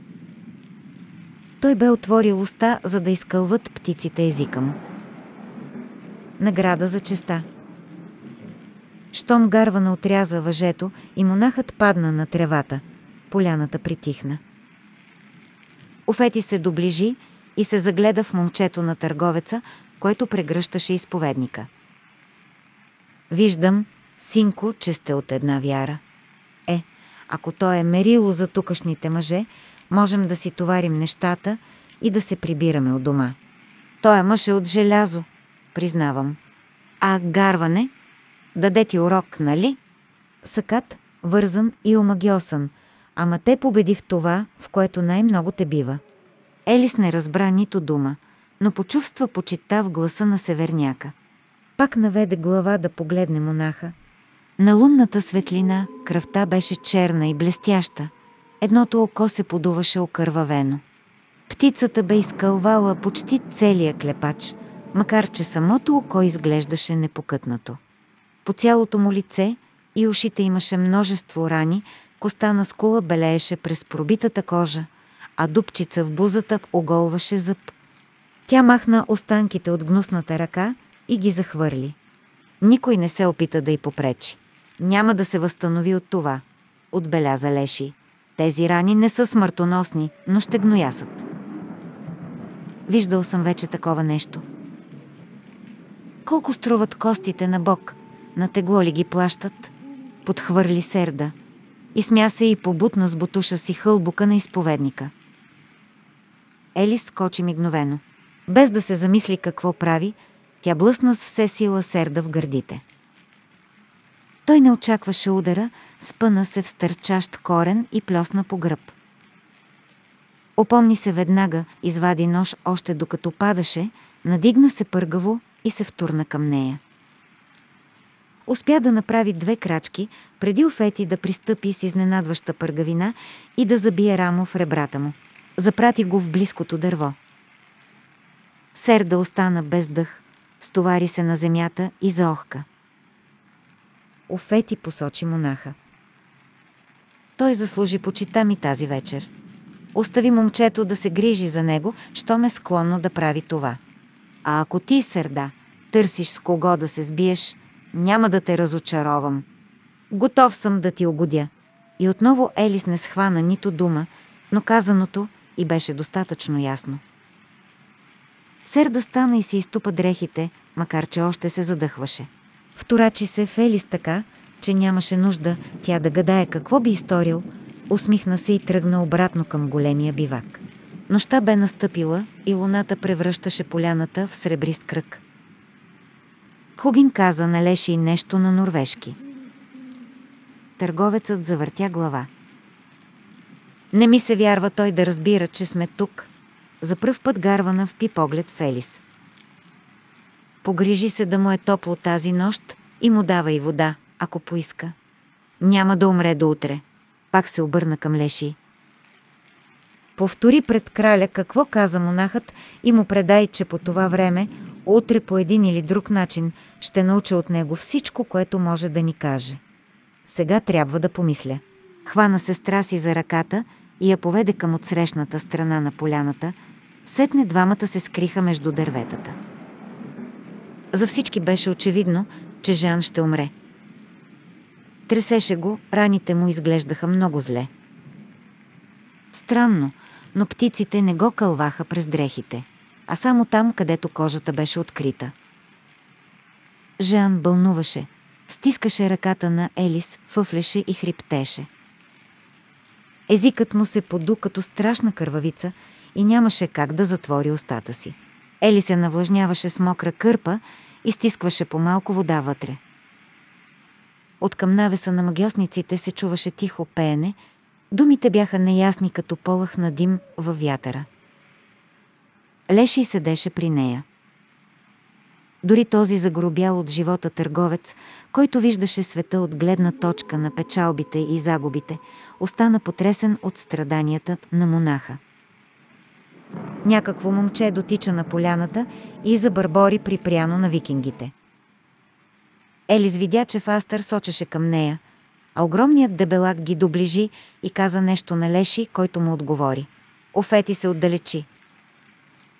Трябва да се явя пред краля, обясни и търговецът. Изпратил е момчето да ме повика. За какво? Попита тя тихо, но първо се увери, че никой не ги гледа за да чуе какво е казал монахът при изтезанията. Леши не пожела да назове случилото се магия. Изповедникът беше полумъртъв от мъченията и едва не разкри онова, за което просто се бе досетил, че благородната дама е наблизо. Ама че прорицание, заповядано е и ти да дойдеш, добави той. Май и долу ще трябва да се преструваш на роб. Елис докосна ръката му. Изповедникът умира. Така е. Има нужда от мен. Позволи ми да остана. Леши свира мене и подвикна на северняците. Дебелакът отговори нещо, клатейки глава. Не, искат да дойдеш и ти, преведе търговецът. Няма да го изоставя. Възпротиви се Елис и му обърна гръб. Леши пак заговори на берсерките, последва кратък спор между тях – Накрая дебелакът тръсна глава и направи чудат жест, като спомена и името на краля. Търговецът изви глава към Елис. Офети казва, че кралят можел и сам да се обслужи една вечер. Свещеникът е заслужил малко милосърдие. Берсеркът е готов да върши твоята работа в бивака, ако кралят настоява толкова. Ти ще се грижиш за монаха. Ако успееш, премести го долу при речния брод. Ще ви намеря там и се заклевам, че ще те върна при твоите хора. Леше и понечи да се изправи. Ти май спечели приятел, дебелия викинг. Аз трябва да тръгвам. Ели също се изправи и кимна на Офети, изпълни увереност въпреки страха. Бог бе пожелал тя да бъде до изповедника, а Бог, рече си тя, различава добре своите от враговете. Ако трябваше някой да се страхува, това бяха магиосникът и гнусните му помощници. Разкритие. Леши и берсерките слязоха в бивака и стигнаха до къщата, която Зигфрид използваше за щаб на войската си. Нападенията през отминалия ден бяха опорити и северняците дадоха много жертви. В нощта пламтяха огньове и първобитната свирня на флейти и барабани се накъсваше от стонове и писъци. Измършавели лица белееха в мрака.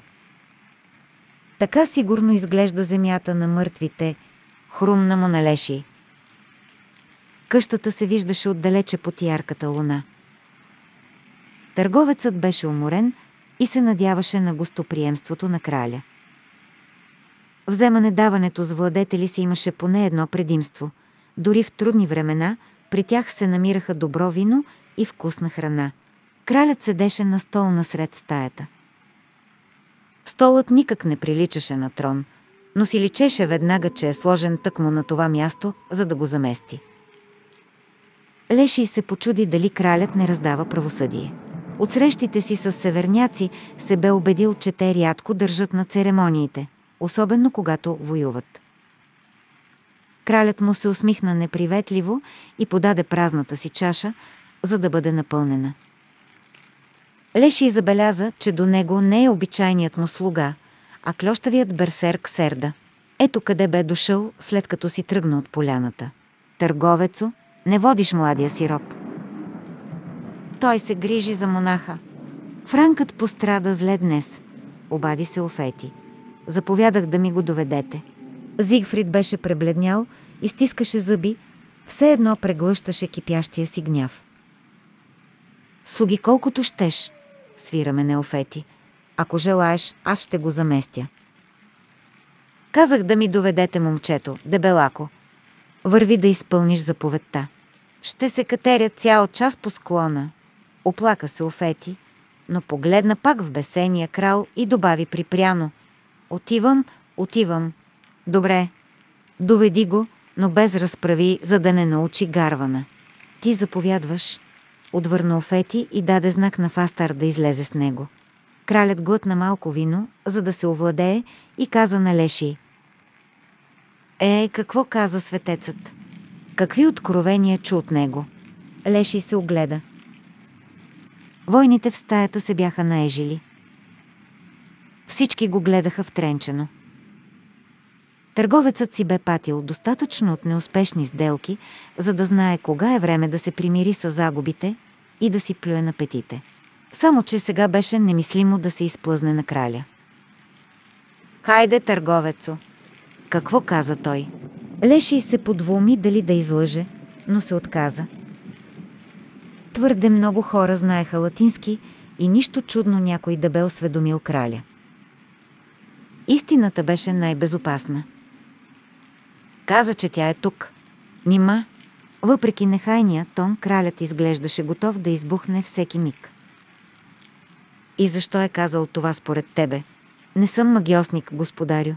Кралят се изправи толкова бързо, че леше и понечи да отскочи назад. Вече нямаше съмнение, че Зигфрид едва сдържа яроста си.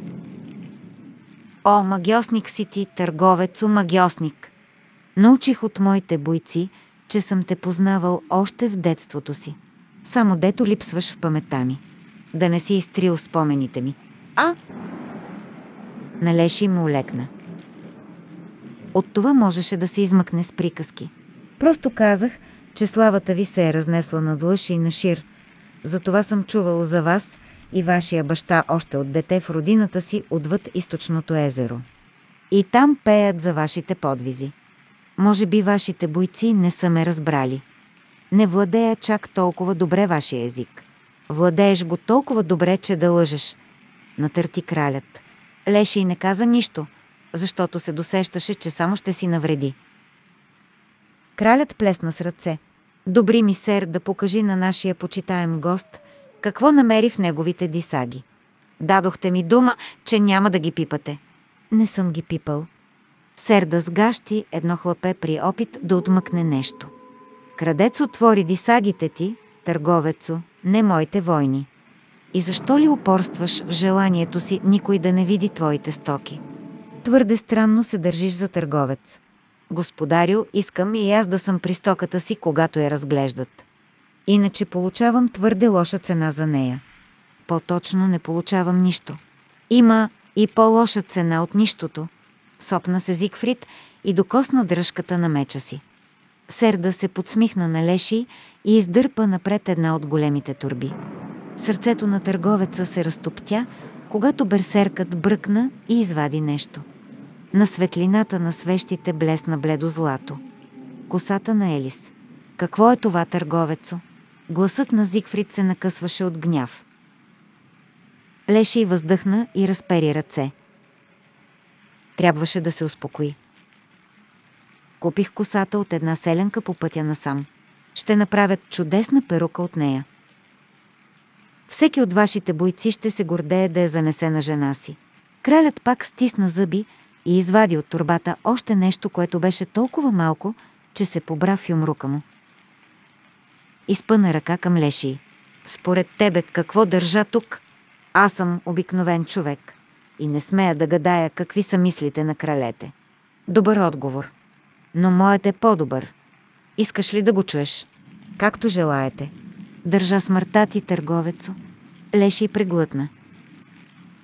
Докато още беше в безопасност на поляната с дамата, бе си помислил, че е живял дълго и е готов да заложи живота си срещу шанса да забогатее. Но сега този живот му се струваше твърде кратък. Неприсъщи за него мисли се въртяха в главата му. Не съм направил нищо.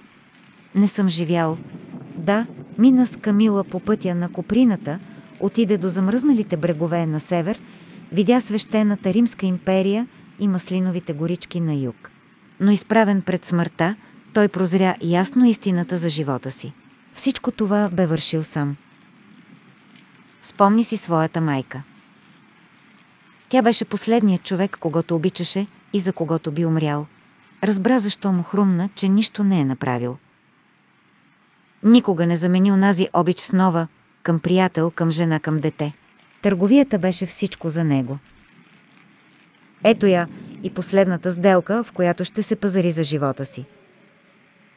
Кралят застана пред него и разтвори юмрука си. На дланта му лежаха два хубави женски пръстена.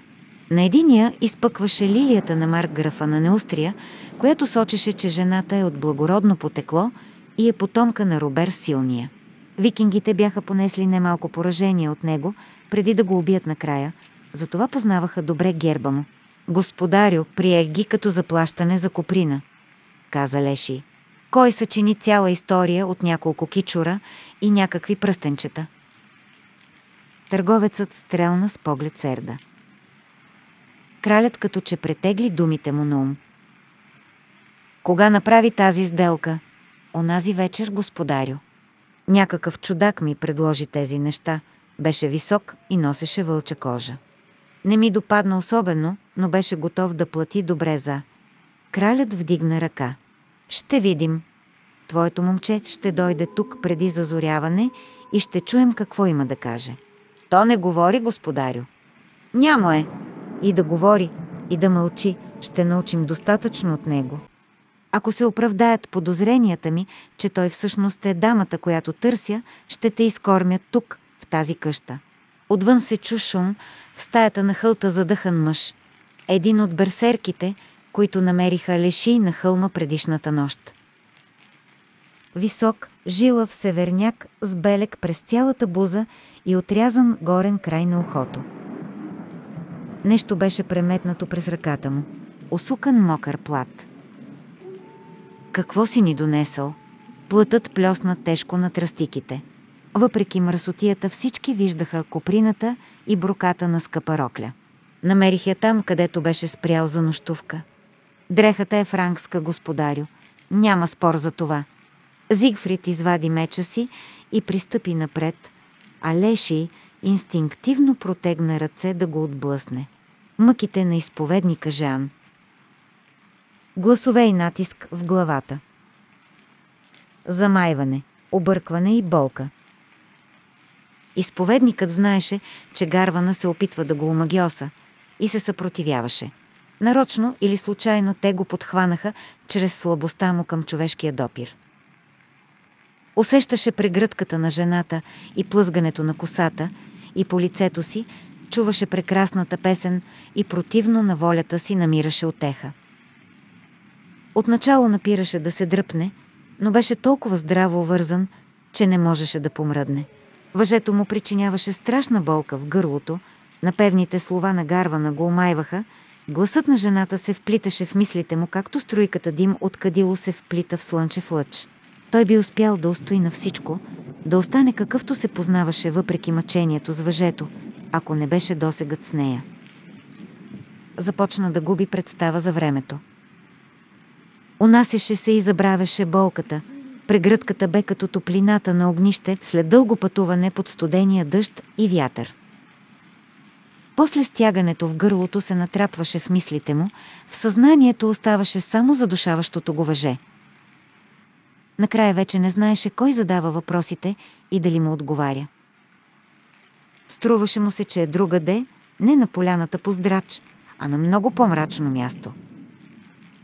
Усещаше, че е под земята. Въздухът лепнеше по кожата му със студена влага. Дали беше в ада? Имаше гласове. Разпозна и своя глас, но не можеше да го отдели от останалите. Къде ще я намерим? Коя? Момичето, което беше с тебе в църквата. Тя винаги е била с мен. Къде е тя? Аз знам. Къде е тя? Тя дойде при мен. Къде е тя? Трябва да укрепя духа си за едните битки. Тогава шавна, въжето се впи и той се задави. Усети нечи ръце да нагласят тялото му и мъничко му олекна. Вонята на разложение нахлуваше в ноздрите му, а смразяващият глас на гарвана се натрапваше в ушите му с все същото светотатствено песнопение.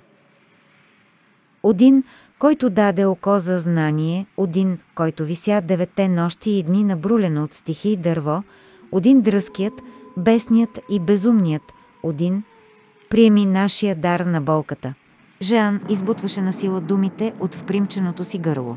Исусе, който умря на кръста за нашите грехове, който страда, за да бъдем ние свободни, прости ми греховете и ме приеми в своите небеса, Господи. Изповедникът беше убеден, че ще умре на това място и с молитва се опази от гордостта, че Бог го е избрал за мъченик. Чу как гарвана и сумтя от досада. Тогава гласът на жената се промени, стана по-дрезгав, настойчив, умоляващ. И първата птица кацна върху него. Само го подразни, когато тупна на гърдите му. Не знаеше какво е това, докато не проехтя грачането. Разбира се, вече бе чул, как гарваните се събират по клоните наоколо, но в болката и страданието си не открои тези звуци сред останалите.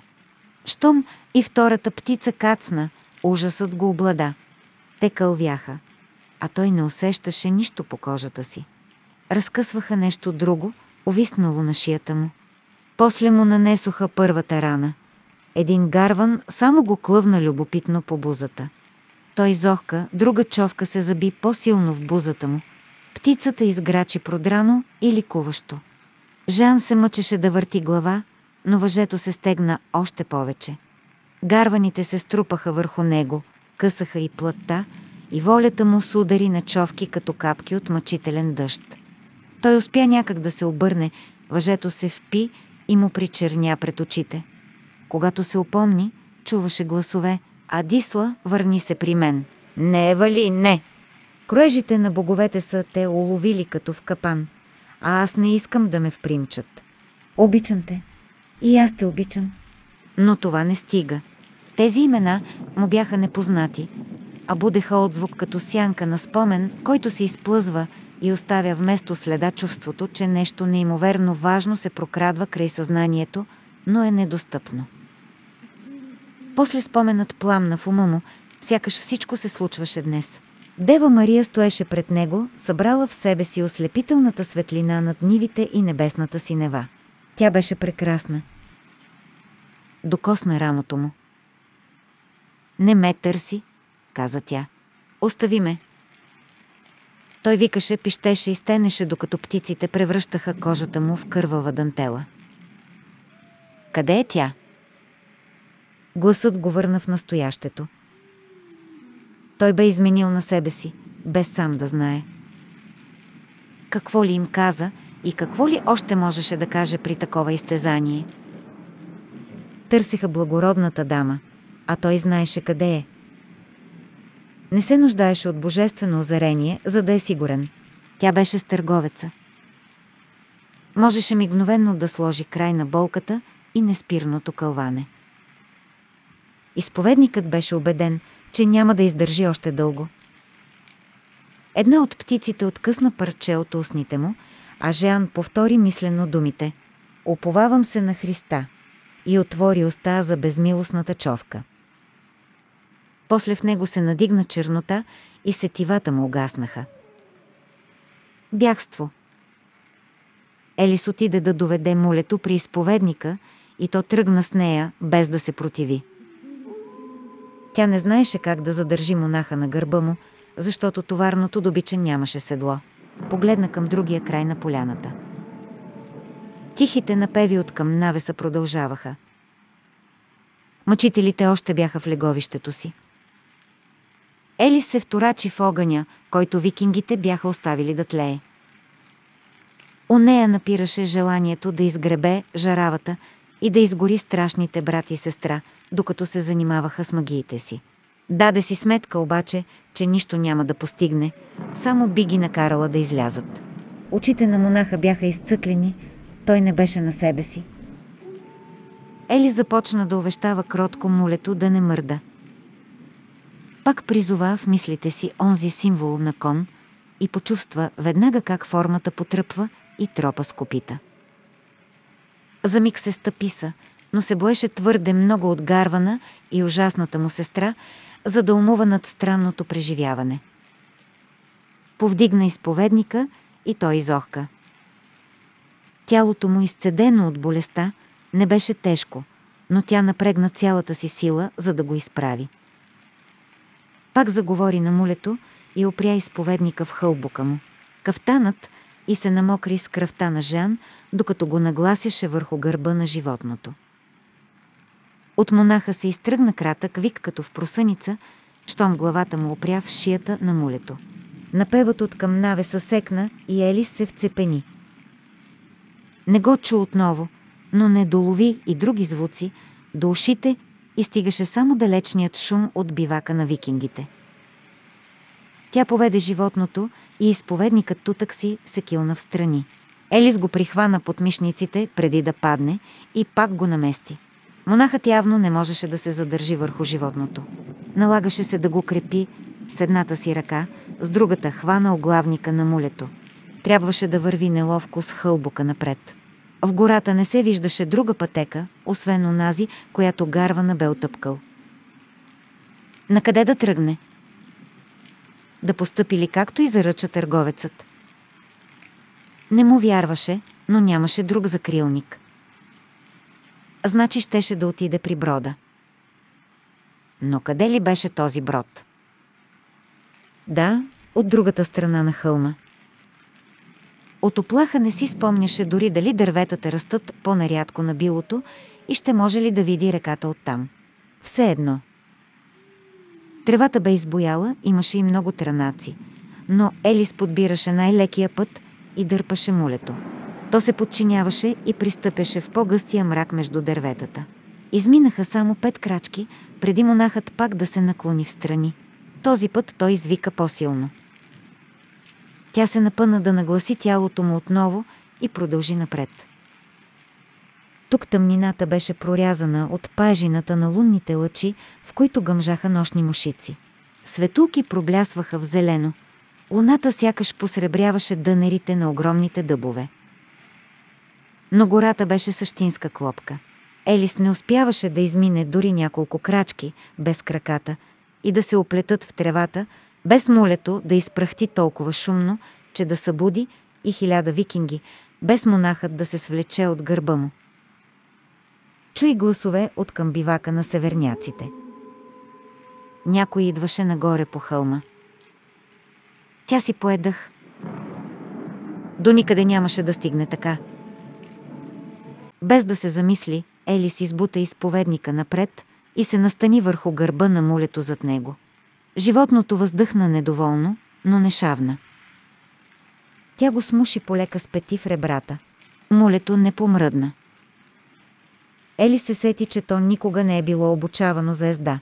Формата пак се появи в главата и сякаш зацвили. Щом се съсредоточи върху нея, животното тръгна уверено в мрака. Той явно се плашеше по-малко от Елис, на която във всяка сянка се привиждаше гарвана, всяко смътно различавано дърво беше дътчанин. Стори и се, че чу нещо. Спря. Нещо наистина я следваше. Стъпките бяха бързи и тихи, а тя можеше само да се мъкне мудно. Знаеше, че всяко следващо движение ще я издаде, затова спря мулето в сянката на голямо дърво. Нямаше как да накара животното да стои мирно, затова го върза за нисък клон, завлече изповедника на 50 на крачки при ручейче и легна до него на тревата. Остана така неподвижна и притихнала, но долови само шумоленето на ветреца в клоните. Върна се при мулето и го отвърза. И тогава те и се нахвърлиха, двама от тях я събориха на земята. Зърна лъскави остриета на ножове и чу думи народния си език. Къде е той? Къде е изповедникът? Аз съм дамата Елис, потомка на Робер Силния. Избълва тя дрезгаво. Госпожо, мъж се взираше в нея. Носеше корава кожена куртка. Тя не го позна. Другият с него нямаше никакви доспехи, но бе затъкнал две брадвички в колана си. Нещо прошумоли отляво. Ели се огледа. И други надничаха към нея между дърветата. Скоро осъзна кои са. Бяха монаси войни с късо подстригана коса и тонзора на темето. Преброи 10. Стоящите до нея явно бяха озадачени и тя побърза да им обясни в какво положение е изпаднала. Ние сме от Сен-Жермен, каза онзи, който я нападна. Опитвахме се да заловим дътчанин, за да научим от него участа на изповедника. Елис сведе глава. Той е тук. Поведе тях и мулито към малкия ручей. Някой от монасите ахна, щом видя светеца. Какво са му направили? Гавриха се гнусно с него. Отвърна Елис. Госпожо, трябва да го пренесем от другата страна на хълма и през брода, за да стигнем до манастира. Ами вържете го на мулето. Монасите не се помайваха. Бяха дошли да пленят враг, затова имаха въже. Изповедникът беше зле. Кожата бе студена на пипане, дишането му почти не се чуваше. Елис се молеше за него. Ще се крием в гората, докъдето можем. Реши предводителят. После ще слезем към реката, за да заобиколим през брода. Оттам ще е по-безопасно да се върнем към манастира. Госпожо, северняците са навсякъде. Трябва да бъдем предпазливи. Изненада ги тропот на коне. Монасите посегнаха към оръжията си. Вляво от Елис нещо се промуши тихичко. Това пък какво беше? Първия път реши, че са били монасите, но сбърка. Същите звуци се чуха отдясно. А после въздухът сякаш се раздра от вик. И Елис видя страшната жена с окървавената роба, застанала на 50 на крачки от нея. Белият плат светеше под луната, ръцете висяха до скованото тяло, обезобразеното лице бе застинало. Елис осъзна, че това не е вик на болка или мъка, а зов. По-навътре в гората изчаткаха копита и всичко стихна. Онези, които чуха писъка, чакаха дали няма да се повтори. Следващият вик беше непоносимо оглушителен. Отдалече долетя пронизителен отговор. И конете тръгнаха бавно между дърветата право към Елис. Трябва да се махнем преди да са ни видели, настоя тя. Убийте я! Няма да вдигна ръка срещу невъоръжена жена, възрази един от монасите. Тогава ми дай това. Елис издърпа нож от канията на колана му. Кукна към жената, но някаква сянка погълна в миг луната. Вещицата не се виждаше никъде. Елис оглеждаше внимателно наоколо и забеляза проблясък. Изваден меч. А всеки франкски меч беше в Париж, за да защитава града. Тук имаше северняци. Тя се втурна обратно при монасите. Да тръгваме веднага, за да не ни намерят. Не, завъртя глава предводителят и зашепна. Трябва или да бързаме, или да вървим тихо. Каквото и да изберем, ще ни открият. Брат Аврам и брат Марелус, вие ще придружите дамата и изповедника до манастира. Ако не се бавим, може и да изненадаме онези, които са в гората. Братя, ние сме Христови служители и изтребваме езичниците. Нека ги нападнем първи. Монасите кимнаха и се шмугнаха безмълвно между дърветата. Един от двамата, които останаха, хвана Елис за ръката, другият поведе мулето. Госпожо, отиваме към брода. Мъжете тръгнаха нагоре по склона и Елис ги последва в мрака. Сделка. Леши никога не бе говорил по-припряно. Заръчах и да се скрие с монаха. Обиете ли ме, никога няма да узнаете къде е отишла. Кралят не спря, но и не вдигна меча, а удари жестоко с чело носа на търговеца. Бяла светкавица скри за миг света от очите на Леши и той усети, че седи на настланата тръстика. Търговецо, да не си мислиш, че можеш да промениш съдбата на един бог. Ревна Зигфрид опрял върха на меча в корема му. Господарю, изпаднах в положение да избирам само как да умра. Скрих момичето от преданост към своя повелител. Ако я бях предал на вас, щях да погазя клетвата си и да си навлека яростта на княз Хелги. Имах ли избор? Този път кралят стовари крак върху гърдите му и го просна по гръб. Къде е тя? Ще ви покажа, господарю. Леши опипа лицето си. Не се съмняваше, че носът му е щупен.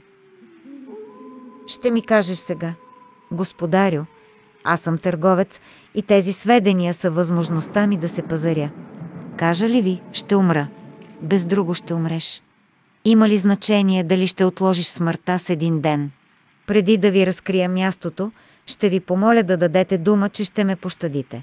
Вторият ритник беше по-силен. Леши се присви на пода. Немислимо. Ти я скри от мен, излъгаме нагло. Готов съм да загубя хиляда жени, но не и да преглътна такова унижение. Предлагам ти бърза смърт, нищо повече. Решавай веднага, иначе ще те дам нагарвана. Кралят отново вдигна крак. Споразумяхме се. Смънка Леши през стиснатите си зъби. Приятно ми беше да се пазаря с вас. Не изпитвай търпението ми. Леши не понечи да стане. Отказа се от надеждата и се примири със смъртта. Не му оставаше друго, освен да се шегува на сила. Тръгваме, реши Зигфрид. Един от телохранителите му изправи Леши.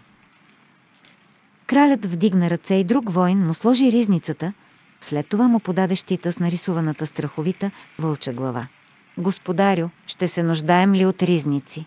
Попита някой от мъжете наоколо. Отиваме само да приберем едно момиче. Ако Гарвана открие къде е тя, ще се нуждаем и от ризници. Той е могъщ. Уше на наша страна, но я си представете какво ще се случи, ако ни се опълчи. Бойците си сложиха броните, взеха си оръжията, излязоха и въседнаха конете. Осмина с ризници и шлемове, с щитове на гърбовете и копия в едната ръка. Бягство. Невъзможно, каза си Леши. Оглеждаше се закон. Кралят забеляза. Ти ще вървиш пеша. Няма ли да ви забавя така? Няма, защото ще тичаш. Серда подгони го. Да, господарю.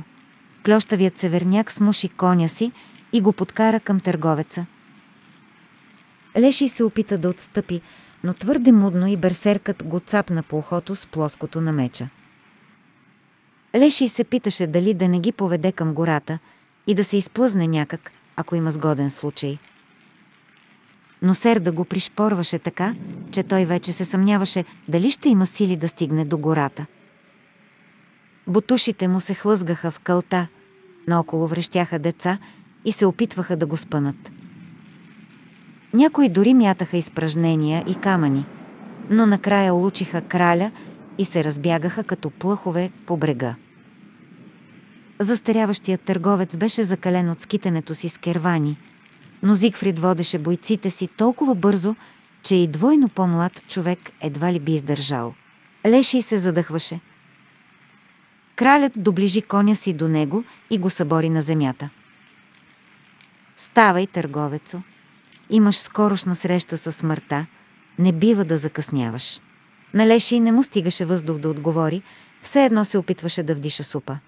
Лежеше с лице в кълта и чакаше неизбежното – копито в гръбнака или удар на копие. Господарю, ако продължаваме така, търговецът ще грохне и няма да ни заведе никъде, обади се корав плешив мъжага, чийто нос бе загубил края си в отдавнашна битка. Вдигни го, заповяда Зигфрид. Телохранителят слезе от коня си и изправи търговеца. А сега му клъцни гръкляна, ако не каже тутък си къде е момичето. Леши се наведе да поеме дъх. Клатеше глава. Дъчанинът извади нож, Леши просто коленичи и вдигна глава. Не, не, отказа се Зигфрид и отмести острието с върха на копието си. Просто го качи на твоя кон. Нагоре ли ще вървим, търговецо? Леши кимна и изхърка. Да, телохранителят яхна коня и помогна на търговеца да седне зад него. Продължиха по-бавно, защото животното не искаше да тръгне в тръс с допълнителния товар. Изкачиха хълма под нащърбената луна и навлязоха в мрака на гората. Леши се вкопчваше отчаяно в измамни надежди. Първо си мислеше, че може да срещнат гарвана. Нямаше представа как това би му помогнало, само знаеше, че ще бъде пречка за Зигфрид. Беше решил да заведе краля при дамата, но му хрумна, че тя може да ги види отдалеч, да побегне и да отвлече вниманието на северняците. Какво друго му оставаше? Изповедникът да призове на помощ своя бог. Между дърветата беше много тъмно и конете забавиха ход. Отдясно проехтя вик. Неестествен звук, напомнящ за чегъртане на стомана по камък. Какво беше това? Обърна се Зигфрид към един боец. Всичко може да е господарю. Чудя се дали някой от нашите не насилва жена. Не ми хареса, промърмори Зигфрид. Я да проверим. Той подкара коня си в посоката, откъдето бе дошъл писъкът. Зад тях. Но по-навътре в гората проехтя същият неестествен вик. Третият се разнесе пред тях. Търговецо, натам ли е дамата? Посочи Зигфрид право пред себе си. Леши и потвърди, защото знаеше, че така може да отсрочи гибелта си. Разбира се, че дамата беше някъде там. Да вървим, подкани кралят. Тези викове ми напомнят за гарвана. Не бива да му позволим да я докопа. Той подкара коня си през високата трева и трънаците. С глух удар първата метателна брадвичка улучи в рамото боеца вдясно от леши, отскочи от ризницата и му потроши зъбите. Още пет долетяха от мрака. Една рани кон в шията, животното се завъртя с диво цвилене и се блъсна в други коне. Леши видя как Серда падна.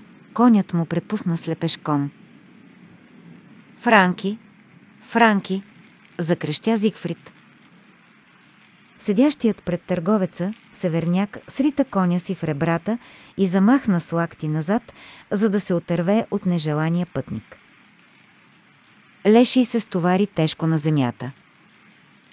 Видя как Зигфрид скочи от седлото и изтича с яростен вой и вдигнат меч в шобраците. Още трима зарязаха конете си, за да се втурнат в сражението. Друг, нападнат от двама противници, се опитваше да ги промуши с копието си.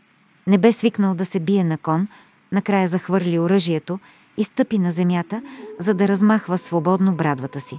Нещо блесна под лунните лъчи. Паднала метателна брадвичка или франциска, както враговете на франките наричаха тези оръжия. Леши я грабна и хукна, без да избира посока. Страхът надмогваше изтощението и го тласкаше нагоре по гористия склон, надалече от Париж. Прескочи ручи и продължи в тъмнината. Насилваше се да бяга, защото знаеше, че не му става много време. Бе зърнал за миг в ранките, не бяха мнозина. Видя и един отблизо, съвсем лека броня и нищо повече от голям нож в ръката. Нямаха никаква надежда да победят войните на Зигфрид. Имаха едно единствено предимство – засадата. Пропиляха го. Значи кралят скоро щеше да го подгони отново. Какво да правя? Не измисли нищо ново, значи щеше да се придържа към стария план.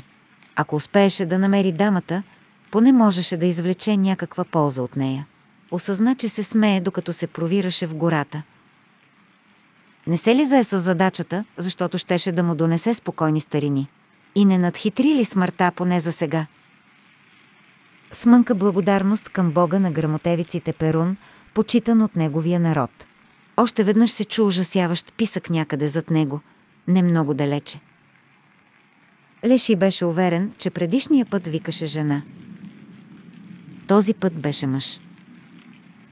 Стигна до края на гората на билото и погледна отгоре към река Сена, виеща се като метална ивица под луната. Слизането в долината щеше да бъде дълго и то на открито.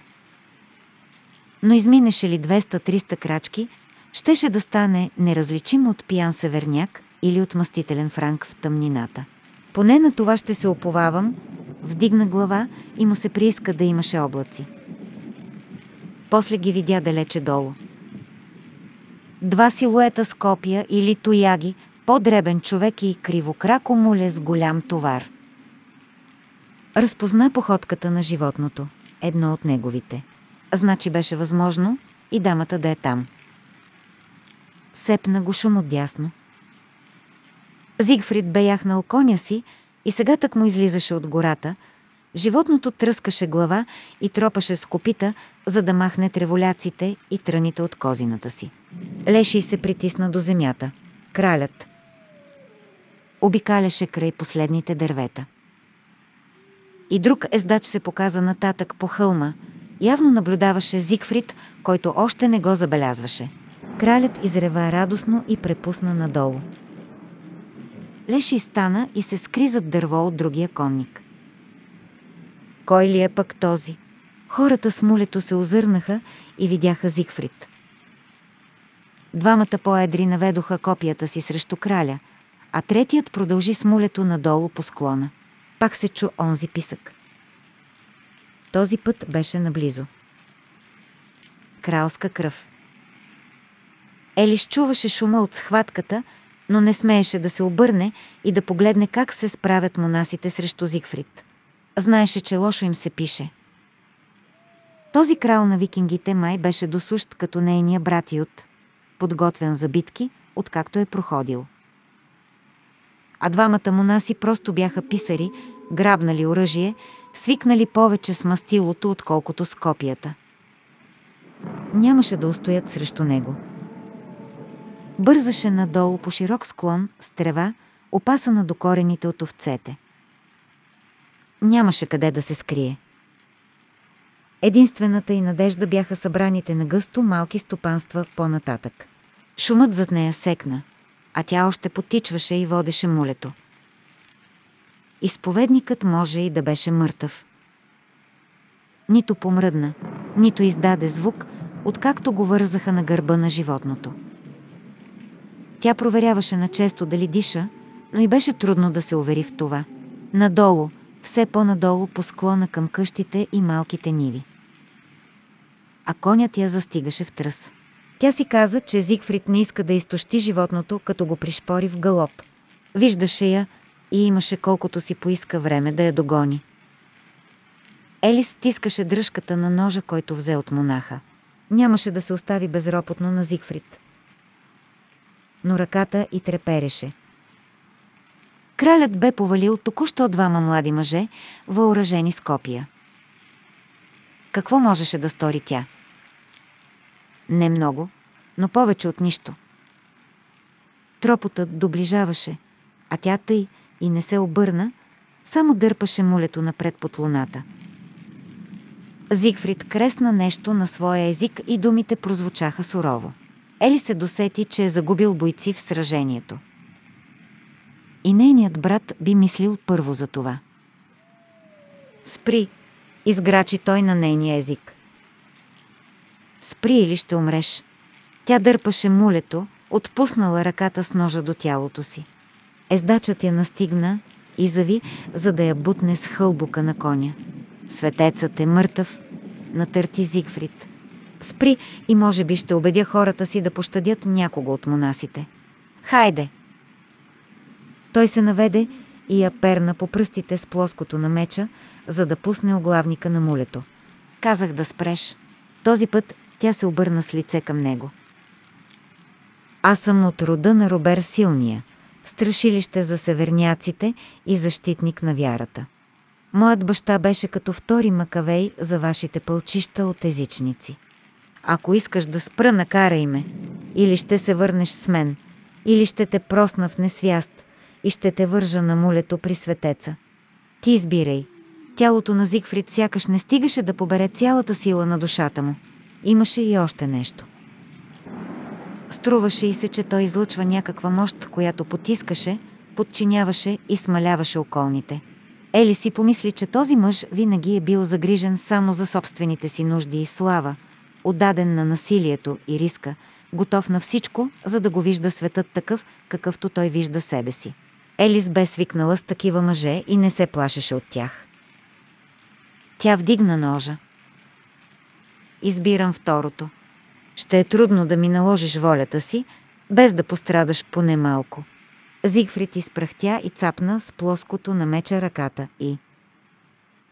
Ножът се превъртя във въздуха и издрънча на земята. Днес загубих толкова бойци, че ми причернява пред очите от яд. Дадох ти шанс, стига ти толкова. Ти си девственица, нали? Ели само го заплю.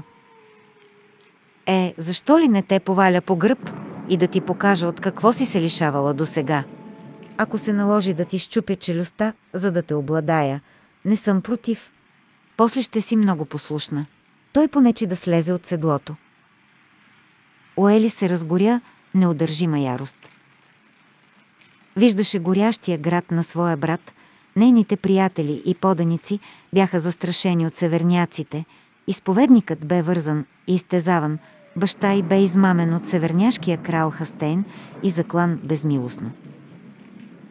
Тя беше жена и не можеше да се опълчи с оръжие в ръка срещу враговете на своя народ. Ненавиждаше северняците, ала нямаше как да изрази омразата си. Но сега нещо я отприщи. Появи се същата форма като кон, която сияеше и потрепваше, дишаше и се обливаше в пот. Очертанията бяха в ума и, и тя ги наложи върху силуета на коня, яхнат от Зигфрид. Единият крак на краля още беше в стремето, когато Елис си представи как животното се втурва в галоп. Зърна широки тревисти поля, усети сърцето си силно и я завладя чувството за бяг без усилия. Нещо, съчетало дума и емоция, прескочи от нея към коня на Зигфрид. «Бягай!» Жребецът скочи напред, сякаш го гонеше вълк, а кракът на краля още беше закачен в стремето. Ръката му, с меча се отметна назад и изтърва оръжието, тялото му се завъртя страховито. Главата му се удари силно в земята, макар че той не загуби съзнание и се бореше да освободи крака си. Конят се дърпаше и мяташе къчове, завлече го десетина. Крачки надолу по склона, преди бутушът да изкочи от стремето. Кралят се стовари задъхан на тревата. Елис не стоеше безучастно. Изтича към меча, взе го и доближи гърчещия се Зигфрид. Той опита да седне и да опипа крака си, но сбърка, като се поддаде на инстинкта. Кракът явно беше щупен и кралят се преви от болка. Елис видя, че и пръстите на дясната му ръка са огънати неестествено назад. Щом видя меча, Зигфрид кимна и понечи да се надигне, но не можа. Стисна зъби и процеди. Значи ще умра. В битка. Това е добре. Ще ме оставиш ли да изрека достойни слова, преди вълкириите да ме отнесат? Ще ги предадеш ли на вашите скалди, на вашите майстори на песните? Убий ме, но съхрани спомена за мен.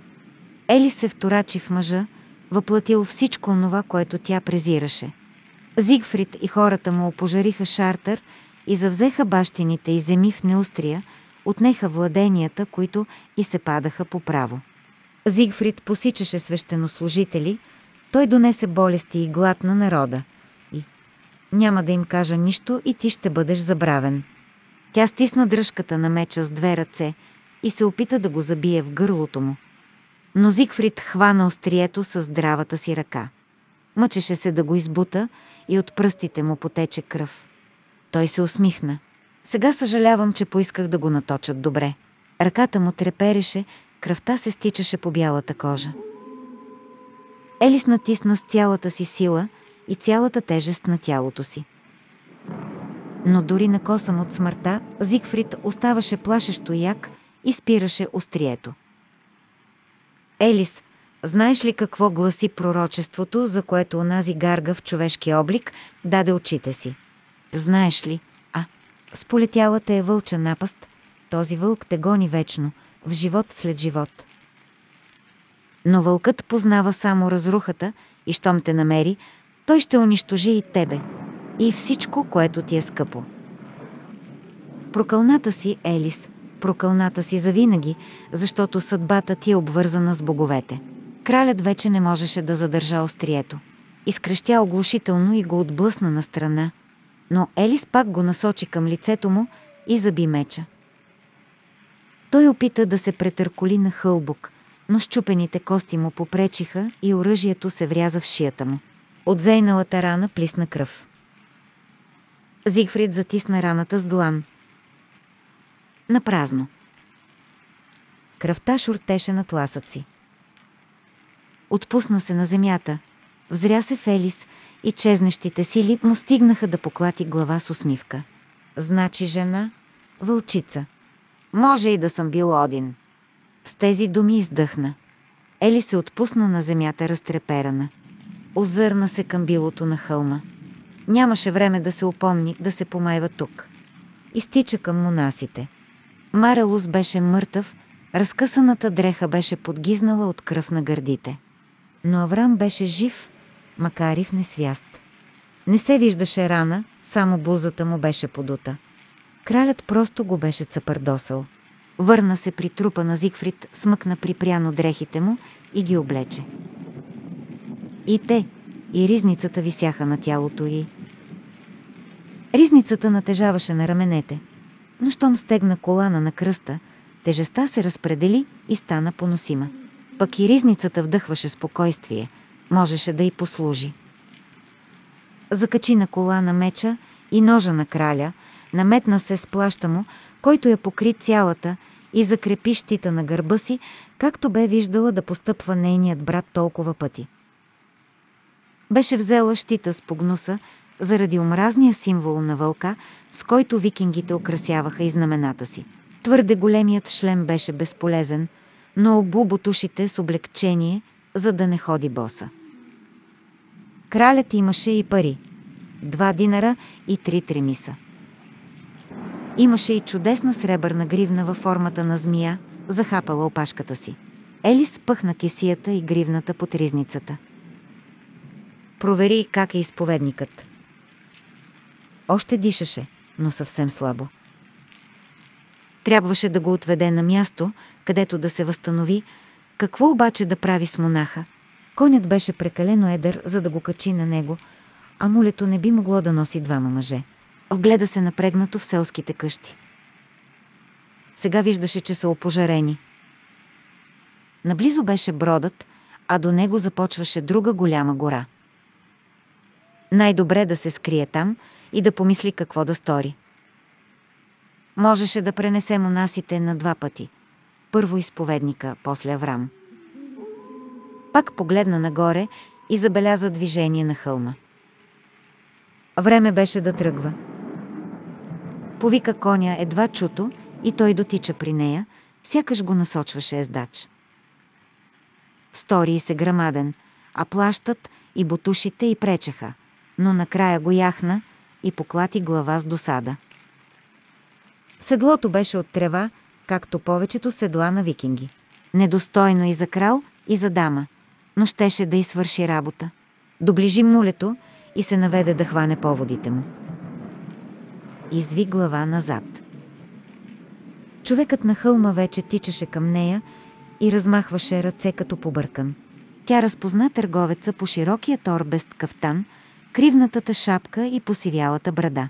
Той похтеше от усилията да стигне по-скоро до нея и още и махаше с ръце, но съвсем беззвучно, до суш дворцов шут, изпълняващ лудешка пантомима. Елис предположи, че някой го гони или пък не иска да привлече вниманието на преследвачи. Знаеше, че търговецът ще се опита да получи откуп за нея. Но пък нали и тя искаше да се върне при своите. Не биваше да я хванат северняци. Търговецът би могъл да се промъкне по край враговете по брега и да отиде при нейния брат, звест да й прати помощ. Защо да не й помогне и с пренасенето на брата Врам? Тя обърна коня към него. Леши се преви, опрял ръце на коленете си, задъхваше се като преуморена хрътка. Ти спази клетвата си. Изхърка, той, всяка отронена дума тежеше като наковалня. А ти спази ли своята? Имах си разправи с краля. И ти си имала, както виждам. Монасите ли го очистиха? Не е за вярване. Умря от меч, затова пък от собствения си меч. И то от ръката на жена. Ти ли губи? Никой франкски войн не можа да го погуби. Ти как успя? Той още дишаше с усилие. Елис пренебрегна въпроса, не можеха да се бавят повече. Един от монасите е жив. Ти ще го носиш.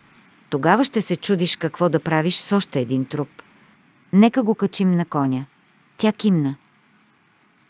Признаваше, че така е най-добре. Ще отидем в гората. Оттам ще прекусиш реката към южния бряг. Иди в Сен-Жермен, а ако има врагове на пътя ти, опитай да пратиш вест в града. Някои са готови да се промъкнат, ако им платиш добре. Бръкна под провисналата ризница и подхвърли гривната на Леши. Кажи на стражата, че сестрата на Ют ти е дала това, взела го е от трупа на краля, когато е убила. Брат Аврам не беше лек като изповедника, измъчиха се, докато го проснат върху гърба на коня. Елис поведе жребеца, леше и крепеше монаха и държеше поводите на мулето. Облаци се носеха под луната, докато слизаха към чернещите останки от къщите. Гората за тях тънеше в сянка. Не видяха как конникът излезе между дърветата и пое надолу по склона. Не зърнаха и фигурата с наметало от пера, която изплува от мрака, за да хване ръката на бледата жена и да го съпровожда с поглед. Битката на Серда. Леши и прегладняваше и премръзваше в миговете преди зората, когато нощта се усещаше най-студена, може би защото той знаеше колко близо е дневната топлина. Дамата не позволи той да се завие дори с края на плаща, а реши да покрие монасите, които още бяха в несвяст. Леши натяква, че едрият монах без друго няма да забележи разликата и е по-добре да сгрее буден човек, но дамата го стрелна с поглед, от който той се смръзна още по-лошо. Пък и не вървеше да прекалява с оплакванията, защото и тя се мъчеше.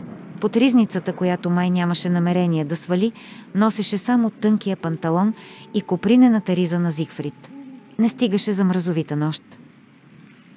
Израснал в Рус, Леши бе свикнал със студа, но изподходящи за такова време дебели дрехи. А сега задуха и ветрец, носеше леден полах от към реката. И дума не можеше да става да си запалят огън, пък и нямаха дори парче кремък. Според него беше неразумно, че дамата пусна коня и мулето да пасат на воля в гората. По-добре беше да убият едното от животните и да го изядат, вместо някой да ги намери и да им ги отнеме. Само, че конят и мулето не избягаха, а се върнаха, щом се отбиха до реката да пият вода. Реката. Поредното им затруднение. Пролетните дъждове бяха обилни и сега надигналата се вода течеше с мощен напор. Леши и прецени, че през брода можеше да мине умел ездач, биха се справили и петима-шестима пешаци, ако се хванат здраво един за друг. Но старец като него, момиче и двама ранени монаси. Немислимо. И все пак дори сам той имаше някакъв шанс, ако вземеше мулето. А какво да правя с дамата? Дали да не й вземе оръжията и да я върже докато тя спи? Но как ще я закара вързана чак до ладога? Ако личи, че е пленничка, разбойници биха се изкушили да му я отнемат, за да поискат те откупа за нея. Не му се вярваше и че ще я залъже някак да тръгне с него доброволно. Легна да дремне, но умът му още се бореше с всички тези пречки. Причу му се, че конят се е отдалечил някъде зад него. Чуваше го да пръхти в гората. Изведнъж се сепна. Не, двете им животни бяха близо до дамата, при това без да са вързани. Наблизо имаше друг кон. Госпожо, Елис вече се бе изправила с меч и щит в ръцете. Леше и не виждаше нищо. Чуя да изрича някаква дума на своя език. Не го знаеше добре, но тази дума беше позната на всеки търговец. Кон. Тя се вторачи в дърветата, пак произнесе думата и сякаш в отговор се разнесе вик. Стой тук! Стой! Мирувай! Мирувай де! А, някой падна с трясък. Елис вдигна меча. Действието изобщо не вдъхна увереност на Леши. Личеше си каква е. Благородна дама, преоблечена като боец. Държеше острието изправено, пръстите и бяха високо до ухото, все едно оръжието беше ветрило. Щитът пък беше наведен към земята и откриваше главата и гърдите й. Нещо ги доближаваше прекалено бързо, за да е човек. Кон без ездач. Щом се изравни с дамата, забави ход и спря при другите животни. Леши изяпна в недоумение. За пръв път виждаше кон да се държи толкова особено. В един миг подплашен до препотяване, в следващия се отърква в другия кон и мулето сякаш цял живот са пасли заедно. Нямаше време да се чуди. Нещо белееше в мрака. Този път движението беше отляво надясно. Привидя му се, че нещото пълзи почти като рак. Това е кон на викинг, промълви Елис. Как позна? По седлото. Толкова зле ги изработват, че... Не можа да чуе останалото. Между дърветата се показа лице и търговецът, свикнал да запомня хората от пръв поглед, вече знаеше кой е пред тях. Серда, приятелю, да не си паднал. Мъжът пристъпеше към тях с ръмженето на куче, на което са отнели кокъл. Ти, госпожо, ми дължиш кръвнина. Уби крал. Каква е отплатата за това? А, повече динари, отколкото имате в Париж, тъй си мисля аз. Тя не говори твоя език, обади се Леши, но всичко може да бъде договорено.